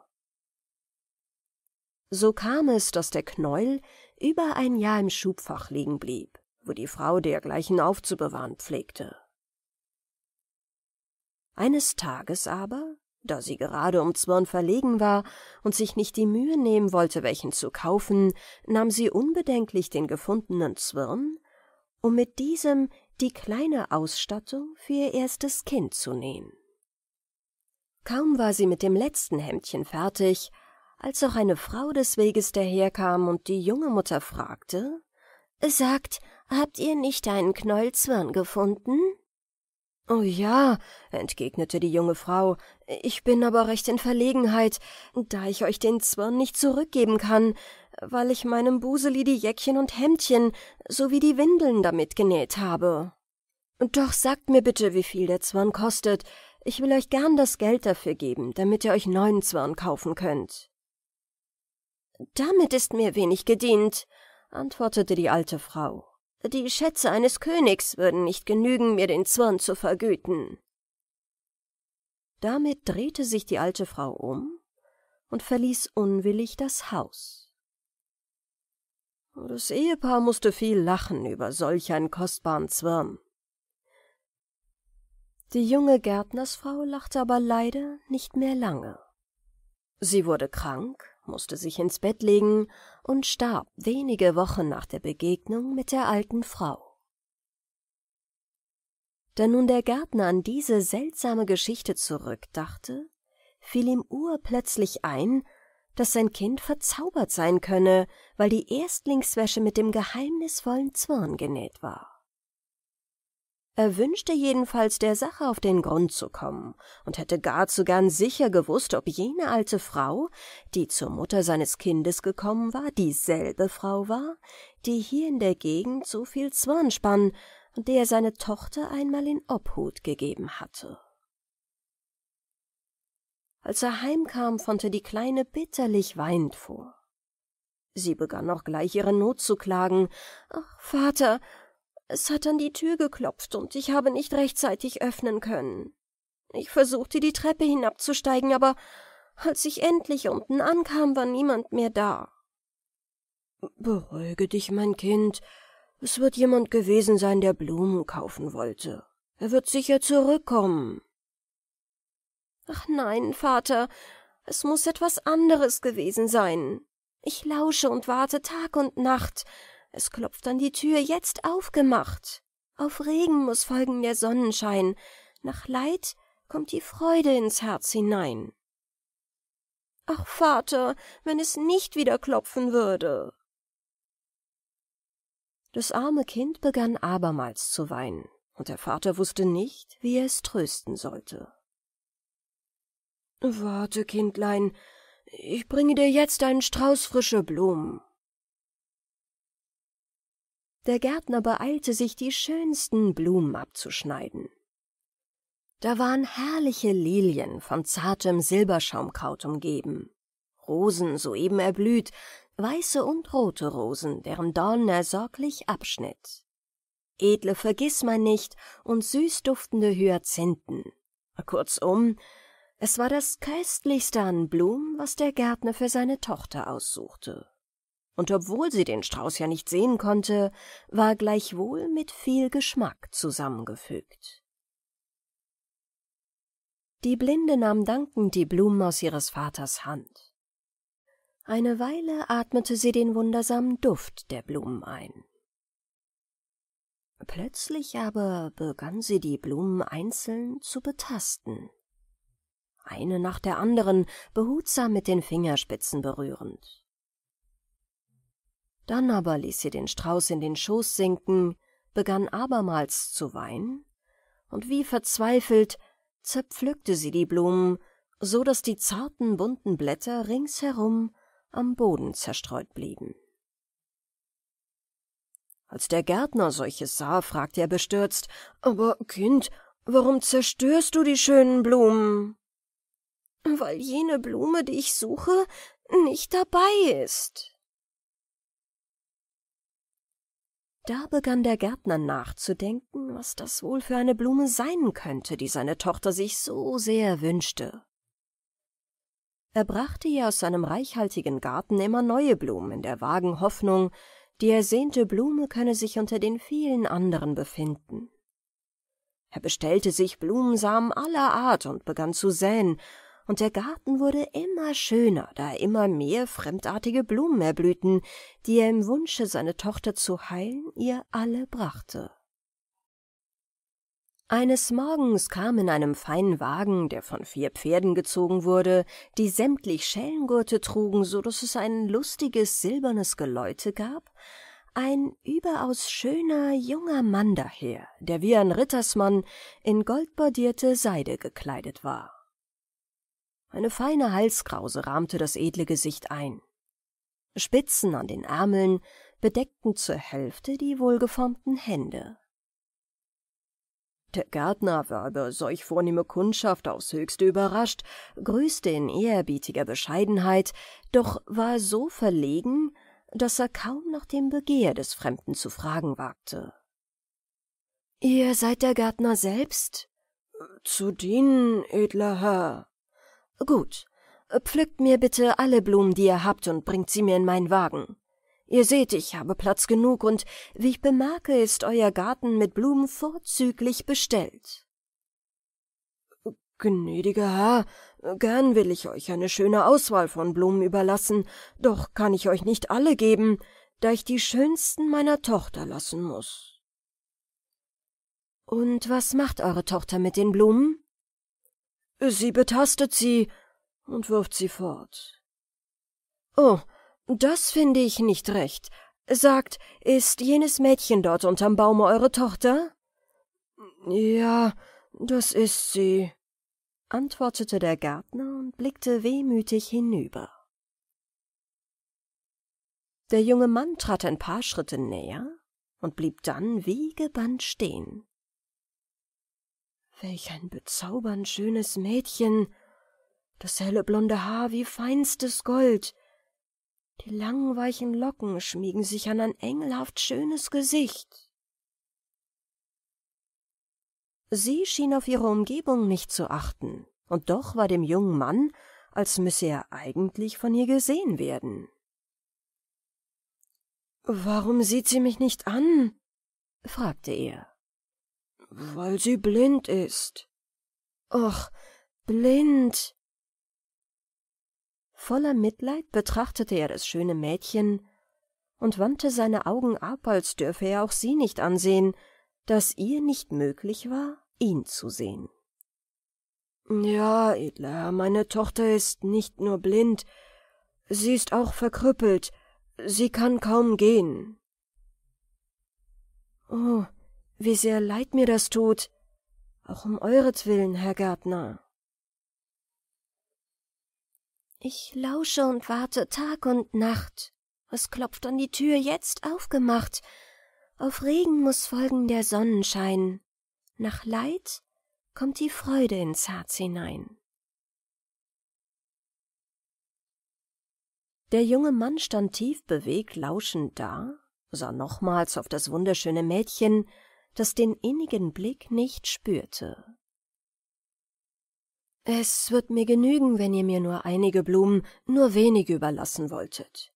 Nehmt dies als kleine Bezahlung bitte und behaltet nur die schönsten Blumen für eure Tochter. Damit übergab der Jüngling dem Gärtner vier Goldstücke, die er in der Verlegenheit nicht zurückzuweisen wagte, sondern nur mit herzlichem Dank entgegennahm. Dann ging er eilends, um die schönsten Rosen zu schneiden, die er nur finden konnte, die er dem jungen Mann überreichte, der wie in einem Traum versunken seinen Wagen bestieg und fortfuhr. Am nächsten Morgen machte abermals eine Kutsche vor der Gärtnerei Halt. Diesmal entstieg dem Wagen eine sehr reich gekleidete, vornehme, alte Dame.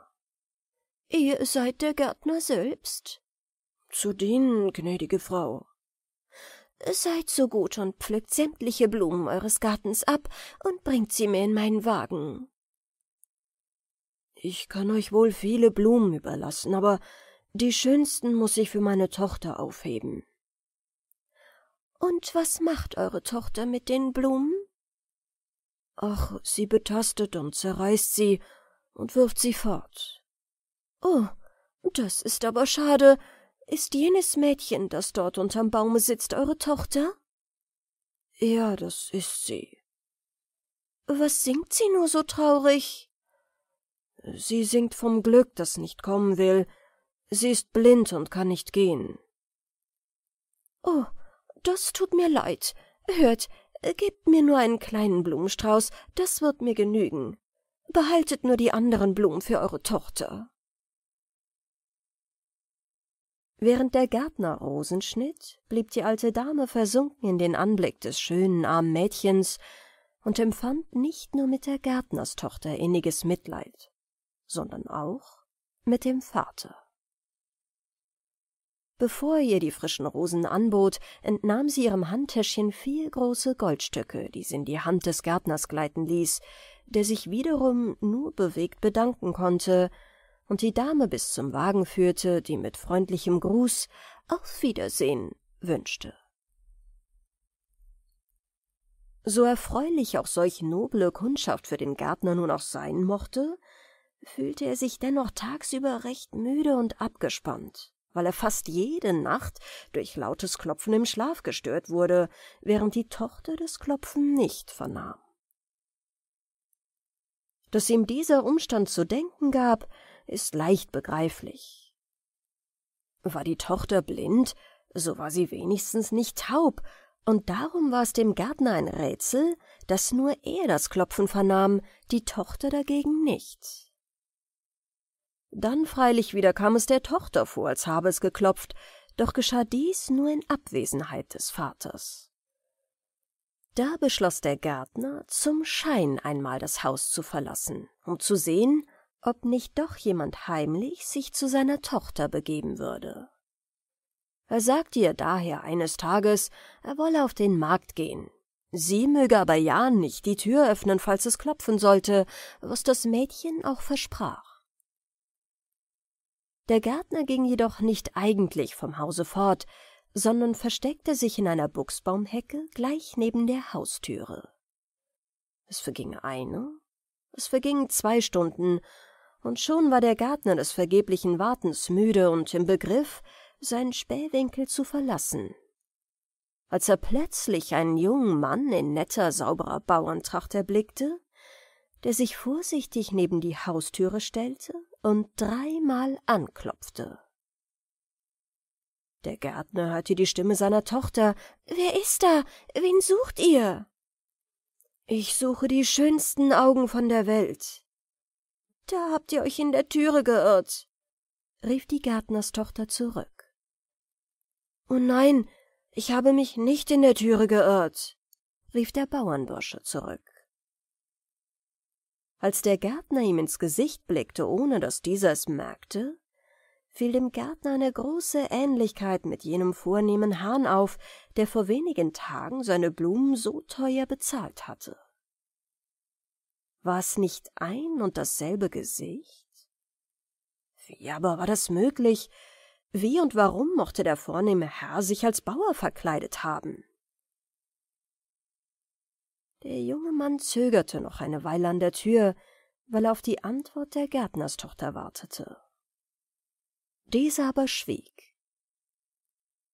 Als der junge Mann sich zum Fortgehen anschickte, stellte sich der Gärtner in den Weg und fragte ihn, »Wer seid ihr und was sucht ihr hier?« »Ich suche Arbeit und möchte mich gern verdingen, aber ich verlange keinen Lohn.« Über dieses bescheidene Angebot musste der Gärtner beinahe lächeln. Doch bewahrte er seine strenge Miene und fragte nicht ohne gespielte Würde, »Und was seid ihr von Beruf?« »Ich bin Gärtner«, sagte der Bursche mit dem unschuldigsten und bescheidensten Gesicht der Welt.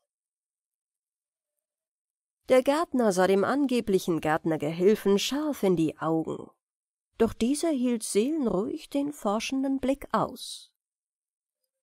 »Sollte ich mich täuschen?« fragte sich der Gärtner. Er sah nochmals in das ihm bekannte Gesicht, sah auf die sauber gepflegten, edelgeformten Hände. Die Ähnlichkeit mit dem Edelmanne war frappant.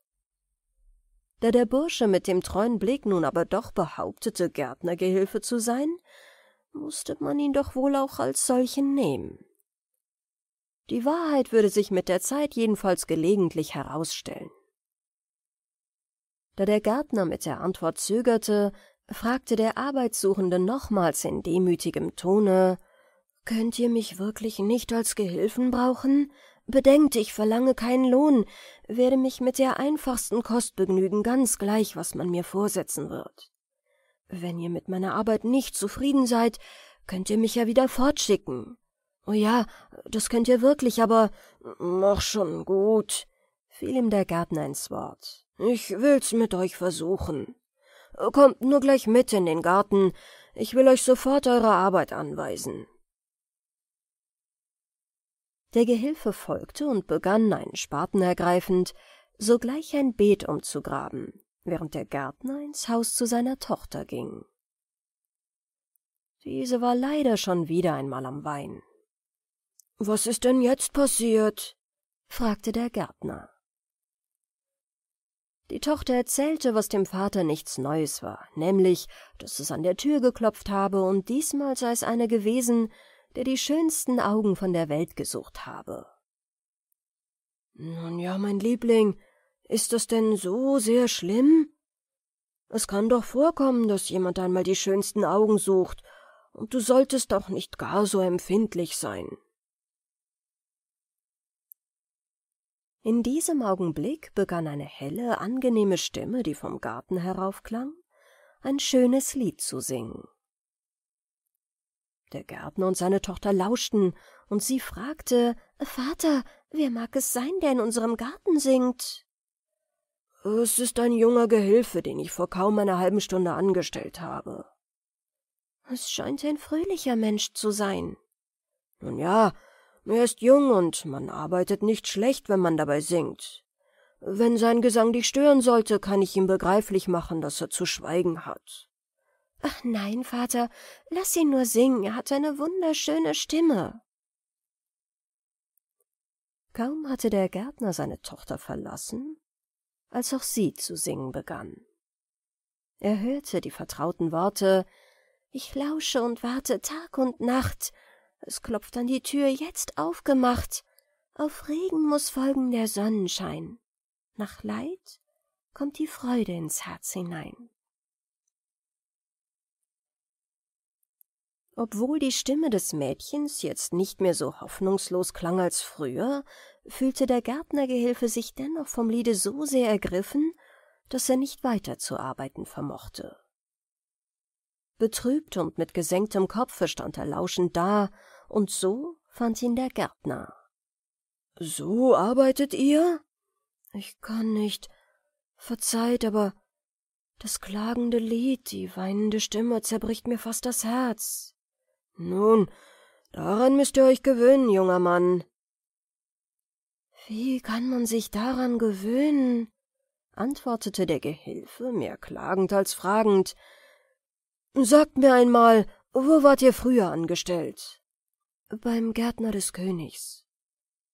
Dann habt ihr aber einen guten Posten gehabt und habt eigentlich keinen vorteilhaften Tausch gemacht. Und warum seid ihr von dort weggegangen? Weil der Königssohn mich fortgeschickt hat. Doch wohl nicht ganz ohne Grund. Doch, ohne Grund.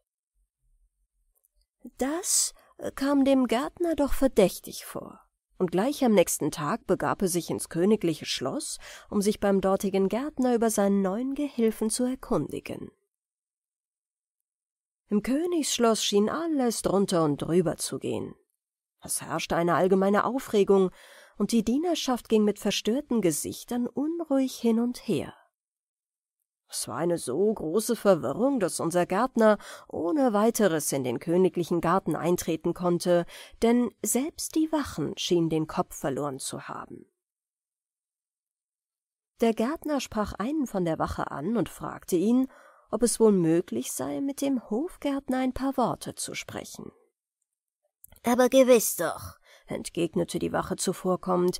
Er befindet sich gerade jetzt im zweiten Treibhaus links, wo er einige Arbeiter zu beaufsichtigen hat. Der Gärtner bedankte sich höflich, traf auch seinen vornehmen Kollegen an der von der Wache ihm bezeichneten Stelle an. Er bat den Hofgärtner sehr um Entschuldigung, wenn er ihn bei der Arbeit störe, doch würde er gern zu einer vielleicht passenderen Zeit wiederkommen. »Och, bitte sehr. Uns ist nicht so sehr um die Arbeit zu tun in diesen Tagen. Ihr habt sicherlich schon erfahren, was bei uns im Schlosse los ist.« »Nichts habe ich erfahren«, entgegnete der Gärtner. »Ich habe selbst hier in der Nähe eine kleine Gärtnerei, die ich bis jetzt so gut wie allein besorgt habe. Aber ich habe mir gerade jetzt einen Gehilfen genommen, der mir gesagt hat, er sei bei euch in Diensten gewesen und durch den Königssohn entlassen worden. Davon kann nicht die Rede sein, es stimmt nicht, was euch der Bursche gesagt hat. Unser Königssohn ist seit mehreren Tagen verschwunden. Der König und die Königin sind in hellster Verzweiflung und beweinen ihn, als wäre er schon gestorben. Er hätte die Tochter des Königs von Frankreich heiraten sollen, das wäre gewiss keine üble Partie gewesen. Aber eine Wahrsagerin hat dem Prinzen ins Ohr geflüstert, es wäre nicht gut, wenn der Prinz die französische Königstochter heirate, da er am Tage der Hochzeit sterben würde. Ja, da lohnt sich's ja freilich kaum zu heiraten. Äh, die Unterhandlungen mit Frankreich wurden abgebrochen, und der Königssohn wurde so tiefsinnig, dass er nicht mehr wiederzuerkennen war. Wo er jetzt ist, mag der liebe Gott selbst wissen, wir haben keine Ahnung. Er ist auf und davon. Das ist ja furchtbar. Ach, freilich ist es furchtbar, doch halte ich es für möglich, dass er von selbst wieder zurückkommt. Die vornehmen Herrschaften haben oft seltsame Launen, haben ja auch genug Geld, sich dergleichen leisten zu können. Ja, ja, sagte der Gärtner etwas verlegen, weil es ihn wunderte, den Hofgärtner sich so offen über die königlichen Familienverhältnisse äußern zu hören und um das Gespräch auf ein anderes Thema zu bringen, sprach er seine Bewunderung über den herrlichen Garten aus, der den Gärtner als Fachmann natürlich entzücken musste.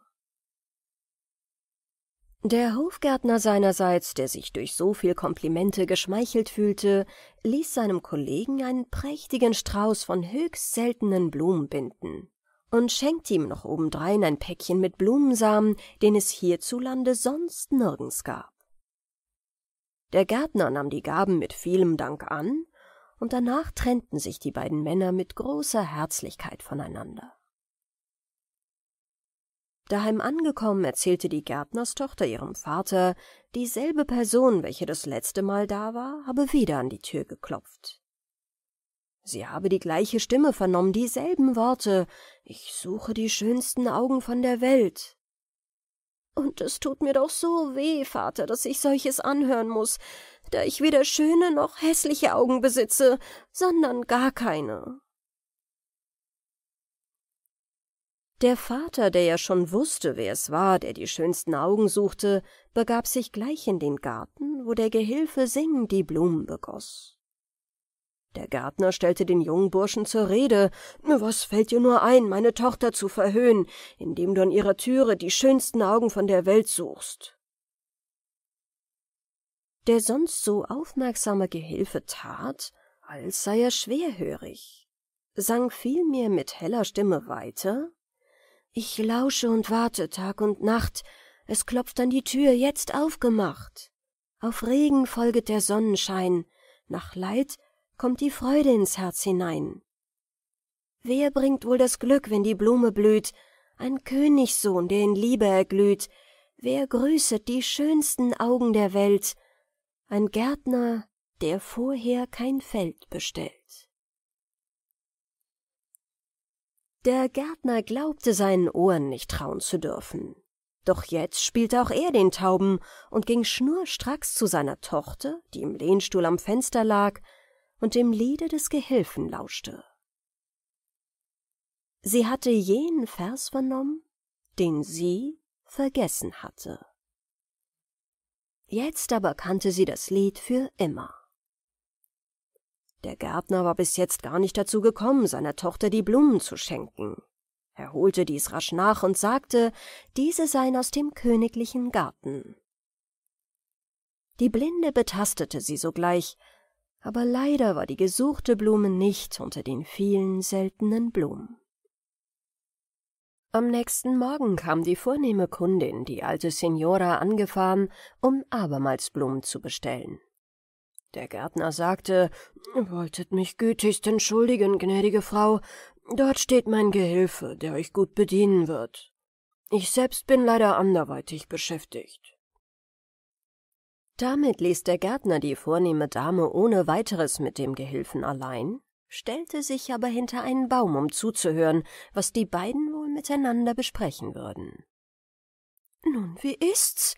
fragte die alte Dame den Gehilfen, hat sie die Tür endlich geöffnet?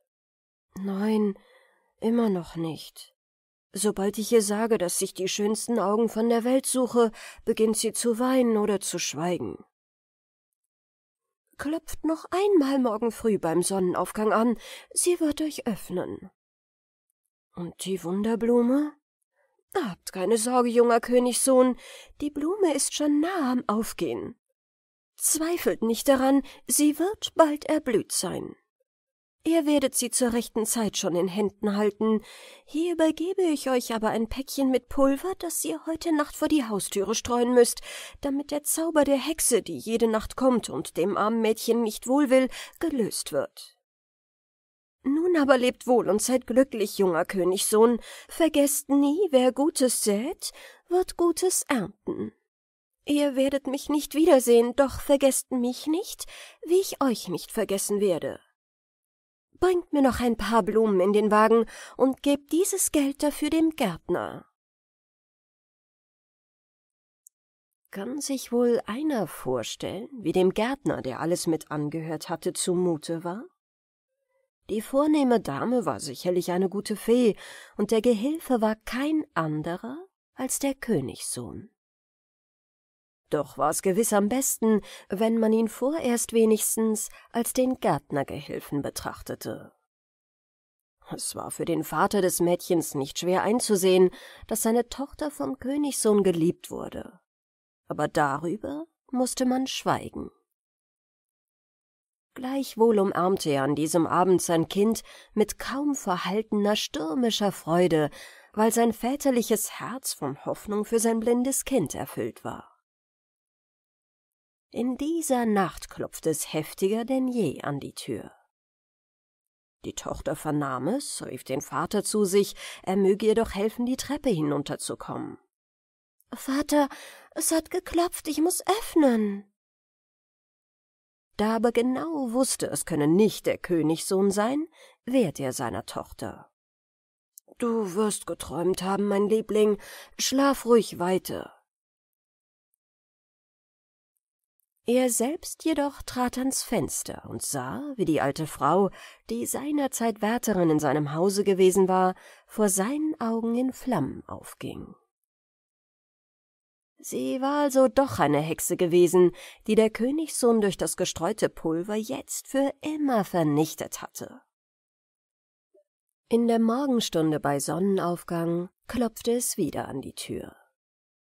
Die Gärtnerstochter beeilte sich so sehr sie nur konnte.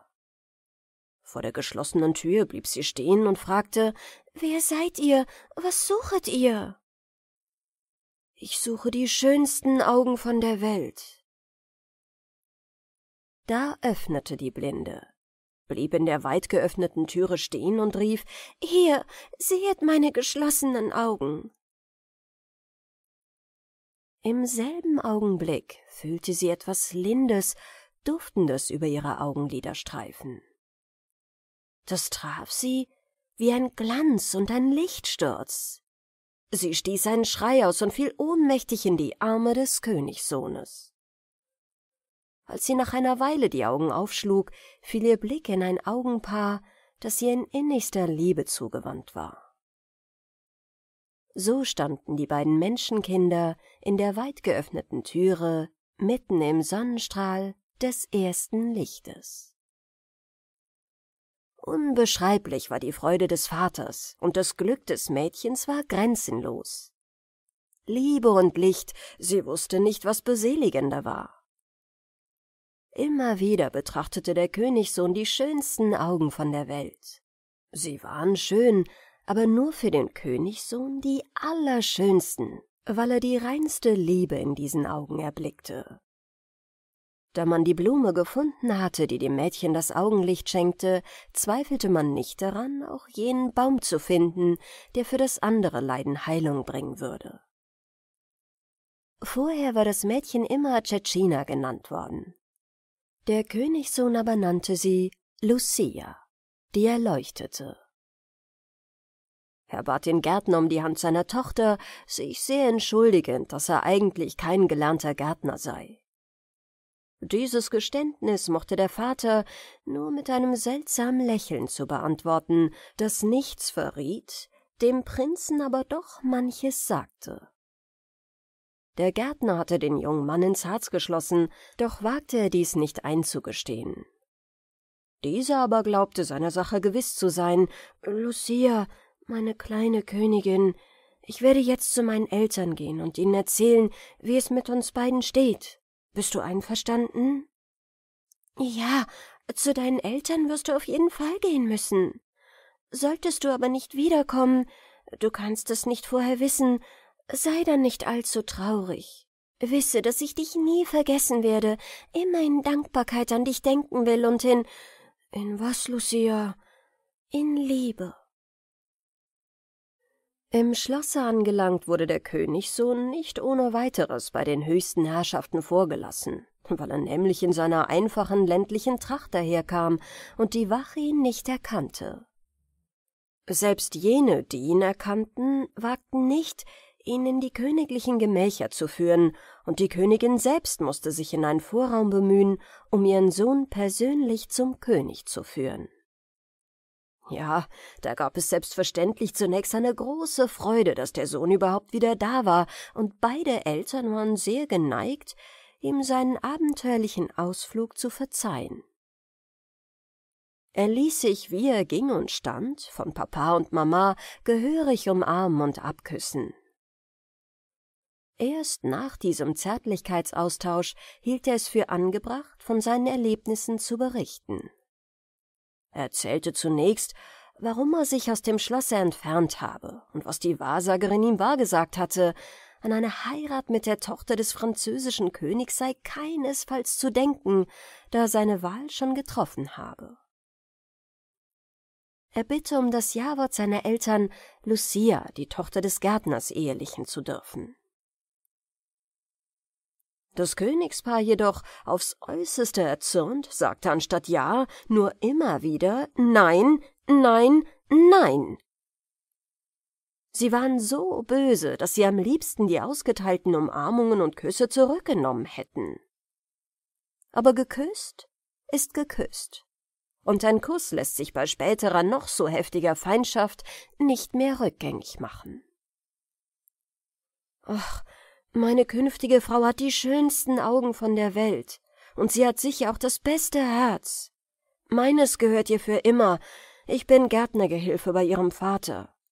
Er ist recht zufrieden mit mir, dünkt mich, aber es hilft ja alles nichts. Ich bin ein Königssohn und kein Gärtner. Nein, Wenn du die Gärtnerstochter heiratest, kannst du nicht länger Königssohn sein, und wir müssen uns von dir lossagen. Verzichtest du aber auf das Mädchen, wirst du der Königssohn bleiben und einmal den Thron erben. Wähle, bist du der Königssohn oder bist du der Gärtner? Ich bin Gärtner, sagte der verliebte Königssohn, und mit tiefer Verneigung empfahl er sich den Majestäten. So verzichtete der Königssohn um seiner Liebe willen auf Krone und Ansehen, auf Glanz und Herrschertum, ja sogar auf die Liebe seiner Eltern musste er verzichten, wenn auch das letzte ihm sehr schwer fiel. Aber er hatte nun einmal sein Lebensglück in den schönsten Augen von der Welt gesehen und war bereit, alles dafür hinzugeben. Er ging ins Gärtnerhaus zurück, und hier wurde wenige Wochen später die Hochzeit des Königssohnes mit der Gärtnerstochter in aller Stille und Heimlichkeit gefeiert. Nun fehlte zum Glück des jungen Paares nur noch die vollkommene Gesundheit Lucias, die immer noch nicht recht gehen konnte. Eines Tages aber entdeckte der Königssohn im Winkel des Gartens einen bescheidenen Strauch, den er vorher nie bemerkt hatte und der sich in wenigen Tagen zu einem herrlichen Baum entwickelte. Zwischen dem dichten grünen Laub zeigten sich schöne rote Blumen, die von selbst zu Boden fielen.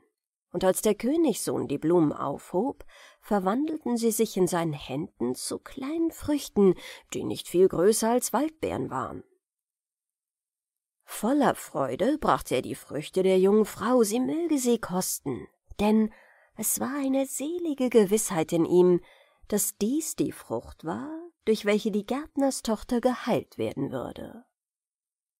Lucia verspürte zwar keinen sonderlichen Appetit und nahm mehr ihrem Manne zu gefallen eine Beere in den Mund, aber kaum hatte sie diese geschluckt, als sie auch schon ein seltsames Kribbeln in den Füßen empfand.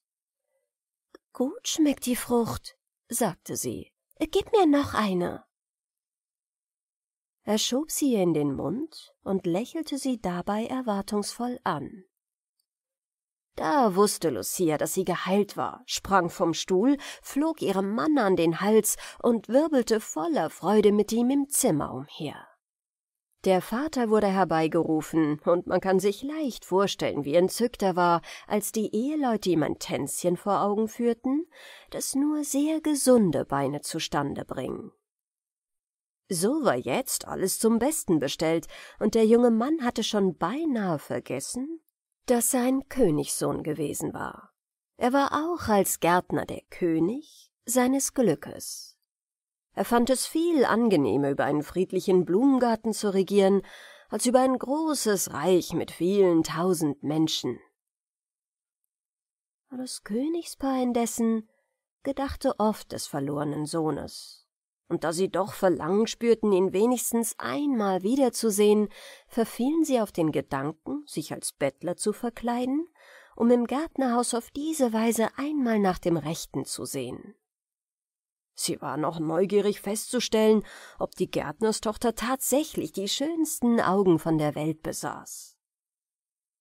Vor allem wollten sie wissen oder sonst wie in Erfahrung zu bringen suchen, ob diese Augen, die so schön sein sollten, auch der Spiegel einer ebenso schönen Seele seien. So klopfte denn das Königspaar an der Tür des Gärtnerhauses an.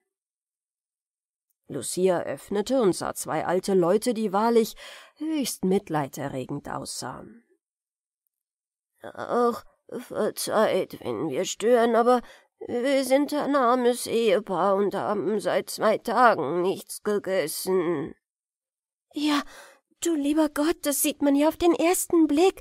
Kommt nur herein. So, ihr setzt euch nur an den Tisch. Sofort werde ich euch ein paar Spiegeleier braten. Das ist rasch gemacht. Hier, fangt nur mit einem Stück Butterbrot an, damit ihr den ersten Hunger gestillt bekommt. Das Königspaar hatte sogar sehr reichlich zu Mittag gegessen. Es hatte nicht nur eine gute Kraftbrühe, sondern auch Suppenfleisch und Salzkartoffeln mit Senfsoße an der königlichen Tafel gegeben. Vom Dessert, einem herrlichen Schokoladenpudding mit Schlagsahne ganz zu schweigen. Den Kaffee mit Biskotten hatten sie kaum angerührt, weil das Essen so ausgiebig gewesen war.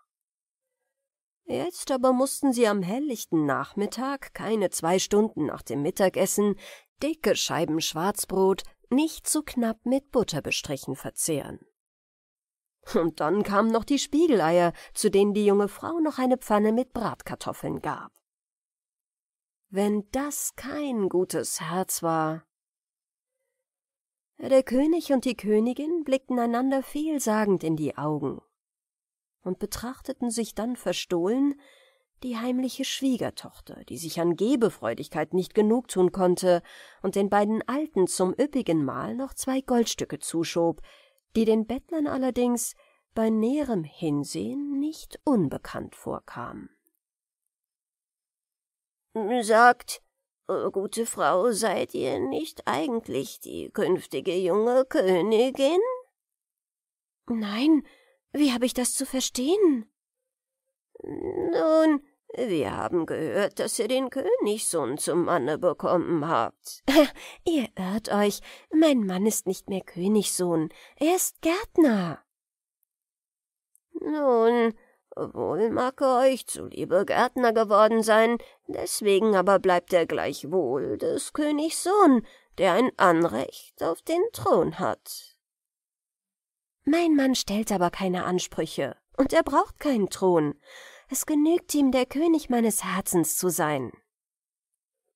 Das habt ihr allerdings recht hübsch gesagt, junge Frau, aber es war doch sehr schlecht vom Königspaar gehandelt, den einzigen Sohn zu entrechten, nur weil er sich eine Frau aus einfachem Stande gewählt hat.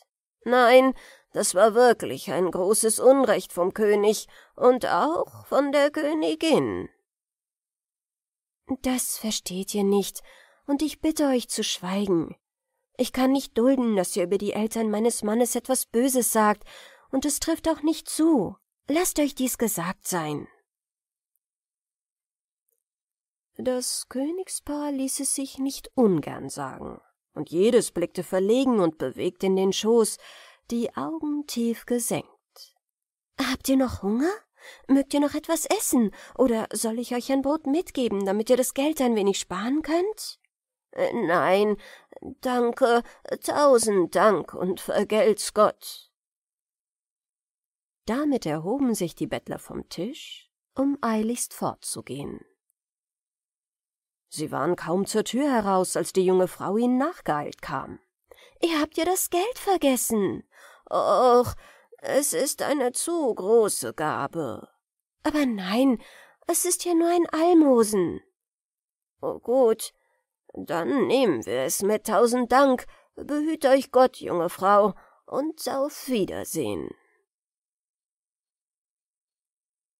Am nächsten Morgen kam der königliche Hofwagen, vor den nicht weniger als acht Pferde gespannt waren, vor der Gärtnerei angefahren. Der junge Gärtner kam selbst den Wagenschlag öffnen, sah den König und die Königin aussteigen, doch wagte er kaum, den Blick zu erheben.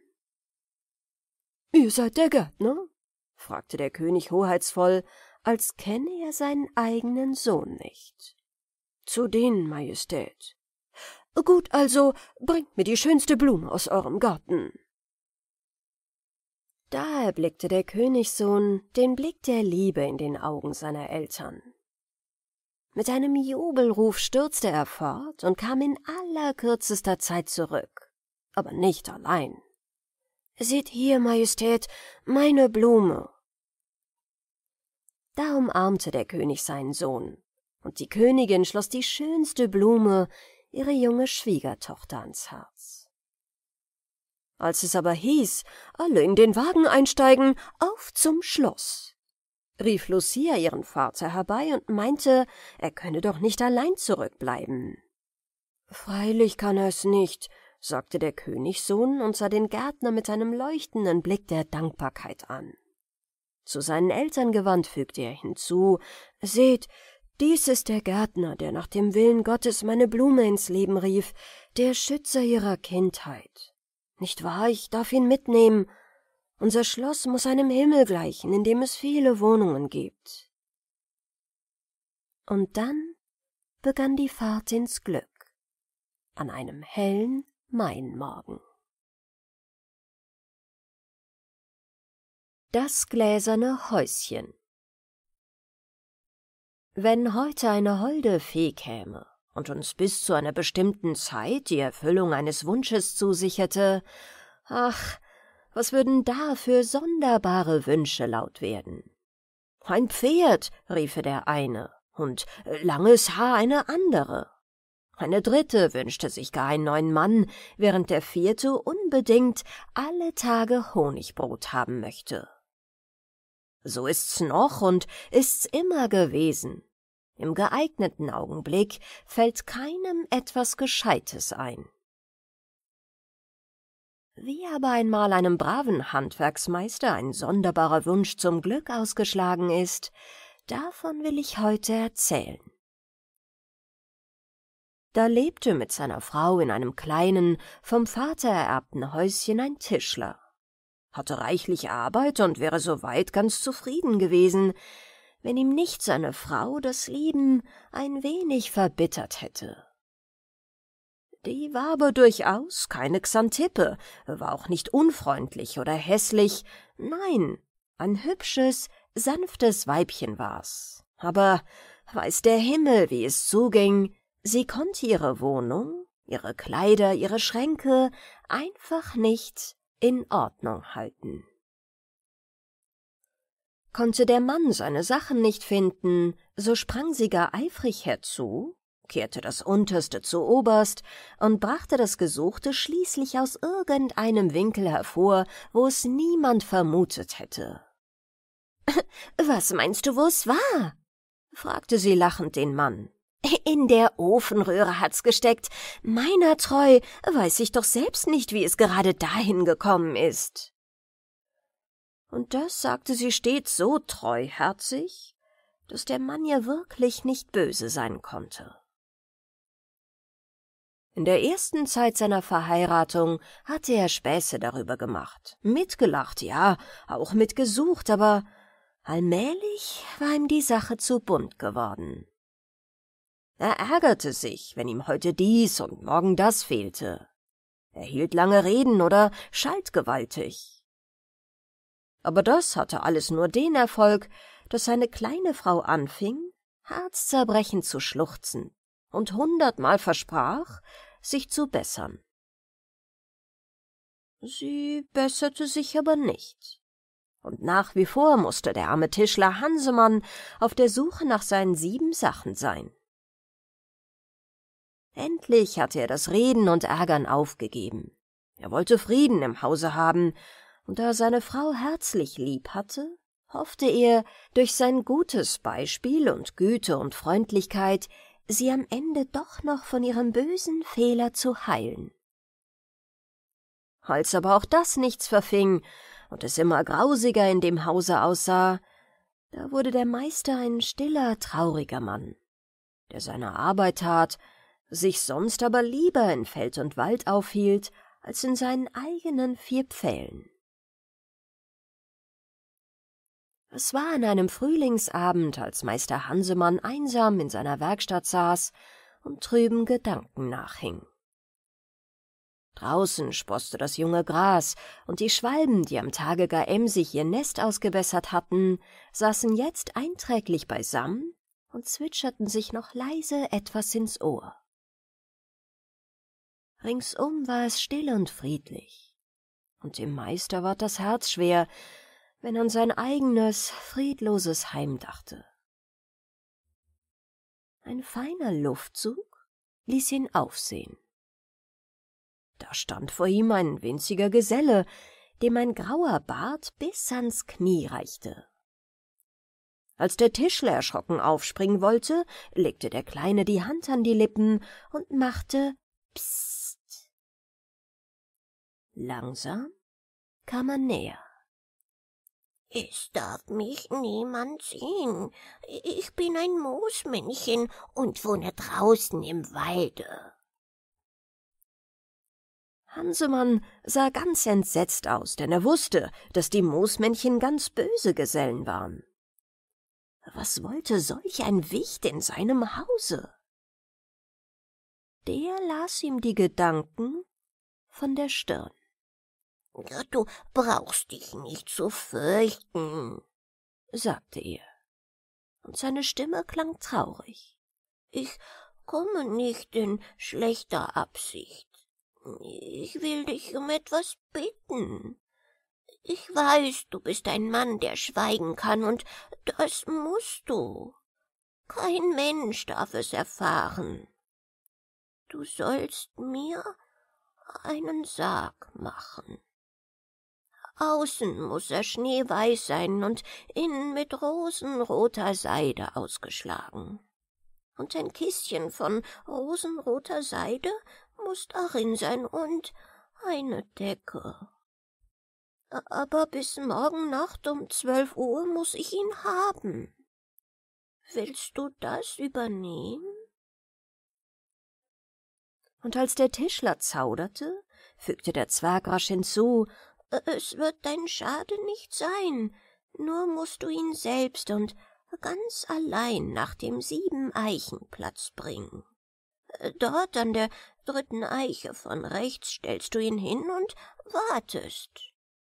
Bring auch einen großen Spaten mit, es muss tief gegraben werden. Noch eins, länger als fünfzig Zentimeter darf der Sarg nicht sein. Langsam schritt das Moosmännchen rückwärts. Es wird dein Schade nicht sein, flüsterte es noch einmal. Als es verschwunden war, atmete der Tischler auf. Tu ich's oder tu ich's nicht? sagte er halblaut. Tu ich's nicht, wer weiß, was mir der boshafte Kerl dann für Schabernack antut, und tu ich's, wie fang ich's dann an, es so heimlich zu machen? Aber er tat's doch. In der Frühe des nächsten Morgens besorgte er die rote Seide und machte mit vieler Mühe die Kissen selbst zurecht. Und ob seine Frau es auch noch so dringlich fragte, was er eigentlich in der verschlossenen Werkstatt treibe, er verriet nichts. Frau Hansemann war nicht übermäßig neugierig. Aber als ihr Mann nachts um halb zwölf fortging mit einem Paket unter dem Arm und einem Spaten, ja, da schaute sie ihm doch sehr verwundert nach. Ja, sie machte sogar ein paar Schritte vorwärts, um ihm nachzuschleichen. Aber ein feiner Regen sprühte ihr ins Gesicht. Überdies war sie müde und ein wenig furchtsam. Da ließ sie's lieber legte sich in ihr Bett und schlief seelenruhig ein. Unterdes wanderte der Tischler mit seiner Bürde dem Wald zu und hielt nicht eher an, als bis er den vorgeschriebenen Platz erreicht hatte. Leise tröpfelte der Regen herab. Das war das einzige Geräusch ringsumher. Er wartete geduldig eine ganze Weile. Als sich aber niemand sehen ließ, wollte er sich endlich ärgerlich wieder auf den Heimweg machen. Husch raschelte es hinter ihm, husch raschelte es vor ihm. Glühwürmchen leuchteten auf, und im Nu war der ganze Platz erfüllt mit kleinen Gestalten, die alle sehr ernst, fast bekümmert aussahen. Jetzt kam der Wichtelmann, der tags zuvor bei ihm gewesen war. Auf seinen Armen trug er ein winziges Püppchen. Das legte er in den Sarg. Es war ein scheußliches Geschöpf, ein richtiges Wichtelweibchen, und beinahe hätte der Tischler laut gelacht, so wenig stimmte die zarte Rosenfarbe zu dem braun verschrumpelten Gesicht. Die Moosmännchen schienen indessen andere Begriffe von Schönheit zu haben. Sie waren alle sehr traurig, und jeder wollte noch einmal die Tote streicheln. Sie war mein schönstes Kind, sagte leise der Wichtelkönig. Und darum soll sie auch gerade so begraben werden wie die Menschen. Nun eil dich aber, die Zeit ist kurz. Der kleine Sarg wurde geschlossen. Hansemann grub ein tiefes Loch, stellte ihn da hinein und schüttete die Erde wieder darauf. Die Zwerge stampften sie fest, dass niemand eine Spur fände. Verschwunden war plötzlich die ganze Schar. Nur der König war zurückgeblieben. Du darfst dir jetzt etwas wünschen, sprach er. Ich will mich dir dankbar erweisen. Etwas wünschen? Der Tischler fasste seinen Spaten fester. Ja, was denn nur in aller Welt? Woher sollte er so geschwind einen vernünftigen Gedanken hernehmen? Er hatte ja unzählige Wünsche, aber welcher war nur der beste und vernünftigste? Weißt du gar nichts? Auch nicht für deine Frau? fragte das Moosmännchen. Da hob im Dorf die Glocke an zwölf zu schlagen. Schnell spute dich, ehe der letzte Schlag verhallt, muss der Wunsch ausgesprochen sein, sonst ist alles vergebens. Fort war der Zwerg. Da stand nun der arme Mann, der Angstschweiß brach ihm aus. Vier, fünf, sechs zählte er. Er konnte ja so viel brauchen. Für meine Frau? Sieben? Ja, wenn sie nur nicht so unordentlich sein wollte, aber nur nichts voreilig aussprechen. Acht? Neun? Wenn sie nur ein kleines bisschen ordentlicher wäre, äh, wie hatte er sich heute Morgen erst wieder geärgert, als er seinen Stiefelknecht nicht finden konnte? Zehn? Elf? So wünschte ich, wir säßen in einem gläsernen Häuschen, damit ich immer sehen könnte, wo meine Sachen sind. Zwölf. Lange hallte der Ton nach in der stillen Nacht. Der Wunsch war ausgesprochen. Und tief seufzend strich sich der Meister über die Stirn. Na, da hat er gewiss etwas Schönes angerichtet. Jetzt erst kam ihm die Besinnung zurück und damit das Bewusstsein, dass er einen sehr törichten Wunsch geäußert hatte. Was denn seine Frau nur dazu sagen würde und, ja Himmel, wenn nun sein Häuschen wirklich aus Glas wäre.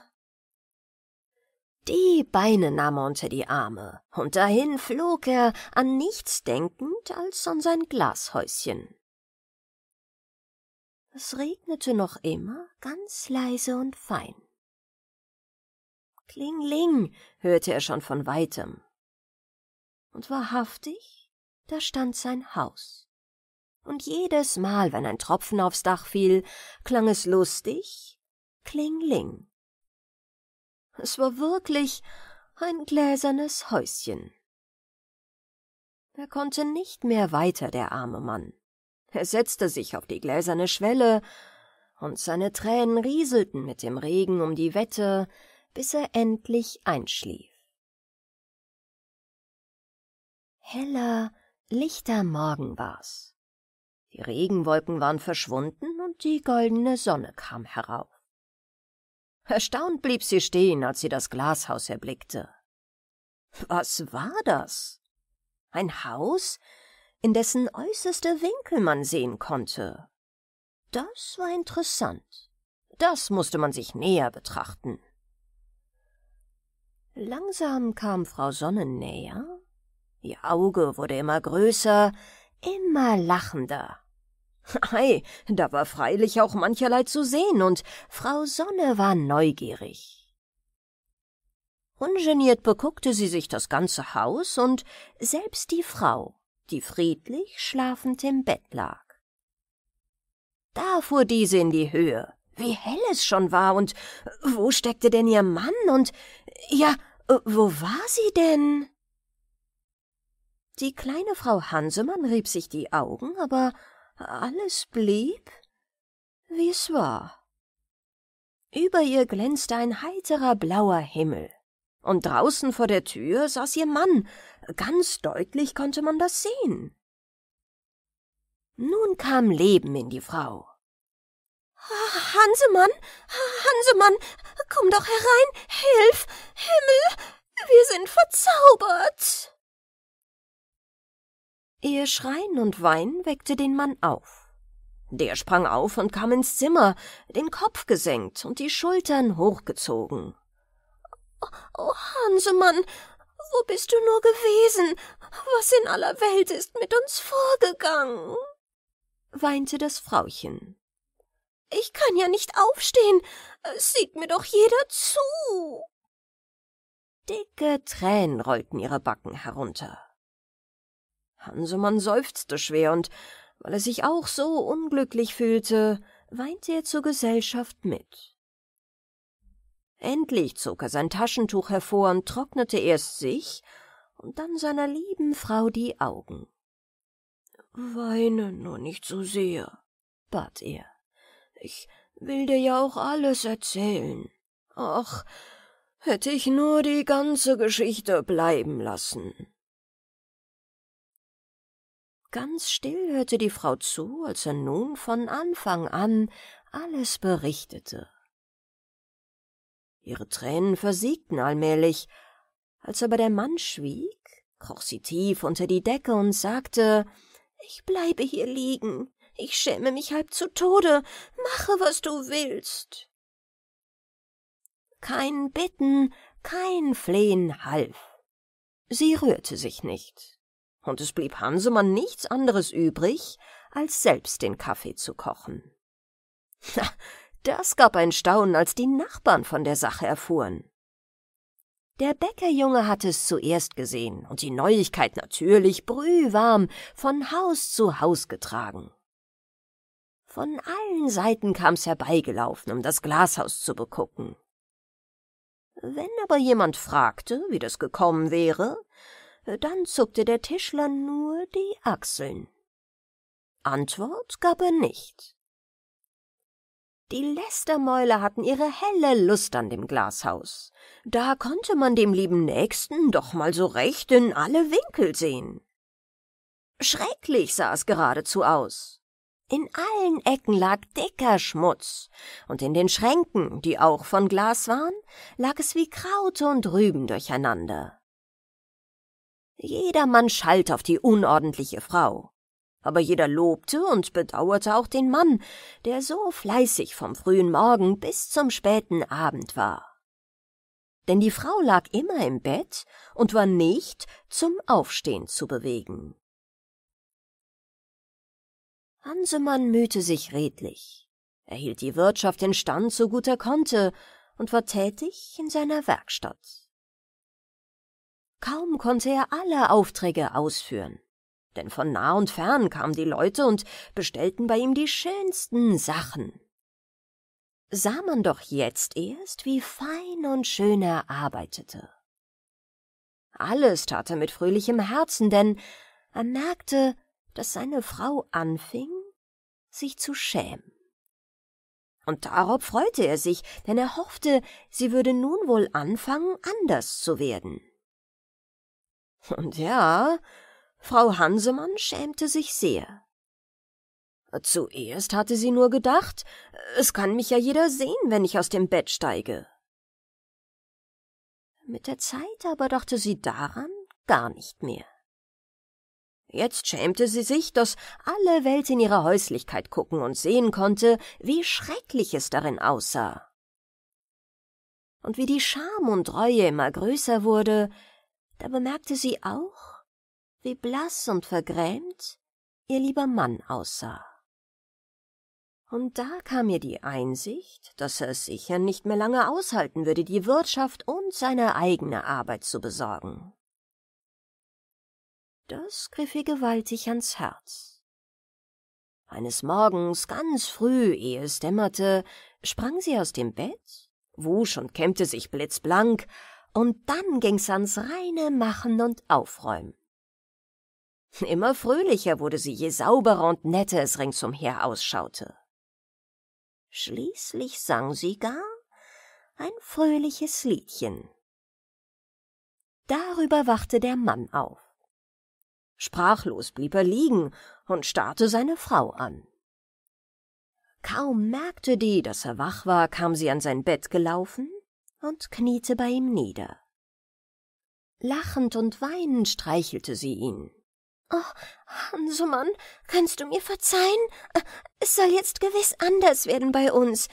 Wenn wir denn schon mal in einem gläsernen Häuschen wohnen müssen, dann soll es aber auch von innen und außen blinken, dass jeder getrost hineinsehen kann. Diesmal wusste der Tischler, dass es seiner kleinen Frau ernst war mit ihrem Vorsatz.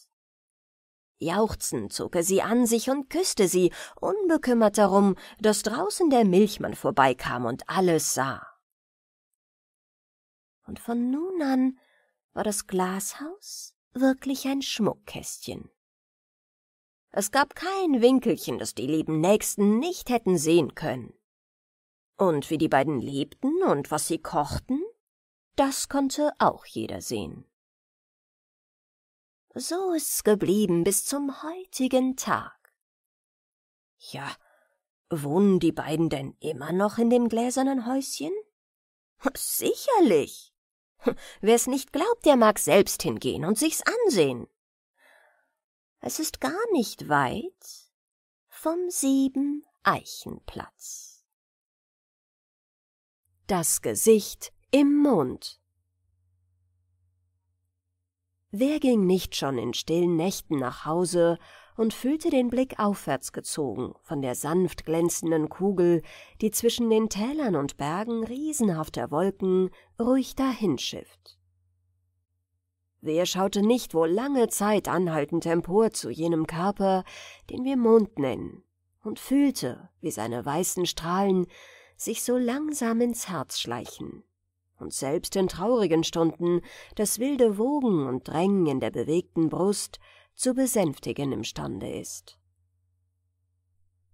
Wenn man so, halb träumend, halb wachend hinaufsieht, so erblickt man in der hellen Scheibe kleine Flecken, aus welchen sich mit einiger Fantasie ein Gesicht zusammensetzen lässt. Man sieht deutlich zwei dunkle Stellen für die Augen, eine Nase, die aber etwas nach der linken Seite gezogen ist. Und einen Mund, welcher sich nach rechts neigt und dem fabelhaften Kopfe dort oben ein verzerrtes, schmerzliches Ansehen gibt. Wenn wir über jenes Mondgesicht unsere gelehrten Bücher befragen, so sagen diese uns freilich, dass dort oben solle kein Gesicht vorstellen, sondern es sei der Mond ein Körper wie unsere Erde, ja, er habe sogar noch gewaltigere Felsen und Schluchten als diese.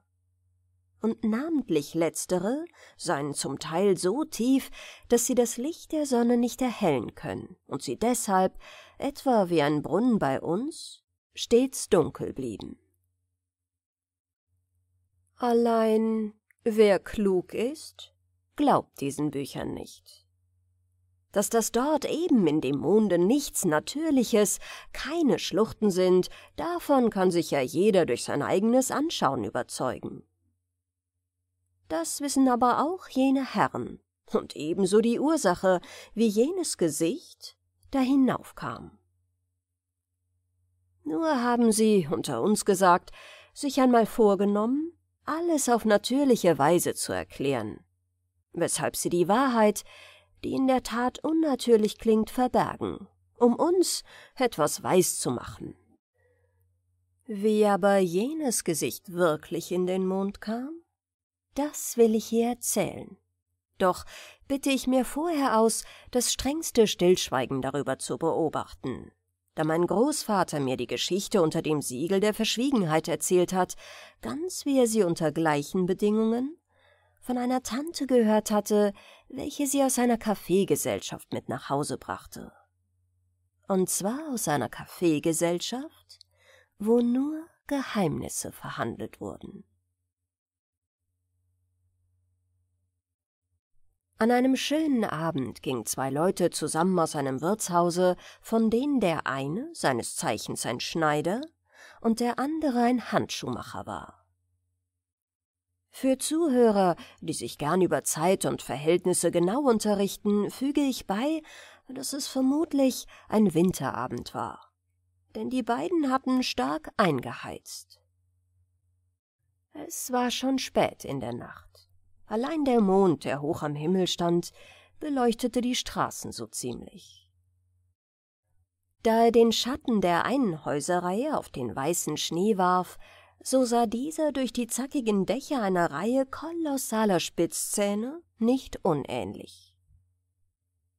Die beiden Zechbrüder waren die letzten im Wirtshause gewesen, denn als sie es verlassen, wurde von innen der Riegel vorgeschoben, und die Lichter der Gaststube ausgelöscht, bis auf eines, das sich alsbald in den zweiten, von da in den dritten, vierten Stock bewegte.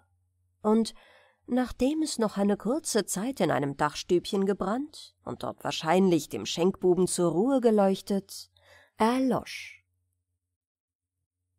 Jetzt waren die beiden alleine auf der Straße und zogen ihres Weges, gewiss in der festen Absicht, sobald es sich tun ließ, ihre Häuser zu finden. Beide waren aber wahrscheinlich nicht recht mit sich einig, nach welcher Seite sie sich zu wenden hatten. Denn sie drehten sich einige Male im Kreise herum, wobei der Schneider als der leichtere den größeren Bogen beschrieb.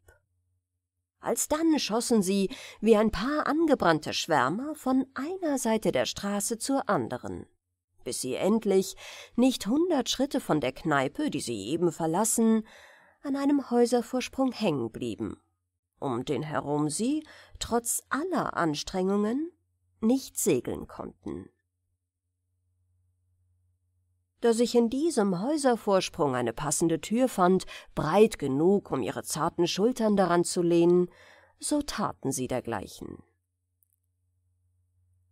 Der Schneider heftete seine Augen wohl eine Viertelstunde lang vor sich auf die Erde und machte oft einen vergeblichen Versuch, an den Himmel hinaufzusehen. Aber es waren ihm die Augenlider zu schwer. Endlich, nach vielen Bemühungen, gelang es ihm, den Blick an das gegenüberliegende Haus zu heften. Dort fand er einen Anhaltspunkt, um sein Auge Stockwerk für Stockwerk hinaufklettern zu lassen. Bis zu dem Schornstein, wo er mit seinem lauten Ausruf der Verwunderung den Mond erblickte, der aus dem schwarzen Kamin emporzusteigen schien. Der Handschuhmacher, weniger berauscht und weniger sentimental als der Schneider, machte mit seinem Blick eine umgekehrte Bewegung. Denn Nachdem er eine Zeit lang in den Mond gestarrt, begann er laut zu gähnen, mit einem hohen Tone abwärts, und seine Blicke folgten den Tönen, so dass sie im Augenblick, wo er den Mund schloss, auf seine dürren Beine fielen, die er weit von sich abgestreckt hatte. So stand das edle Paar eine Zeit lang da, ohne ein Wort zu sprechen und weil sich durch die kühle Nachtluft ihre Ideen noch mehr verwirrten, so glaubten am Ende beide, sie seien nicht mehr auf der Straße, sondern zu Hause, und ließen sich auf dem Schnee nieder, um sich so bequem als möglich zum Schlafen anzuschicken. Der Schneider, der sich auf das linke Ohr legte, begann erst leise, dann immer lauter zu seufzen und sprach vor sich hin Ach, was bin ich doch. Ach, für ein erbärmlicher, schlechter Kerl. Saufe dann Nacht für Nacht, bis ich nicht mehr auf meinen Beinen stehen kann.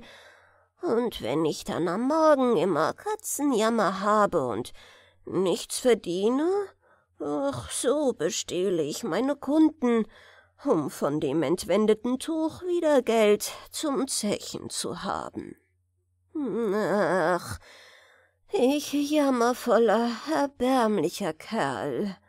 Und an allem dem ist der Handschuhmacher schuld, der hat mich verführt. Der Handschuhmacher, der sich auf das rechte Ohr gelegt hatte, hörte sich gerade nicht schmeichelhaft von dem Schneider nennen. Allein, da glaubte, es träume ihm bloß, so lachte er laut auf und freute sich darüber.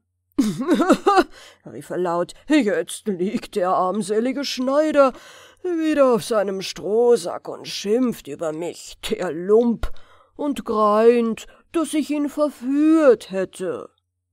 Aber ich will ihn noch besser herunterbringen. Gestern hab ich wieder ein charmantes Stück Tuch bei ihm gesehen.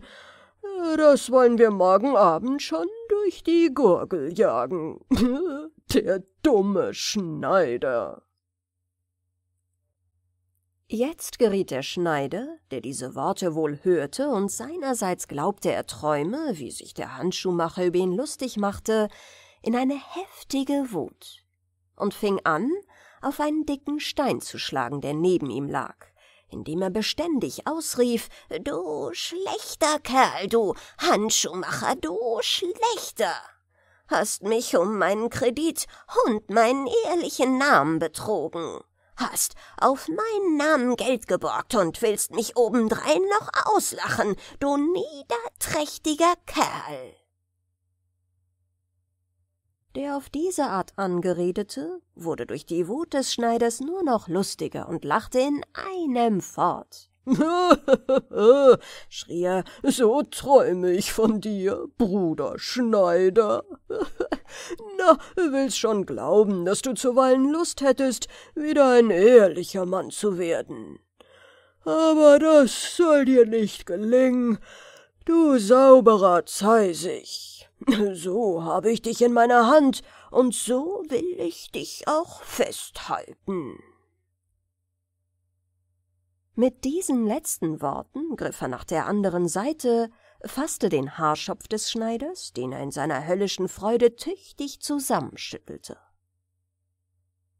Als dieser den rauen Griff seines Kumpans fühlte, glaubte er plötzlich, der Teufel habe ihn für sein ruchloses Leben gefasst und wolle ihn stracks mit in die Hölle nehmen.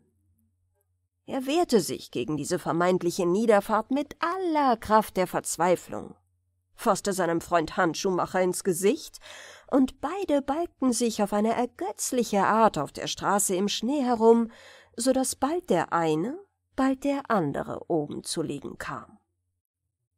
Dabei war es merkwürdig, dass so oft bei diesen Umwälzungen das Gesicht des Handschuhmachers in Berührung mit dem Schnee kam, derselbe zu zischen anfing, als würde er vor einen heißen Ofen geworfen. Was aber auch das rote, glühende Aussehen dieses Gesichts sowie die Hitze, die es abstrahlte, betraf, glich es vollkommen einem gut geheizten Ofen, der hier und da Sprünge und Risse hat, zu welcher das Feuer mit verdoppelter Wut herauszubrechen scheint. Es war dem Handschuhmacher schon oft passiert, dass er, in der Dämmerung nach Hause gehend, von einem Schar mutwilliger Buben verfolgt wurde, welche ihm die Spitznamen Saufaus Feuermann nachliefen. Wie lange sich die edle Zechgenossenschaft auf der Straße herumbalgte, ist wohl nicht zu bestimmen. Plötzlich aber fühlten sie sich von etwas berührt, das ihnen jedes Mal einen zuckenden, brennenden Schmerz verursachte. Der Handschuhmacher als der nüchternste riß zuerst seine Augen auf, die er in der Hitze des Gefechtes geschlossen, und sah mit großer Verwunderung ein altes Weib vor sich stehen, das so erschrecklich hässlich war, wie er in seinem Leben nichts Ähnliches erblickt. Die Alte war nicht nach der Art der gewöhnlichen Hexen bucklig und klein, hatte kein langes, wackelndes Kinn und ebenso wenig Triefaugen, die bei aller Hässlichkeit doch etwas Gutmütiges haben. Sondern das Weib, welches die beiden Zechbrüder durch Anrühren mit einem sehr spitzen Stock auf eine so schmerzhafte Art erweckt hatte, war groß und von einer unbeschreiblichen Magerkeit. Man hätte glauben können, die paar alten Lumpen, welche sie bedeckten, seien um einen Besenstiel herumgewickelt. Denn genau diese Form hatte der Körper der alten Hexe. Das bleiche, runzliche Gesicht, das auf dieser Figur stand, war mit roten Haaren bedeckt, die aber so kreuz und quer unter einer weißen Haube hervorsahen, als habe sie der Wind zufällig dort hinaufgeweht. Sie trug außer dem erwähnten Stock eine kleine Laterne in der Hand, deren Licht auf die beiden Kämpfenden fiel. Der Schneider, als er merkte, dass die Schlägerei endlich aufgehört hatte, mochte noch immer glauben, er habe sich mit einem bösen Geist gebalgt. Denn er öffnete jetzt schwerfällig die Augen, wahrscheinlich um zu sehen, in welchem Teil der Hölle er sich denn eigentlich befände. Da der Anblick des alten Weibes, die grinsend vor ihm stand, eben auch nicht geeignet war, ihm diesen Irrtume zu entreißen, so fing er aufs Neue an zu jammern über sein verlorenes Leben, wobei er, wie schon früher, den Handschuhmacher anklagte, dass er allein ihn zu dem Üblen verführt. Dieser hatte endlich seine fünf Sinne wieder so weit zurechtgesetzt, um die alte stammelnd zu fragen, woher sie komme, wer sie sei und was sie wolle.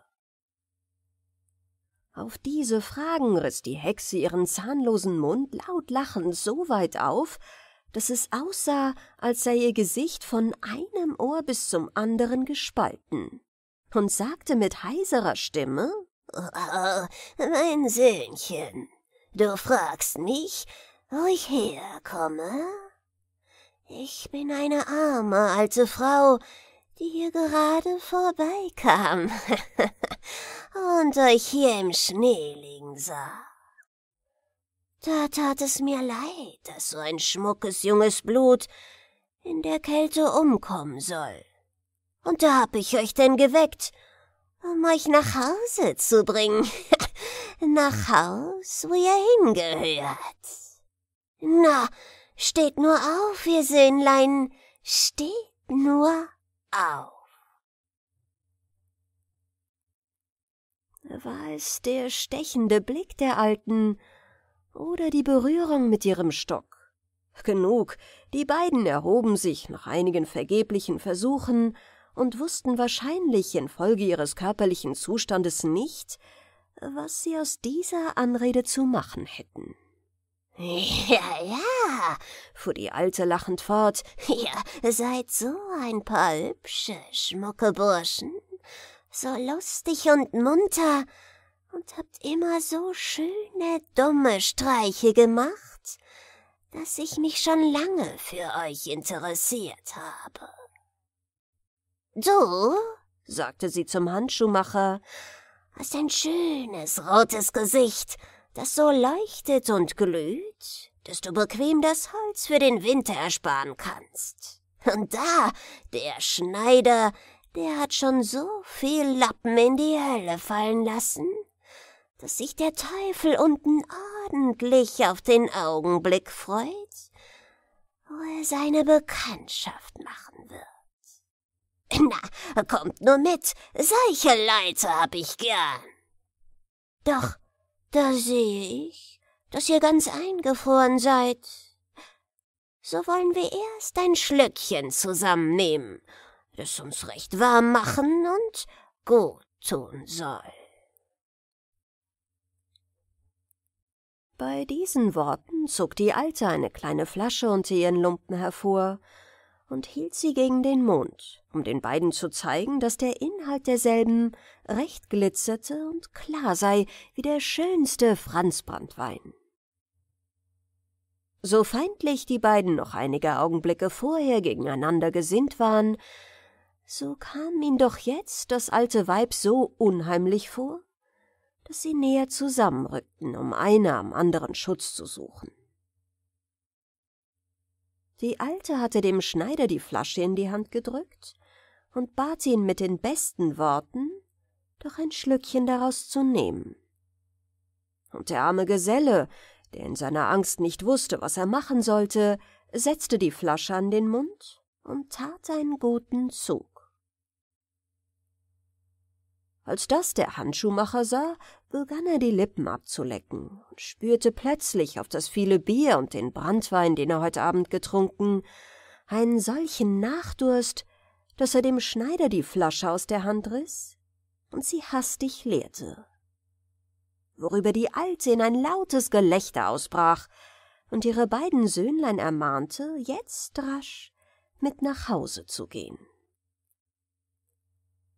Sie hinkte an ihrem Stocke voraus die beiden folgten ihr wie von einer unsichtbaren Gewalt getrieben.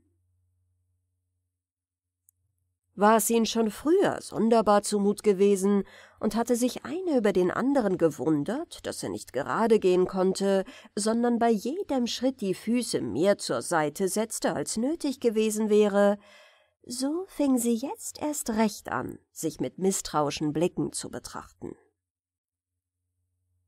Es wollte dem Handschuhmacher sonderbar bedünken, dass der Schneider, anstatt wie ein ordentlicher, wenn auch etwas betrunkener Mensch auf seinen beiden Füßen zu gehen, sich mit einem Mal auf die Hände niederließ und auf allen Vieren zugleich über den Schnee hinsprang, eine, eine merkwürdige Entdeckung, die aber auch der Schneider seinerseits an seinem Kameraden machte denn auch dieser hatte sich auf die Hände niedergelassen und machte die sonderbarsten Luftsprünge und Grimassen, und das nur, wie er sich einbildete, aus Freude über das tolle Benehmen des Schneiders. Dieser konnte sich nun gleichfalls nicht enthalten, über die Kapriolen des anderen zu lachen. Doch fand er bald zu seiner großen Verwunderung und Bestürzung, dass dieses Lachen ganz sonderbar klang. Zuerst glaubte er, er sei von dem kalten Nachtlager heiser geworden und räusperte sich und hustete, so dass der Handschuhmacher, aufmerksam geworden, plötzlich stehen blieb, um seinen Freund zu fragen, was ihm denn eigentlich fehle. Die Frage verstand denn der Schneider wohl, hätte aber darauf schwören wollen, dass das, was ihm sein Freund gesagt, wie das Miauen einer Katze klänge. Indessen hatten sie in diesem Augenblick zu vieler Überlegung keine Zeit mehr, denn sie befanden sich jetzt mit der Alten in einem ihnen ganz unbekannten Stadtteile vor einem kleinen Häuschen, das die Hexe aufschloss und in das sie erfolgten. Darauf schloss die Alte hinter ihnen wieder sorgfältig die Türe ab, führte sie in ein kleines Zimmer, dessen ganze Einrichtung bloß in einem Strohsacke bestand, der auf der Erde lag, und entfernte sich alsdann. Von der durchschwärmten Nacht ermüdet, fühlten sich die beiden in dem warmen Gemach ganz behaglich, kugelten sich auf dem Strohsacke zusammen und Nachdem sich noch einer über den anderen gewundert, dass jeder wie eine Katze schnurre und knurre, entschliefen sie. Doch wer beschreibt den Schrecken der beiden Gesellen, als sie am Morgen erwachten? Anfänglich glaubte jeder, er habe durch einen sonderbaren Zufall sein Lager neben einer Katze aufgeschlagen, und jeder machte den Versuch, das zudringliche Tier fortzujagen.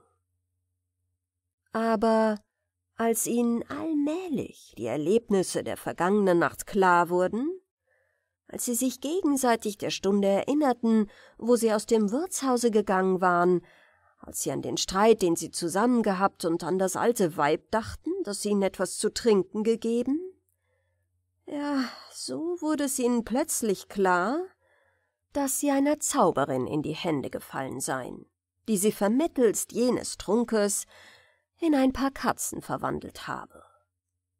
Tja, man kann sich leicht denken, wie schrecklich eine solche Entdeckung war.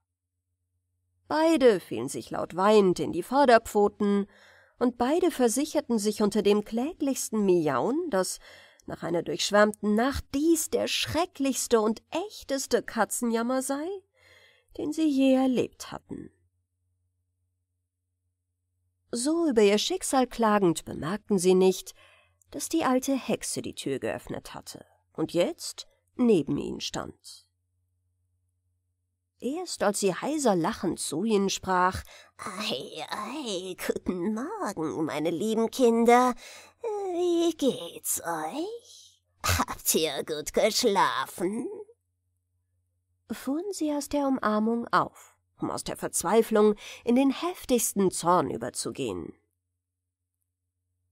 Besonders der Handschuhmacher, dessen Natur zorniger und rachsüchtiger war als die des Schneiders, wusste sich nicht zu fassen.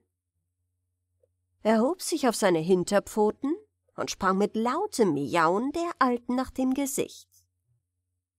Doch diese hatte sich auf eine solche Begrüßung gefasst gemacht und schlug dem Kater Handschuhmacher mit ihrem Stocke der Gestalt auf die Nase, dass er sich einige Male überschlug und zu den Füßen des ehemaligen Schneiders hinrollte, der, gutmütiger Natur, nichts tun konnte, als sein Schicksal in den grellsten Klagetönen, die man je von einem Kater gehört hat, zu bejammern. Die Alte schien indessen über den Angriff, den sie soeben erlitten hatte, nicht entrüstet zu sein. Vielmehr erhob sie lächelnd den Zeigefinger und drohte leichthin dem Handschuhmacher, wie man es mit einem unartigen Kinde tut. Ei, ei, sagte sie, wie undankbar, wie undankbar. Wärt ihr nicht in der Nacht erfroren, wenn ich euch nicht geweckt und mit einem guten Schlückchen bewirtet hätte, das euch erwärmt und so schön bekleidet hatte? Ihr habt ja beide statt eurer früheren abgetragenen Kleider einen Pelz so dicht und glatt, wie man ihn nur wünschen kann. Denkt doch ein wenig nach, was wäret ihr ohne mich? Euer Sündenleben hätte mit der heutigen Nacht ein Ende gehabt. Ihr wäret erfroren und läget jetzt starr und steif da.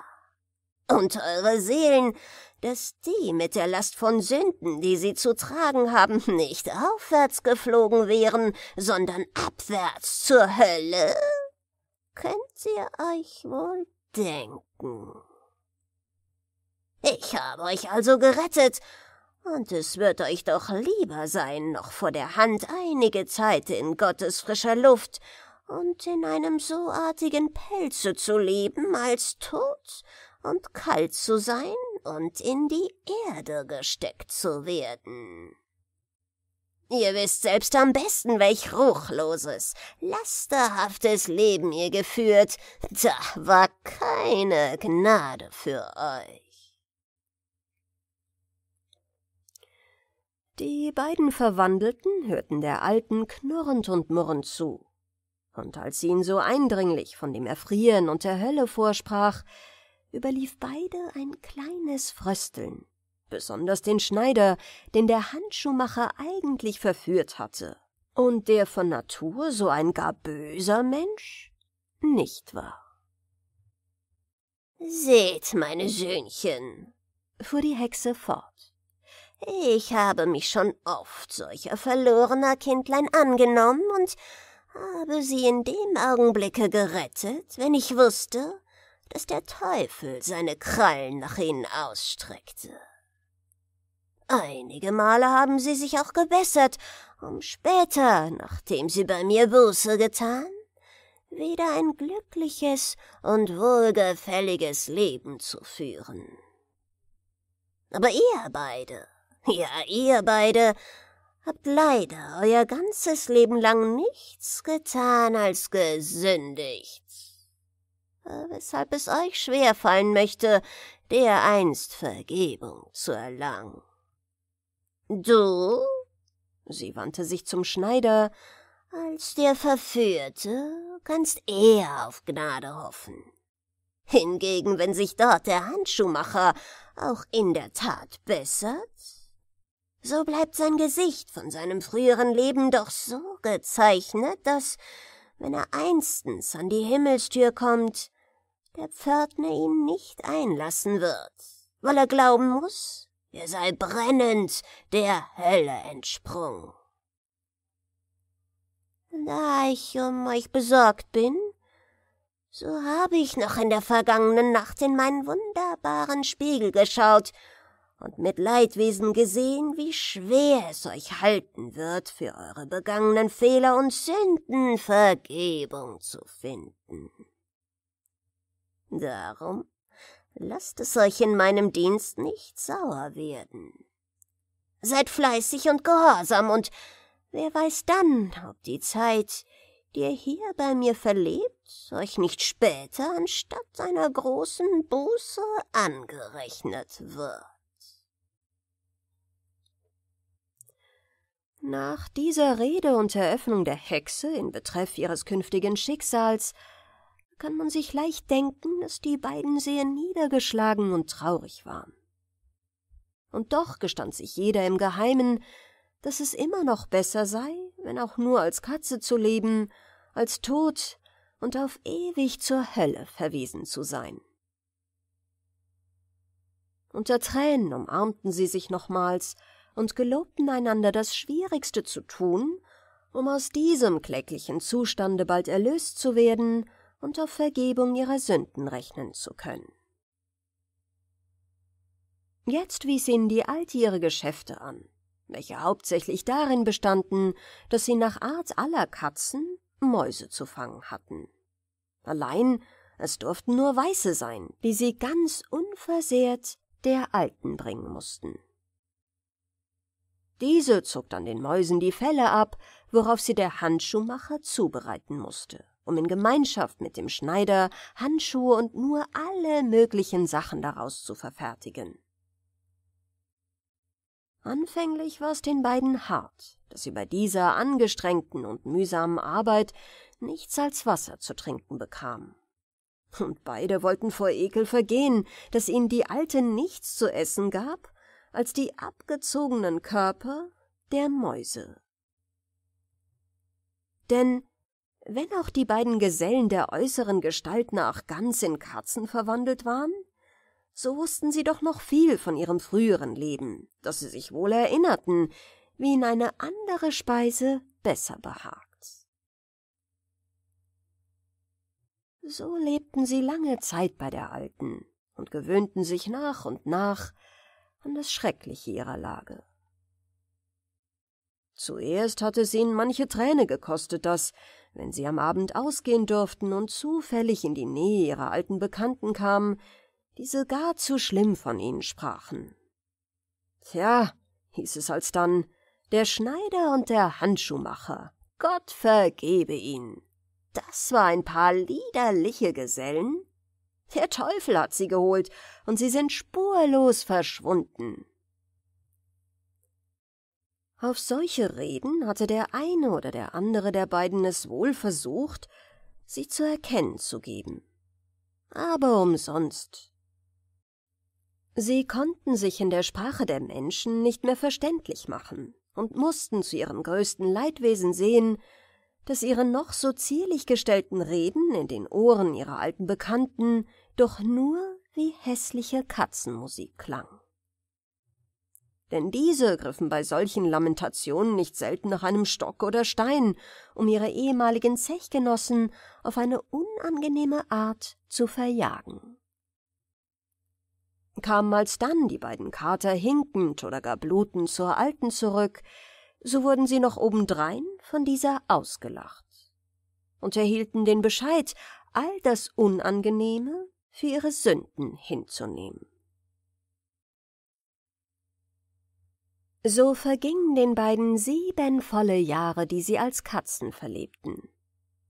Und während dieser Zeit hatte sich viel in ihren Gesinnungen und Neigungen verändert.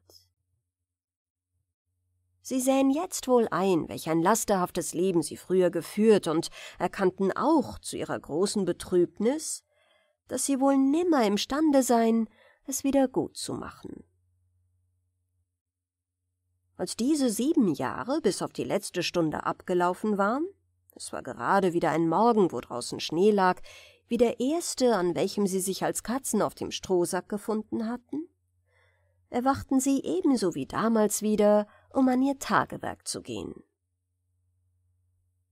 Da öffnete sich die Tür und die Alte trat herein. Das war nun weiter nichts Ungewöhnliches. Nur verwunderten sich die beiden, dass sie statt einer Schale mit Wasser ein kleines Fläschchen unter dem Arm trug, das mit einer Flüssigkeit angefüllt war, ähnlich der, die sie vor sieben Jahren in der unglücklichen Nacht geschluckt hatten. Äh, guten Morgen, meine Kinder, sagte die Alte. Ich hoffe, ihr habt gut geschlafen und seid fröhlich erwacht. Werdet aber noch fröhlicher und munterer werden, wenn ich euch sage, dass heute eure Zeit um ist und ich euch aus meinen Diensten entlassen will. Jetzt hört mich an und merkt genau auf meine Worte. Ihr habt sieben Jahre bei mir verbracht in Kummer, Mühseligkeiten und Elend. Und mein Spiegel sagte mir in vergangener Nacht, dass diese sieben Jahre hinreichend wären, um euer vergangenes böses Leben abzubüßen. Doch sagte mir der Spiegel ebenfalls, dass ihr von heute an nur noch sieben Tage zu leben habt, wenn es euch während dieser sieben Tage nicht gelingt, einen Trunk aus jener Quelle zu tun, aus der das Wasser des Lebens quillt. Um aber diese Quelle zu finden, müsst ihr von heute an fünf Tage in einem Fort gen Osten wandern. Alsdann kommt ihr an einen Wald in dessen Mitte ein frommer Mann wohnt, der jene Quelle hütet. Ihm erzählt euer vergangenes Leben, erzählt ihm von den sieben Jahren, die ihr als Buße bei mir zugebracht. Und es hängt dann von seinem Ermessen ab, ob er euch würdig findet, einen Trunk aus jener Quelle zu tun. Bei diesen letzten Worten nahm die Alte das Fläschchen in die Hand und besprengte die beiden mit der Flüssigkeit, die es enthielt. Da richteten sich die Katzen in die Höhe, streckten sich lang aus und waren in wenigen Augenblicken wieder Menschen, wie sie vor sieben Jahren gewesen. Sie umarmten sich weinend vor Freude und dankten der Alten, dass sie sich ihrer angenommen und sie vor dem zeitlichen und ewigen Verderben gerettet. Diese, welche das Fläschchen noch immer in der Hand hielt, besprengte nun noch die Wände und sich selbst? Und wer beschreibt das Erstaunen der beiden, als sie sahen, wie sich das ärmliche Gemach plötzlich in einen rosenroten Duft füllte, in welchem ihre bisherige Wirtin in die schönste Fee verwandelt, langsam verschwand. Die beiden Gesellen fielen auf ihre Knie nieder, und als sie sich etwas von ihrem Erstaunen erholt, erinnerte sich der Schneider, dass ihm einst seine Mutter erzählt, just so wie die Erscheinung, die eben verschwunden, sehen die Schutzgeister der Menschen aus, die selbst die schlechtesten hier auf der Erde unsichtbar umschwebten und zu ihrer Rettung herbeieilten wo es möglich sei. Durch diesen Gedanken gestärkt erhoben sich die beiden, eilten zur Stadt hinaus und wanderten rastlos gen Osten fort. Fünf Tage und fünf Nächte waren sie unaufhaltsam fortgegangen, selbst ohne sich Zeit zum Schlafen zu nehmen. Ihre einzige Speise bestand aus drei wenigen Schlehen, die der Schnee noch an den Sträuchen gelassen, und das Wasser, das sie mit der hohlen Hand aus den Bächen schöpften. Nach diesen Mühseligkeiten waren sie nicht wenig erfreut, am Abend des fünften Tages einen Wald vor sich zu sehen, welche sie für den erkannten, wo der fromme Mann zu finden sei, der die Quelle mit dem Lebenswasser hütete. Sie traten hinein, und als sie unter den Bäumen fortwandelten, wunderten sie sich sehr, dass hier alles im frischesten Grün des Frühlings prangte, während außerhalb des Waldes der Winter mit Schnee und Eis herrschte. Endlich kamen sie an eine Felsenhöhle, in welche das entzückte Ohr der beiden eine Quelle murmeln hörte. Vor dem Felsen aber saß ein Mann von so strengem und gebietendem Aussehen, dass die Gesellen nicht wagten, näher zu treten, sondern ehrerbietig in einiger Entfernung stehen blieben. Der Wächter des köstlichen Wassers, denn das war der Mann, schien sich ebenso wenig um die beiden zu bekümmern, sondern las, ohne aufzusehen, in einem großen Buche. Ihm zur Seite ruhte ein fabelhaftes Tier, das fast wie ein Löwe aussah, aber auf jeder Seite des Körpers große Flügel hatte. Der Anblick dieses Geschöpfes war es, der den armen Gesellen fast eine ebenso große Angst einflößte wie der des alten Mannes. Nachdem sie einige Zeit so gestanden, überredete der Handschuhmacher seinen Freund Schneider, er solle den Anfang machen und den frommen Zauberer begrüßen. Denn, sagte er, ich bin ein armer, unbehülflicher Mensch. Du hast aber dein ganzes früheres Leben mit vornehmen Leuten verkehrt und wirst wohl wissen, wie du dich selbst einem Zauberer gegenüber zu benehmen hast. Der Schneider, durch das Kompliment geschmeichelt, strich sich das Haar empor, welches ihm der Angstschweiß auf der Stirne festgeklebt hatte, und trat dem Zauberer näher. Da er hierbei absichtlich mehr Geräusch machte als nötig war, so blickte der Zauberer auf und fragte mit strengem, aber doch freundlichem Blick Was wollt ihr? Die beiden, die nichts anderes erwartet hatten, als dass der Zauberer in schrecklichen Zorn geraten würde, weil sie ihn in seiner Beschäftigung gestört, fühlten sich durch diese Anrede ermutigt. Und sie trugen ihr Anliegen vor. Zuerst begann der Schneider seinen früheren Lebenslauf zu erzählen.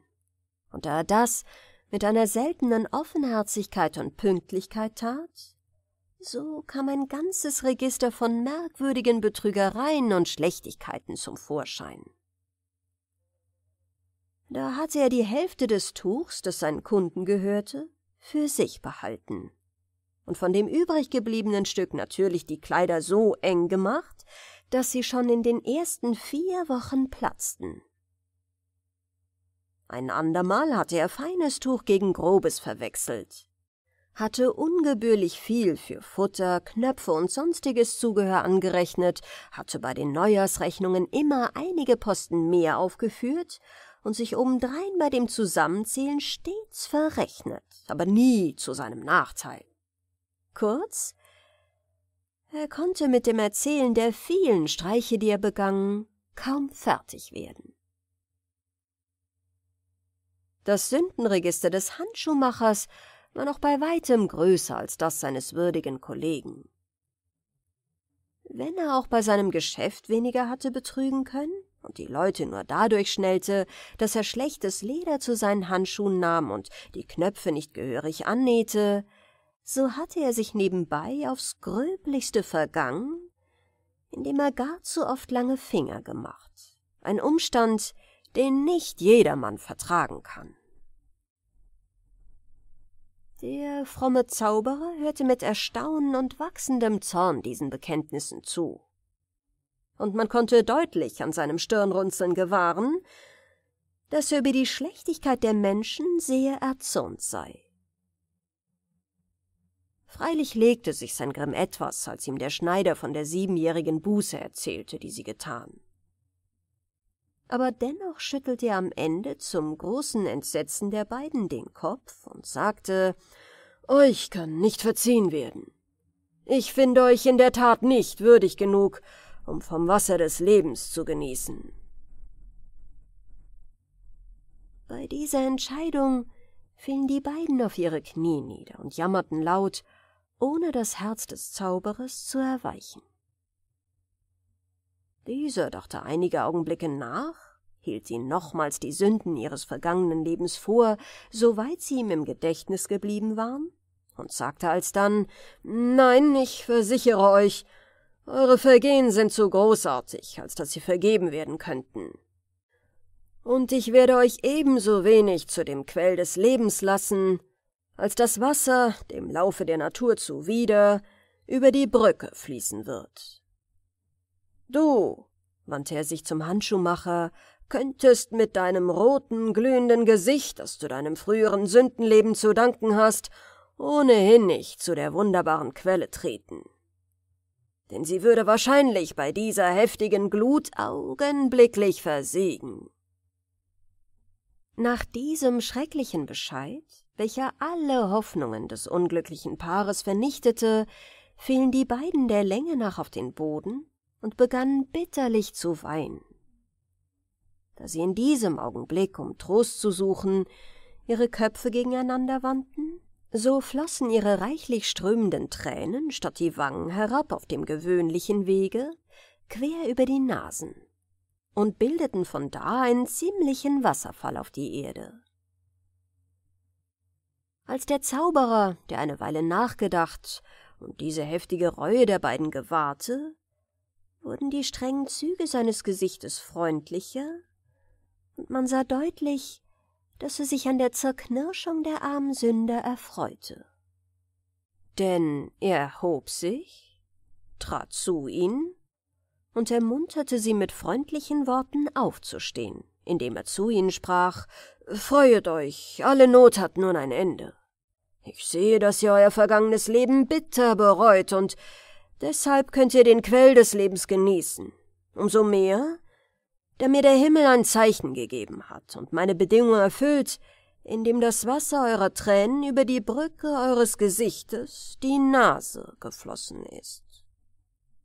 Doch eine Schwierigkeit wäre noch zu überwinden, nämlich dein rotes Gesicht, o Handschuhmacher, abzukühlen und zu bleichen. Ich kenne die Flammen, die sich auf demselben abspiegeln, und weiß, dass dies schwer zu löschen ist. Schwerer als irgendein anderes Feuer, das da brennt im Himmel und auf Erden. Es ist kein Wasser, kein irdisches Eis dazu kalt genug. Nur ein Versuch wäre noch zu machen. Es ist bekannt, je höhere Berge man besteigt, je strenger wird die Kälte. Und in diesem Grundsatz zufolge besteht die Scheibe des Mondes, der dort hinter den Tannen hervorkommt, aus einem so entsetzlich kalten Stoff, dass das Eis der Erde wie siedendes Wasser dagegen ist. Dort also wäre nur der Versuch zu machen, dein brennendes Gesicht abzukühlen. Die beiden hörten diese lange Rede des Zauberers mit großem Wohlgefallen an, trockneten ihre Tränen und würden sich noch mehr gefreut haben, wenn der Abkühlungsprozess mit weniger Schwierigkeiten zu erlangen gewesen wäre. Doch da der Zauberer sich nun einmal ihrer angenommen hatte, so half er den beiden reuigen Sündern auch über diese Klippe hinweg. Er rief das fabelhafte Tier herbei, das an seiner Seite lag, und befahl dem Handschuhmacher, den Rücken desselben zu besteigen. Hierauf sprach er einige sehr verhängnisvolle Zauberworte, der Greif breitete seine Schwingen aus und flog mit seinem Reiter unglaublich schnell dem Monde zu. Der Schneider hatte seine Hände gefaltet und sah seinem Freunde nach. Jetzt hatte dieser den Mond erreicht und drückte sein Gesicht an die helle leuchtende Scheibe. Da zischte es gewaltig auf, und dem Schneider fuhr ein Stich durchs Herz, denn es war gerade wie das Zischen eines Bügeleisens, wenn er wohl früher den Versuch gemacht hatte, ein zu arg beschnittenes Stück Tuch etwas in die Länge und Breite zu bügeln. Jetzt rauschte der Greif wieder herab, und der Schneider konnte sein Entzücken nicht mäßigen, als er seinen Freund wohlbehalten und mit ganz gebleichtem Gesicht wieder herunterkommen sah. Sie fielen sich aufs neue in die Arme, und nachdem sie sich gegenseitig genugsam betrachtet, schickten sie einen dankbaren Blick zum Monde hinauf, dessen kaltes Eis die Flammen von dem Gesichte des Handschuhmachers hinweggenommen. Doch wie ward ihnen, als sie die leuchtende Scheibe betrachteten, die vor wenigen Augenblicken noch so klar und ohne Flecken gewesen war, und als sie sahen, dass sich das glühende Gesicht des Handschuhmachers so darin abgedrückt hatte, dass man deutlich Nase, Augen und Mund erkennen konnte. Der Zauberer mangelte nicht, ihm diesen Anblick nochmals als Beispiel aufzustellen, wie fast unvertilgbar das Feuer sei, welches die Sünde in ein Menschengesicht zeichnet.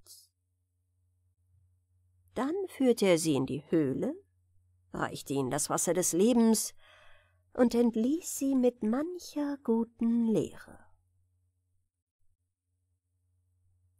Schließlich versicherte mir mein Großvater, als er diese Sage erzählt, dass die Gesellen nie wieder in ihre alten Fehler verfallen waren und dass bis auf den heutigen Tag aus ihren Nachkommen noch all die ehrlichen Schneider und Handschuhmacher herstammten, die kein Tuch in die Hölle fallen ließen, keine zu großen Neujahrsrechnungen machten und die an ihren Handschuhen von gutem Leder die Knöpfe recht fest nähten. Auch führte er mich darauf ins Freie und zeigte mir das Gesicht im Monde, wie es seit jener Begebenheit bis auf den heutigen Tag noch zu sehen ist. Aladdin oder die Wunderlampe In China lebte ein armer Schneider, der verdiente so wenig, dass er mit seiner Frau und seinem Sohne aus der bittersten Not gar nicht herauskam. Deshalb hatten die Eltern auch keine Zeit gehabt, sich um die Erziehung ihres Sohnes Aladdin zu kümmern, und nun war der Bengel halsstarrig, boshaft und ungehorsam geworden und trieb sich den lieben langen Tag auf der Straße herum. Als er in das Lehrjungenalter kam, nahm ihn der Vater Schneider in seine Bude und unterwies ihn, wie er die Nadel führen sollte. Aber der Junge hatte kein Sitzfleisch, und so oft der Alte den Rücken wandte, schlüpfte Aladdin auf die Straße und kam den ganzen Tag nicht wieder. Alle Strafen halfen nichts. Zuletzt musste der Vater seinen Sohn dem liederlichen Leben überlassen und litt darüber so viel Kummer und Herzeleid, dass er starb. Die Mutter schloss den Laden, machte das Handwerksgeräte zu Geld und ernährte sich und ihren Sohn vom Wollespinnen. Aladdin, der nun nicht einmal mehr Furcht vor seinem Vater zu haben brauchte, ward ein immer größerer Taugenichts. Einst spielte er mit Gassenjungen auf einem Platze der Stadt, als ein fremder Mann des Weges kam. Der betrachtete Aladdin eine Weile, erkundigte sich dann heimlich bei den Nachbarn nach dem Jungen und plötzlich trat er auf ihn zu. Mein Sohn, sagte er, ist dein Vater nicht der Schneider Mustafa? Gewesen, sagte Aladdin keck, denn er ist schon längst tot. Da fiel ihm der Fremde um den Hals, zerdrückte eine Träne im Auge und seufzte Dein Vater war mein geliebter Bruder. Ich bin viele Jahre auf Reisen gewesen, und nun, wo ich heimkehre, meldest du mir, er ist tot? Indes, ich freue mich, seine Züge in deinem Gesicht wiederzufinden. Und nun nimm dies Geldgeschenk, grüße deine Mutter und sag ihr, Morgen werd ich sie besuchen, damit ich den Ort sehe, an dem mein guter Bruder so lange gewirkt hat. Aladdin lief sehr vergnügt heim. Er ahnte nicht, dass der Fremde ein Zauberer war, der fast alles erlogen, was er mit ihm geredet hatte. Und sein Erstaunen wuchs noch mehr, als die Mutter zu ihm sagte, sein Vater hätte nie einen Bruder gehabt. Des anderen Tages traf der Zauberer Aladdin wieder, drückte ihm zwei Goldstücke in die Hand und sagte Lieber Neffe, sag deiner Mutter, ich käme heute Abend zu ihr, und für dies Geld soll sie mir ein gutes Nachtmahl richten. Aladin gehorchte, und die Mutter ging aus, um Speisen und Wein für den Fremden zu besorgen. Kaum war die Sonne gesunken, trat dieser ins Haus, erzählte mancherlei von seinem verstorbenen Bruder, und es schien, als könne er sich nur schwer über den Tod des Schneiders trösten. Zuletzt wandte er sich auch an Aladin und fragte, »Womit beschäftigst du dich denn? Du bist nun schon bald erwachsen und ich hoffe, du hast das Gewerbe deines Vaters erlernt.« Bei dieser Frage schlug Aladin die Augen nieder, denn er geriet in große Verlegenheit. Seine Mutter aber sagte gerade heraus, Aladin ist ein Faulenzer. Er lungert die Tage über auf der Straße herum, und da ich nicht zugleich mich und ihn durch Spinnen erhalten kann, so werde ich ihm in nächster Zeit mein Haus verschließen, und er mag zusehen, wie er sein Brot findet. Hm, hm, machte der Fremde und dachte eine Weile nach. Wie wäre es denn, wenn ich dir aus meinem Vorrate köstlicher Stoffe eine Menge zur Verfügung stellte, mein lieber Neffe? Vielleicht hast du nur eine Abneigung gegen das Gewerbe deines Vaters. Wenn du aber einen Laden mit feinen Geweben und Linnenzeug aufmachst und kaufst und verkaufst, so kannst du leicht ein anständiges Auskommen finden.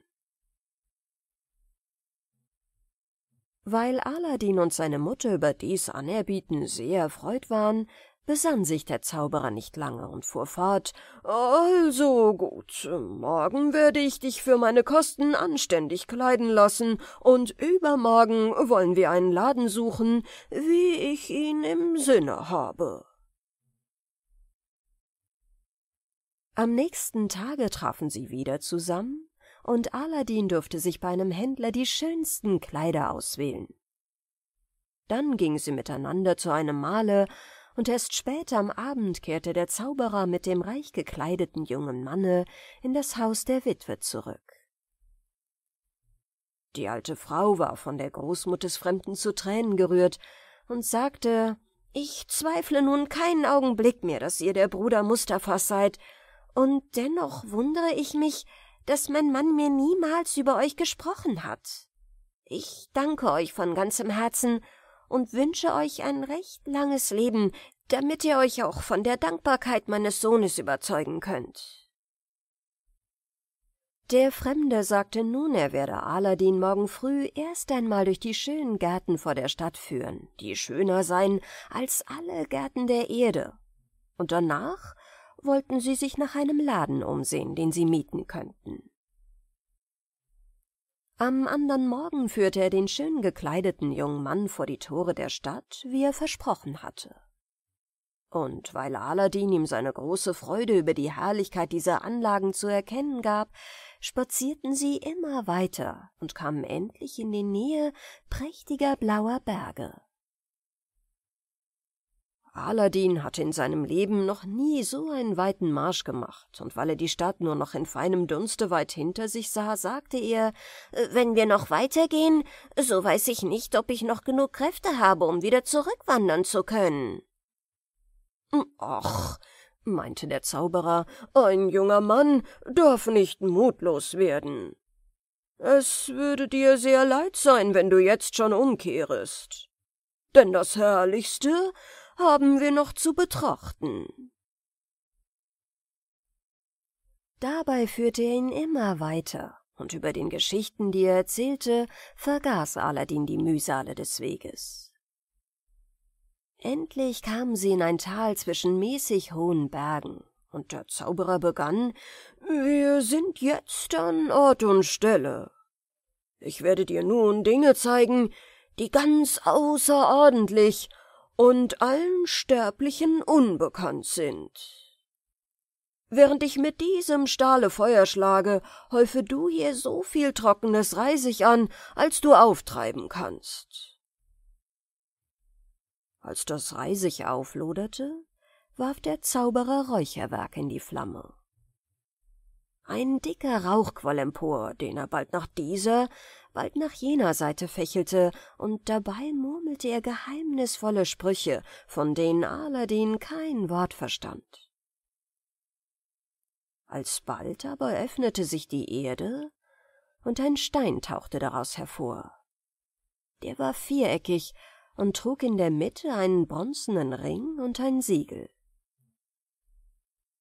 Aladdin erschrak über dies alles heftig und wollte die Flucht ergreifen.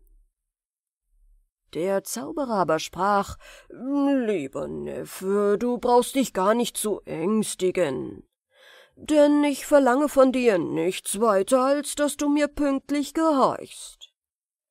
Dafür werde ich dir große Vorteile verschaffen. Unter diesem Steine befindet sich nämlich ein Schatz, der für dich bestimmt ist und der dich reicher machen wird als die reichsten Könige der Erde. Und nun komm her, fasse den Ring und hebe den Stein in die Höhe. Aladdin tat, wie ihm der Zauberer geheißen, hob den Stein mit leichter Mühe empor und legte ihn beiseite. Da sah man eine Höhle von drei bis vier Fuß Tiefe, die war mit einer kleinen Tür verschlossen, und zu der Tür konnte man auf einigen Stufen hinabsteigen. Diese Stufen schreite hinab, dann wird sich die Tür öffnen, und du gelangst alsbald durch drei Säle. Wenn du den dritten Saal verlassen hast, kommst du in einen sehr schönen Garten. Dort steige die fünfzig Stufen aus weißem Marmor empor, und du wirst eine Nische sehen mit einer kleinen brennenden Lampe.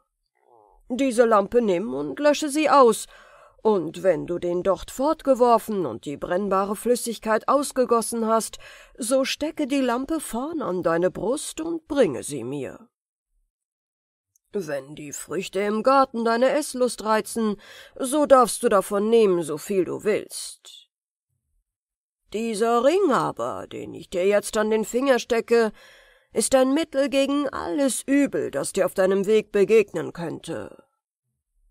Und nun steige ohne Furcht hinab und sei freudig in dem Gefühle, dass wir durch deinen Gang beide steinreiche Leute werden. Aladdin machte sich auch sofort auf den Weg fand alles, wie es der Zauberer geschildert hatte, steckte die Lampe zu sich, und während er durch die schönen unterirdischen Gärten zurückschritt, hielt er Umschau über all die Herrlichkeiten, die da blühten und standen. Es gab da Blumen und Früchte von allen Farben und von leuchtendem Glanze. Die weißen waren Perlen, die leuchteten wie Diamanten, die dunkelroten Rubinen, die blauen Türkise. Und alle waren von einer Größe und Vollkommenheit, dass man sich nicht satt sehen konnte. Aladdin nahm von jeder Art ein Paar und füllte damit alle Taschen seines Gewandes. Dann ging er wieder zu der kleinen Tür, durch die er hereingekommen war, und sah den Zauberer mit Ungeduld warten. Sobald sie ihn erblickte, rief er aus der Vertiefung herauf Lieber Oheim, ich bitte, reicht mir die Hand und helft mir heraus.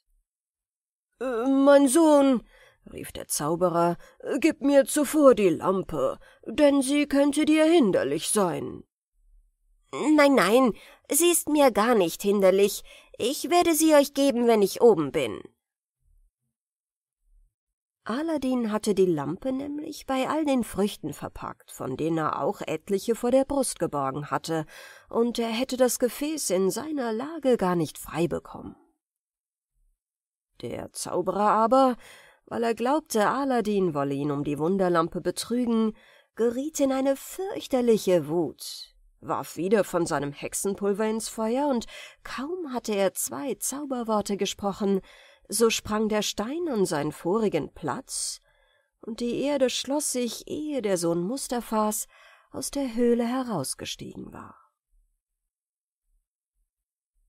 Wie der Hexenmeister um seine schönsten Hoffnungen sich betrogen sah, kehrte er schleunigst in seine afrikanische Heimat zurück.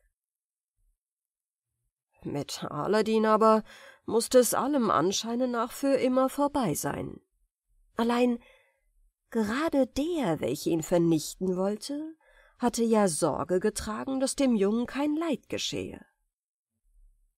Er hatte ihm jenen Ring an den Finger gesteckt, der ihn vor allem Übel bewahrte. Zuerst geriet er zwar in die größte Bestürzung und rief tausendmal um Hilfe aus den Tiefen der Erde herauf. Oh, vergeblich, und endlich stieg er wieder die Treppe der Höhle hinab. Da merkte er zu seinem Schrecken, dass die Mauer, die ihm vor dem offen gestanden, sich schon wieder geschlossen hatte. In undurchdringlicher Finsternis saß Aladdin nun zwei Tage. Am dritten aber rang er die Hände und flehte Gott an, er möge ihn aus seiner Qual durch einen sanften Tod erlösen. Dabei drehte sich der Ring an seinem Finger, und alsbald stand ein Geist von ungeheurer Größe und schreckhaftem Ansehen vor ihm und sprach Was verlangst du? Äh, »Wer bist du, fürchterlicher?« fragte Aladdin mit zitternder Stimme. »Ich bin dein Sklave, denn du trägst den Zauberring an deinem Finger.« »Wenn das so ist, so bringe mich aus dieser Finsternis.« Kaum war dieser Wunsch ausgesprochen, da öffnete sich die Erde, und Aladdin befand sich genau an der Stelle, an die er von dem Zauberer geführt worden war. Denn das Reisigfeuer verglomm zwischen den Steinen. Mit schnellen Schritten eilte er nach Hause, aber sein dreitägiges Fasten und die Freude des Wiedersehens verursachten, dass er seiner Mutter wie leblos in die Arme sank. Als er sich endlich erholt hatte, berichtete ihr von seinen Erlebnissen und zeigte ihr alles, was er aus dem Wundergarten mitgebracht. Aber sie erkannten den Wert dieser Dinge nicht. Dann sank er in einen langen und sehr tiefen Schlaf, aus dem er erst am dritten Tage erwachte. Da bemerkte er, dass seine Mutter gerade ausgehen wollte, um einen Teil ihrer Baumwolle zu verkaufen. Für den Erlös wollte sie gute Speisen erstehen, damit ihr Sohn rascher wieder zu Kräften käme. Aber Aladdin bat sie, »Liebe Mutter, behalte nur deine Baumwolle, ich werde gehen und die Lampe verkaufen.« Die Mutter holte die Lampe hervor, und weil sie sehr schmutzig war, nahm sie Wasser und Sand und wollte sie putzen. Kaum rieb sie das Metall, da stieg auf einmal ein riesenhafter, gräßlicher Geist aus der Erde empor und rief Was willst du von mir? Ich bin dein Sklave, denn ich muss dem gehorchen, der diese Lampe besitzt. Der Frau versagte die Stimme. Da sprang Aladdin herzu, der schon in der Höhle einen so unheimlichen Gesellen gesehen hatte, und rief Wir haben Hunger, bring uns etwas zu essen. Der Geist verschwand, kam aber schon im nächsten Augenblicke wieder und trug ein großes silbernes Becken. Darin waren zwölf silberne Schüsseln gefüllt mit vortrefflichen Speisen, sechs große Brote weiß wie Schnee, zwei Flaschen köstlichen Weines und zwei silberne Trinkschalen. Er setzte alles zusammen auf den Tisch am Sofa und verschwand. Mit größtem Erstaunen setzten sich Mutter und Sohn zu Tische, und es schmeckte ihnen ausgezeichnet. Denn Sie hatten noch nie eine so reiche Tafel gesehen. Nun erwies es sich, dass der Vorrat an Speisen für mehrere Mahlzeiten ausreichte. Und als endlich doch alles aufgezehrt war, nahm Aladdin eine der silbernen Schüsseln unter seinen Mantel und ging zum Althändler, um sie zu verkaufen. Der Händler war ein schlauer und unehrlicher Mann, der sehr bald bemerkte, dass Aladdin gar keine Kenntnis von dem Werte der Schüssel hatte. Er gab ihm ein Goldstück und hätte ihm doch hundert Stücke geben müssen, wenn er die Torheit des Knaben nicht ausgenützt hätte. Und im Laufe der Tage trug Aladdin die übrigen Schüsseln zu dem Händler, zuletzt aber das Becken, für das er zehn Goldstücke erhielt. Als auch von diesen zehn Goldstücken nichts mehr übrig war, nahm Aladdin seine Zuflucht wieder zu der Lampe. Der Geist erschien abermals, und der Knabe verlangte etwas zu essen. Wieder kehrte er mit einem ähnlichen Tafelgerät zurück wie das erste Mal, setzte es auf den Tisch und verschwand. Und wieder ging Aladdin nach einigen Tagen, um die erste der silbernen Schüsseln zu verkaufen. Da kam er am Laden eines Goldschmieds vorüber, der war ein guter und ehrlicher Mann. Er trat zu ihm hinein, und der Goldschmied fragte, wie viel ihm der Althändler bei früheren Verkäufen bezahlt habe. Da nannte Aladdin die Summe. »Oh, der Spitzbube«, rief der ehrliche Alte, »er hat dich hundertfach betrogen.« Dann wog er die Schüssel und zählte dem Knaben hundert schwere Goldstücke auf die Tafel. Aladdin dankte dem guten Manne, und obwohl er nun mit seiner Mutter eine unversiegbare Goldquelle an der Wunderlampe hatte, lebten sie doch mäßig wie zuvor. Nur dass Aladdin immer etwas zur Seite legte, um sich gut zu kleiden und die Wirtschaft besser einzurichten. So lebten sie mehrere Jahre lang von der Lampe, die Aladdin von Zeit zu Zeit rieb. Unterdessen hatte er nicht versäumt, sich in dem Geschäft eines Gold- und Juwelenhändlers sorgsam auszubilden, und er hatte erkannt, dass er in den vermeintlichen Glasfrüchten aus dem unterirdischen Garten unschätzbare Kleinodien besaß. Er war indes so klug, sich vor den Leuten seines Besitzes nicht zu rühmen, und diesem weisen Schweigen verdankte er das hohe Glück seines Lebens. Als Aladdin eines Tages in der Stadt spazierte, hörte er den Befehl des Sultans ausrufen.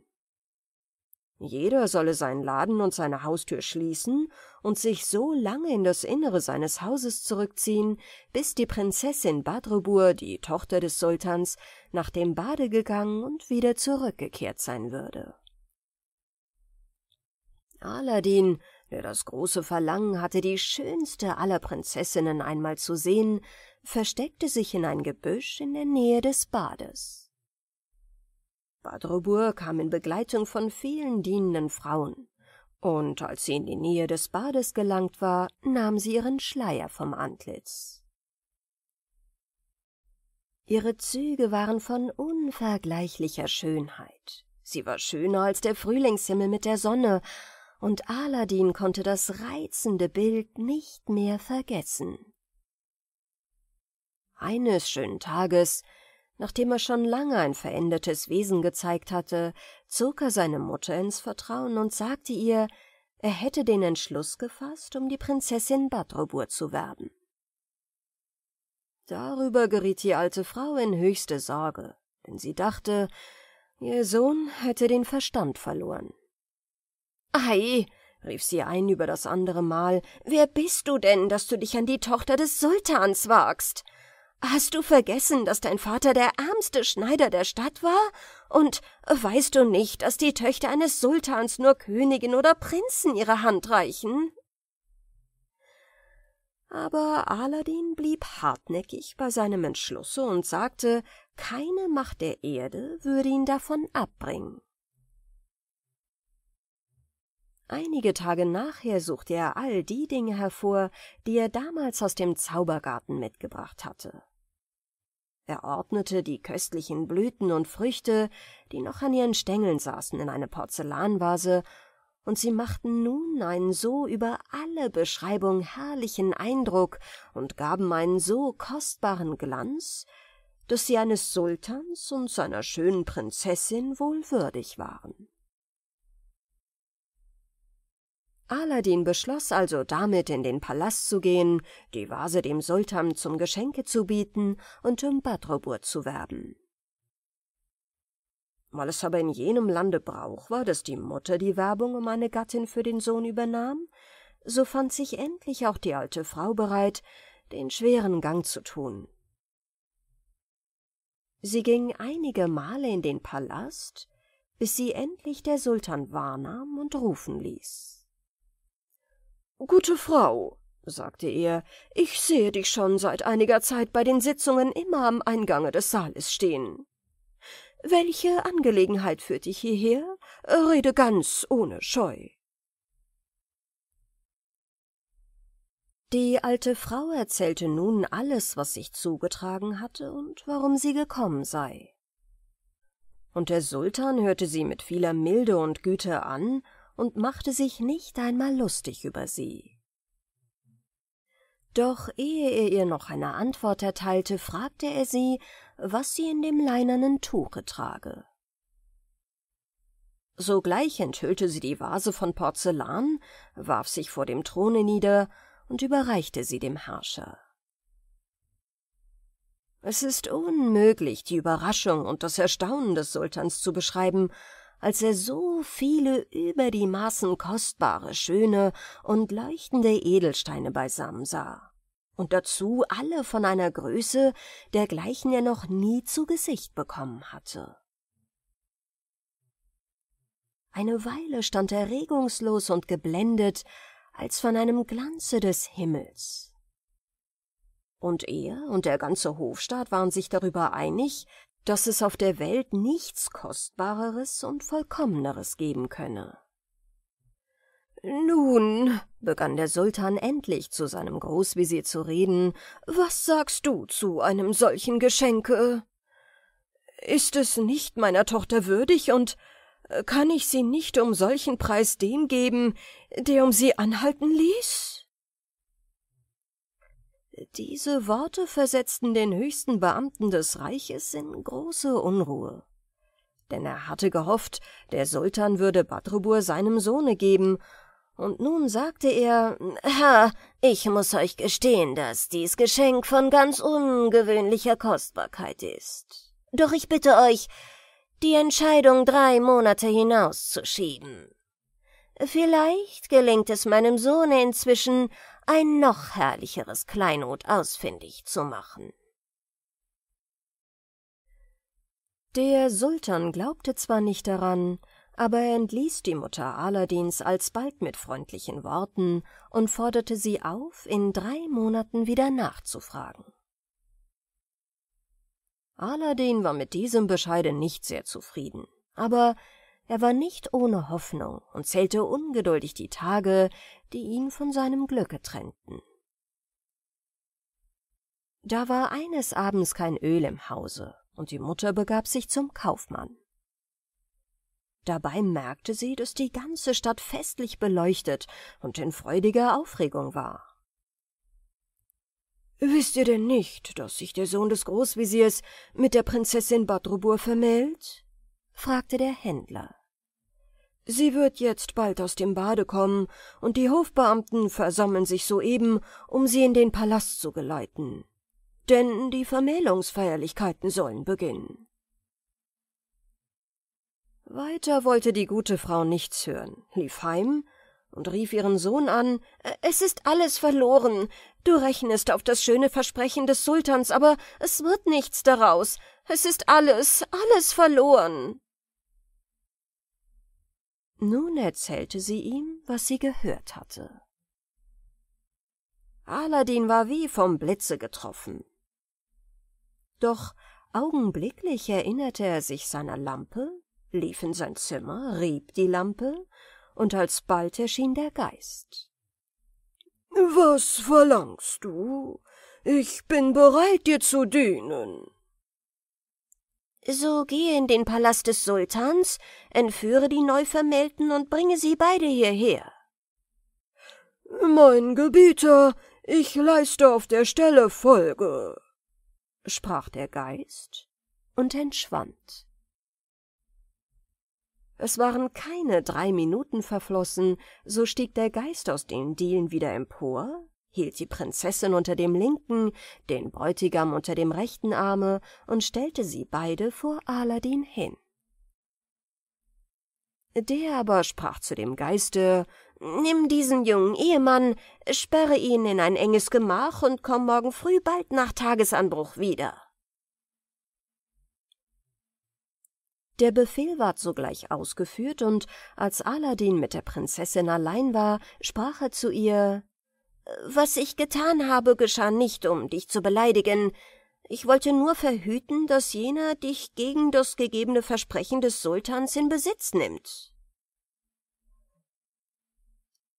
Die Verwunderung der Prinzessin über das merkwürdige Ereignis war so groß, dass sie keines Wortes mächtig war.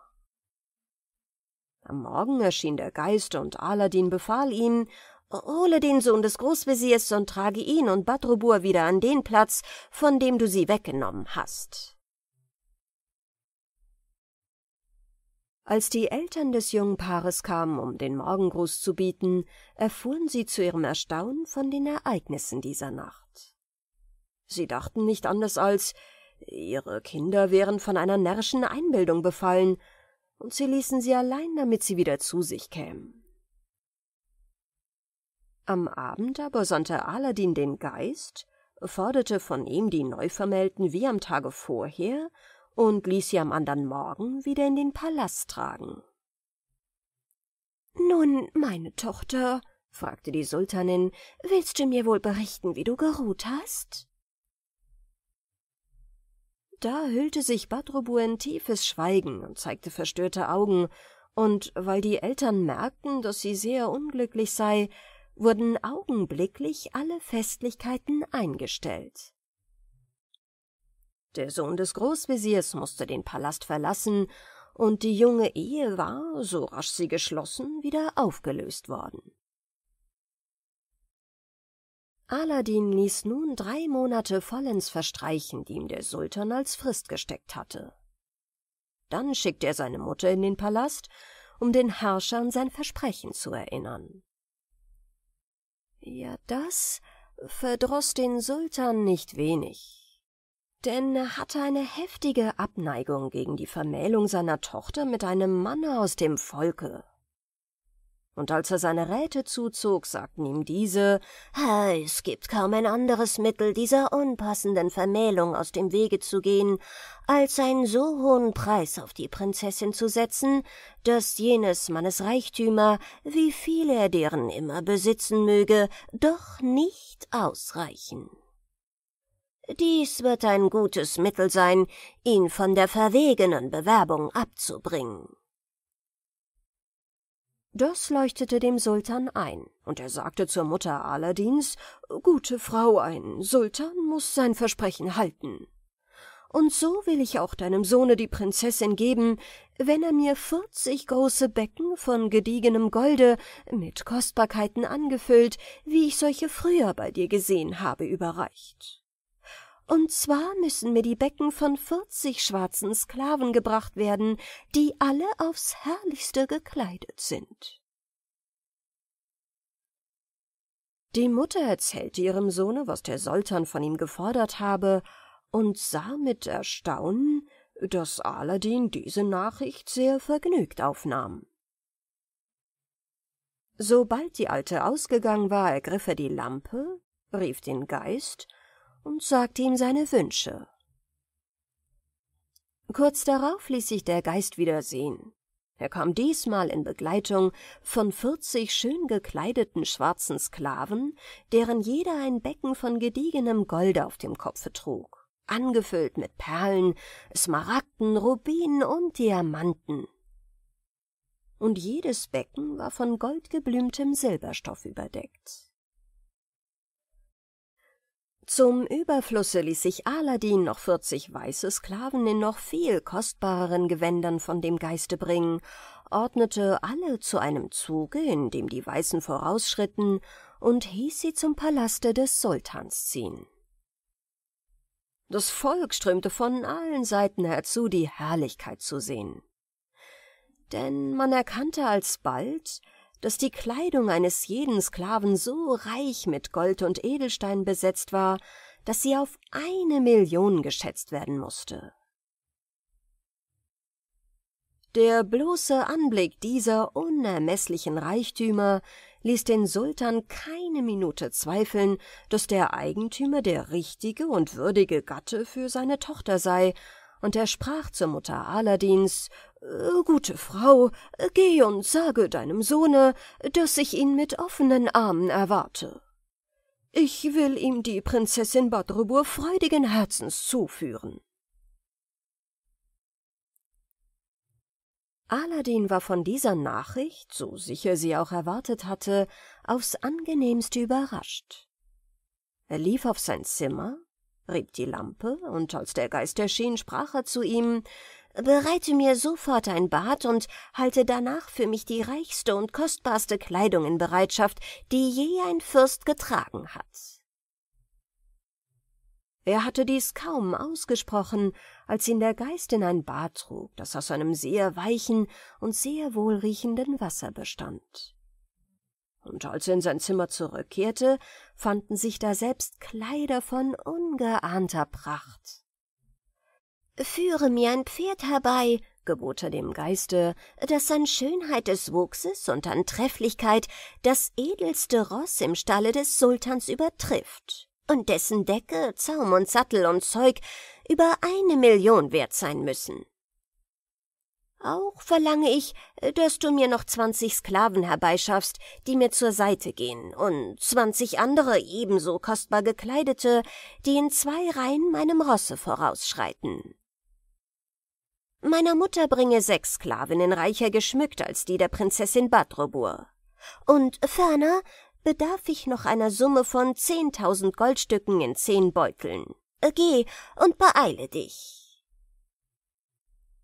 Alles geschah, und der Sultan schickte alsbald einen Boten mit der Nachricht, Aladin werde voller Ungeduld im Palaste erwartet. Der stieg sogleich zu Pferde, und der Zug setzte sich in schönster Ordnung in Bewegung.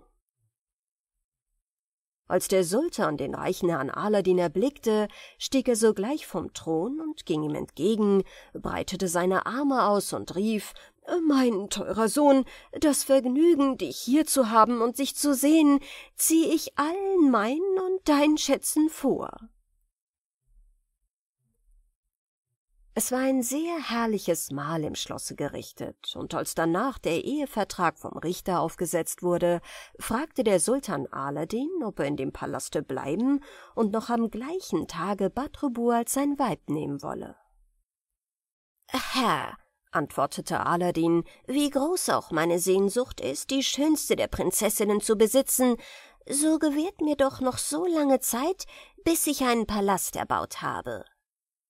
Ich erbitte mir dazu von euch einen Platz in der Nähe und werde Sorgen tragen, damit mein Heim möglichst rasch fertig wird. Der Sultan schenkte ihm einen der besten Plätze der Stadt und sagte Viel Glück zu allem, aber vergiss nicht, dass ich meine Tochter je eher, je lieber mit dir verbunden sehen möchte, um das volle Maß der Freude zu genießen. Danach ritt Aladin höchst befriedigt nach Hause, rief den Geist und sagte Mein kluger und mächtiger Geist, ich habe alle Veranlassung, mit dir zufrieden zu sein. Ich brauche aber noch einen Palast, ob du ihn aus Marmor, Jaspis oder Achat bauen willst, das überlasse ich ganz dir. Ebenso die Inneneinrichtung. Ich erwarte nur, dass du mir oben darauf einen großen Saal mit einer Kuppel und vier ganz gleichen Schauseiten baust, dessen Wände aus Gold und Silber ausgeführt sein müssen, mit sechs Fenstern auf jeder Seite, deren Säulen mit Gold und Diamanten kunstreich geschmückt sein müssen. Und zwar so, dass man dergleichen noch nie auf der Welt gesehen hat. Die Sonne ging eben unter, als Aladdin dem Geiste diesen Auftrag gab und bei Anbruch des Tages erschien der Geist und sprach Der Palast ist fertig. Komm und sieh, ob du damit zufrieden bist. Aladdin fand alles über Erwarten herrlich und königlich. Nur eines fehlt noch, sagte er. Es muss nämlich von dem Palasttore des Sultans bis an den Eingang der Zimmer, die in meinem Schlosse für die Prinzessin bestimmt sind, ein Teppich von schönstem Sammet gelegt werden, damit sie, wenn sie aus dem Palast des Sultans geht, darüber hinwegschreiten kann. Ich komme in einem Augenblicke wieder, sprach der Geist, und Aladdin sah seinen Wunsch bereits vollzogen, ehe er noch glaubte, dass ihn sein mächtiger Diener verlassen habe. Dann trug er Aladdin zurück in seine Wohnung. Das war um die Zeit, da die Sonne über den Horizont gestiegen war und am Palaste des Sultans die Tore aufgingen. Die Nachricht von dem Wunder, das über Nacht geschehen war, fand sich mit Blitzesschnelle zum Sultan. Da liefen die Räte zusammen, zogen die Brauen in die Höhe und sagten, Herr, das ist ein Blendwerk. Da kam jedoch Aladdin schon auf seinem edlen Rosse und inmitten seiner Sklaven des Weges und hielt feierlich Einzug in seinem Schlosse. Seht ihr, rief der Sultan in großer Freude, seht ihr, dass es kein Blendwerk ist? Und weil er gerade die Ratsversammlung eröffnen musste, ward das Gespräch abgebrochen. Danach ward die Hochzeit gefeiert, und alle waren sich darüber einig, dass es keinen reicheren Mann gäbe als Aladdin und keinen schöneren Palast unter der Sonne als den, in dem Badrubur hinfort wohnen sollte. Der Sultan aber reichte ihm die Hand und sagte, »Mein Sohn, was für ein Mann bist du, dass du so erstaunliche Dinge in so kurzer Zeit auszurichten vermagst? Du hast auf der Welt nicht deinesgleichen, und je mehr ich dich kennenlerne, desto bewundernswürdiger finde ich dich.« Aladdin, der sehr glücklich mit seiner jungen Gemahlin lebte, verschloss sich keineswegs in seinem Palast. Jedes Mal, wenn er ausritt, ließ er zwei Sklaven neben seinem Pferde herschreiten. Die mussten auf allen Straßen und Plätzen Goldstücke unter das Volk verteilen.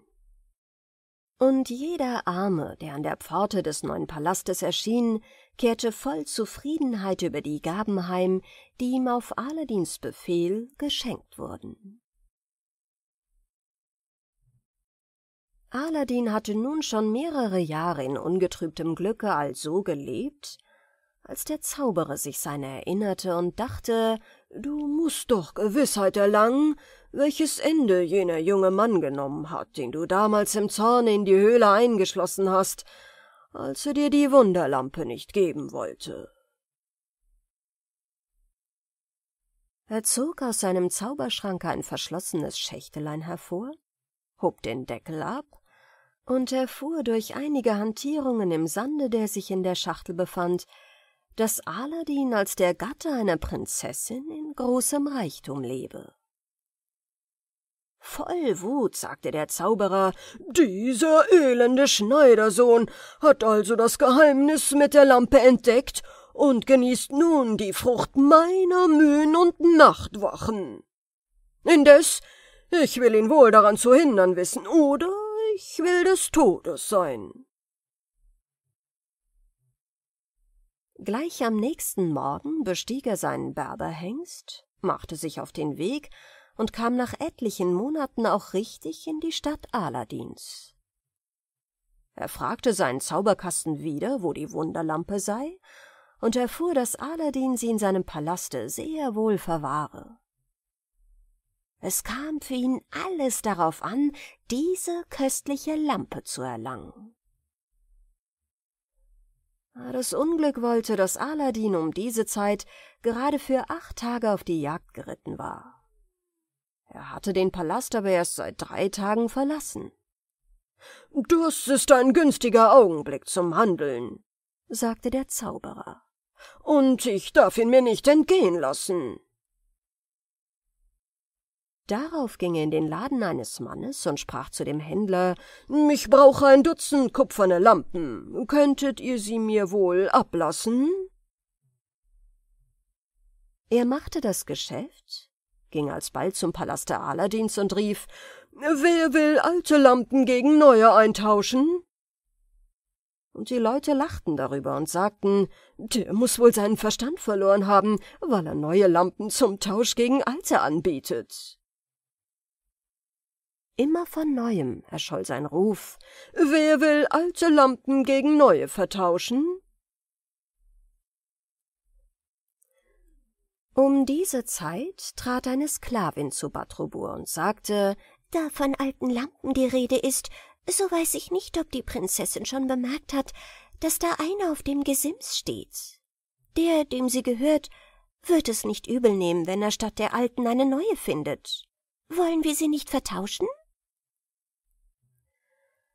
Ja, aber die Lampe, von der die Sklavin redete, war keine andere als Aladins Wunderlampe. Die Prinzessin, welche den Wert dieser Lampe nicht kannte, befahl sie zu nehmen und gegen eine neue einzutauschen. Der Zauberer nahm sie schnell aus den Händen der Sklavin, verbarg sie und gab dem Mädchen eine andere dafür. Darauf ließ er alles im Stich, was er besaß, und floh in eine Höhle. Als die Mitternacht herangekommen war, zog er die Lampe aus seinem Busen und rieb sie. Sofort erschien der Geist. Was willst du? Ich bin hier, dir zu dienen. Ich befehle dir, dass du augenblicklich den Palast Aladins mit allen seinen Bewohnern aufhebst und wie mich selbst nach Afrika führst. Ohne etwas zu antworten, schaffte der Geist den Palast nach Afrika, und am Morgen staunte der Sultan nicht wenig, als er den Platz leer sah. Weil man wusste, dass Aladin sich an einem bestimmten Orte auf der Jagd befand, wurden sofort sechs Reiter abgesandt, die ihn vor den Sultan forderten und den Auftrag hatten, ihn zu verhaften. Sie fanden ihn, warfen ihm eine Kette um den Hals und Hände und brachten ihn in diesem Zustand in die Stadt. Der Sultan, weil er nun in seinem Schwiegersohn einen Betrüger sah, der ihn um seine Tochter bestohlen hatte, wollte ihm sofort den Kopf abschneiden lassen. Allein das Volk rottete sich vor dem Palaste zusammen und drohte ihn zu erstürmen, wenn Aladin ein Leid zugefügt würde. Und weil die Rotten schon durch die Tore drangen, begnadigte der Herrscher den Gefangenen führte ihn in einen Turm und rief Sage mir, wo dein Palast und meine Tochter hingekommen sind, oder Aladin erkannte augenblicklich, dass hier der Zauberer seine Hand im Spiele haben müsse, und er sagte Herr, bewilligt mir eine Frist von vierzig Tagen, damit ich die nötigen Maßregeln treffe, alles in Erfahrung zu bringen. Gelingt es mir nicht, alles wiederherzustellen, wie es war, so will ich euch meinen Kopf zu Füßen legen, damit ihr nach Belieben darüber verfügt. Ach, gut, sprach der Sultan zornig, die Frist sei dir gewährt. Doch bilde dir nicht ein, du könntest mir entweichen. In welchen Winkel der Erde du dich verkriechen magst, ich werde dich zu finden wissen. Aladin war seines Verstandes kaum mehr mächtig, als er in dieser tiefen Demütigung über den Hof des Palastes schritt. Die Hofbeamten sahen ihn über die Achsel an, und die, die ihn zuvor beneidet hatten, höhnten ihn nun. Er ging aus der Stadt, fragte die Menschen, die er traf, ob sie seinen Palast nicht gesehen hätten, und weil er obendrein in einer härenen Kutte steckte, so dachten die Leute, ein armer Irrer sei ihm begegnet. So schritt er immer weiter und kam bei Einbruch der Nacht an das Ufer eines Stromes. Nach der Sitte seines Landes trat er hinzu und wollte sich Gesicht und Hände waschen. Weil aber das Ufer sehr steil und schlüpfrig war, glitt er aus, und wäre in die Fluten gestürzt, hätte er sich nicht zu rechter Zeit an einem Felsstück festhalten können. Dabei rieb er den Ring, den er noch von dem tückischen Zauberer hatte, und augenblicklich erschien der Geist, der ihm damals in dem unterirdischen Gewölbe begegnet war, und fragte Was willst du? Ich bin gekommen, dir zu dienen. Geist, rette mir zum zweiten Male das Leben, indem du mir anzeigst, wo mein Palast hingekommen ist. Oder trage ihn zurück zu seinem Platze. Das kann ich nicht, denn ich bin nur der Sklave des Ringes. Da musst du dich an den Sklaven der Lampe wenden. So befehle ich dir, dass du mich an den Ort bringst, wo mein Palast sich befindet. Kaum hatte er diese Worte gesprochen, so saß er in Afrika in einer wundervollen Oase vor seinem Schlosse und sah über sich das Fenster seiner Gattin Badrobur. Weil es Nacht war, lehnte er sich mit dem Rücken gegen einen Baum und schlief alsbald ein. Als die Morgenröte heraufstieg, wuchs seine Freude noch mehr. Denn Badrobur sah zum Fenster heraus und erkannte ihren tief betrauerten Gatten. Er eilte in das Haus. Liebste Badrobur, rief er entgegen, sage mir, was aus der Lampe geworden ist, oder wir sind verloren. Die Prinzessin zweifelte nun nicht mehr daran, dass die Lampe an dem Unglück schuld sei, und fing an, bitterlich zu weinen. Dabei erzählte sie, was geschehen sei. Der Alte war kein anderer als mein Feind, der Zauberer, aber ich bitte dich, hast du denn nie bemerkt, wo er die Lampe aufbewahrt? Er trägt sie wohl eingehüllt unter seinem Gewande auf der Brust und hat sich mir gegenüber oft damit gerühmt, denn er erscheint als der Herr des Palastes täglich in diesen Sälen. Da besann sich Aladdin auf eine List und sagte, ich muss, um meinen Plan auszuführen, in die nächste Stadt gehen. Wenn ich aber an der verborgenen Pforte klopfe, die zu deinen Gemächern führt, so musst du Sorge tragen, dass mir so rasch als möglich geöffnet wird.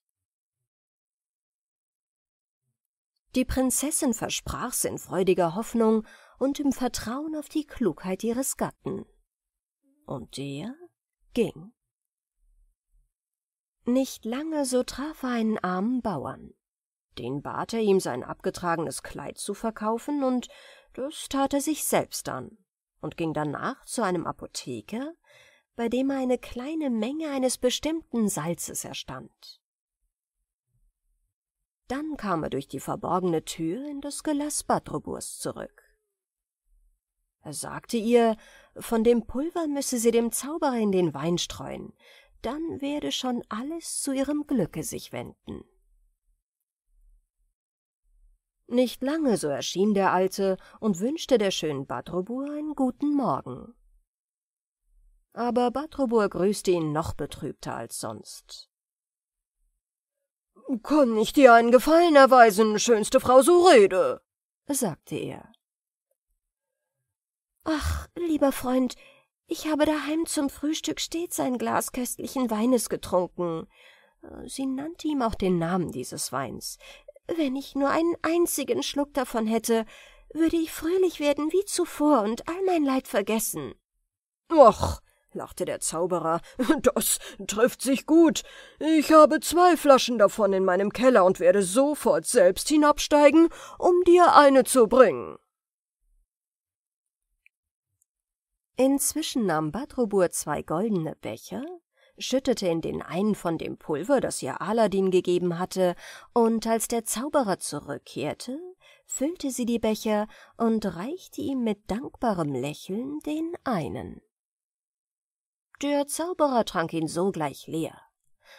Aber kaum war der letzte Tropfen über seine Lippen gekommen, so sank er in tiefstem Schlafe auf einen Sessel und schon sprang auch Aladdin aus dem Nebensaale herein, riß dem Schläfer das Kleid auf und nahm die Wunderlampe an sich. Er enthüllte sie, und nach einer Minute stand der Geist vor ihm. »Bring diesen Palast unverzüglich an seinen alten Platz«, gebot Aladdin, und als die Sonne noch nicht im Mittag stand, war alles geschehen.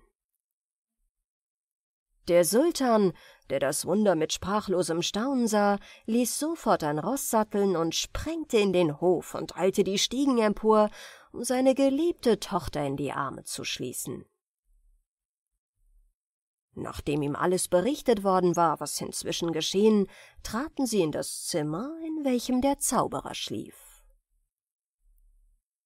Als sie ihn aber anrührten, merkten sie, dass er gestorben war.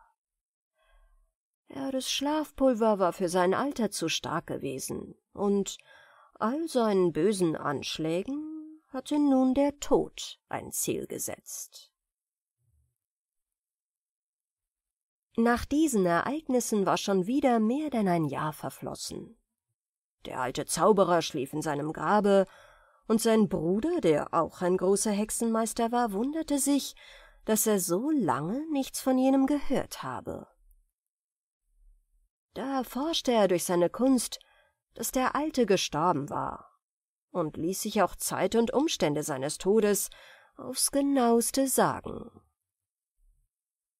Er fasste auf der Stelle den Entschluss, den Tod seines Bruders zu rächen, zog über Ströme und Gebirge, durch Wälder und Wüsten und kam endlich in die Stadt Aladins. Dort hörte er von einer frommen Einsiedlerin namens Fatime erzählen, ging um die Mitternacht zu ihr und sagte, »Habe keine Furcht vor mir. Ich will nur, dass du mir ein Kleid verkaufst und dafür außer reichlichem Golde das meine nimmst.« »Dein Gold behalte nur, denn ich kann keines gebrauchen. Weil ich mich aber vor dir fürchte, so nimm mein Kleid und ziehe deines Weges.« So schnell geht das nicht, sagte der Hexenmeister. Erst schneide mir den Bart ab und färbe mir mein Gesicht gleich dem deinigen, und zwar so, dass ich dir ganz ähnlich sehe und dass die Farbe nicht ausgeht. Fatime zündete noch eine Lampe an, nahm einen Pinsel und einen Saft, rieb ihm das Gesicht ein und versicherte, dass die Farbe nicht ausginge, weder vom Regen noch von der Sonne. Sodann setzte sie ihm ihre eigene Kopfbedeckung aufs Haupt, gab ihm einen Schleier und zeigte ihm, wie er sich damit auf dem Gange durch die Stadt das Gesicht verhüllen müsse. Nachdem dies alles geschehen war, kam den Alten doch eine Furcht an, die Einsiedlerin möchte ihn verraten. Er brach sein Versprechen, ihr nichts zuleide zu tun, fasste sie und stürzte sie in einen Brunnen.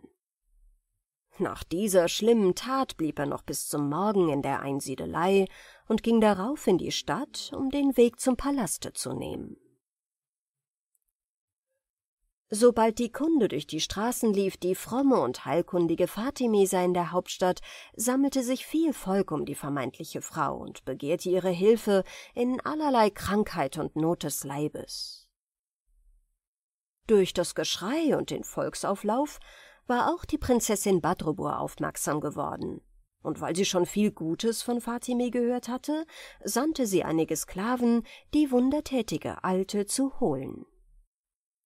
Fromme Frau, sagten die Sklaven, die Prinzessin wünscht euch zu sehen, also kommt und folgt uns. Die Prinzessin erweist mir eine hohe Ehre, antwortete die falsche Fatime. Ich bin bereit, ihr zu gehorchen. Badrobur, die sich sehr freute, die Lebensgeschichte der wundertätigen Alten vernehmen zu können, wies ihr zunächst ein Zimmer zur Ruhe an, denn sie schien nach der langen Wanderung sehr erschöpft. Inzwischen hatte Aladdin den Geist gerufen, um von ihm zu erfahren, welche Bewandtnis es mit der frommen Frau Fatime auf sich habe. Da sprach der Geist Fatime, ist in der Nacht ermordet worden. Und ist sie nicht hier? fragte Aladdin erstaunt. Nein, Herr, so sehr ihr auch staunen möget. Die vermeintliche Frau Fatime ist der Bruder des afrikanischen Zauberers, der die Einsiedlerin getötet hat. In ihren Kleidern hat er sich in euren Palast geschlichen, um seinen Bruder an euch zu rächen. Sobald er eine Gelegenheit findet, wird er euch seinen zweischneidigen Dolch ins Herz stoßen.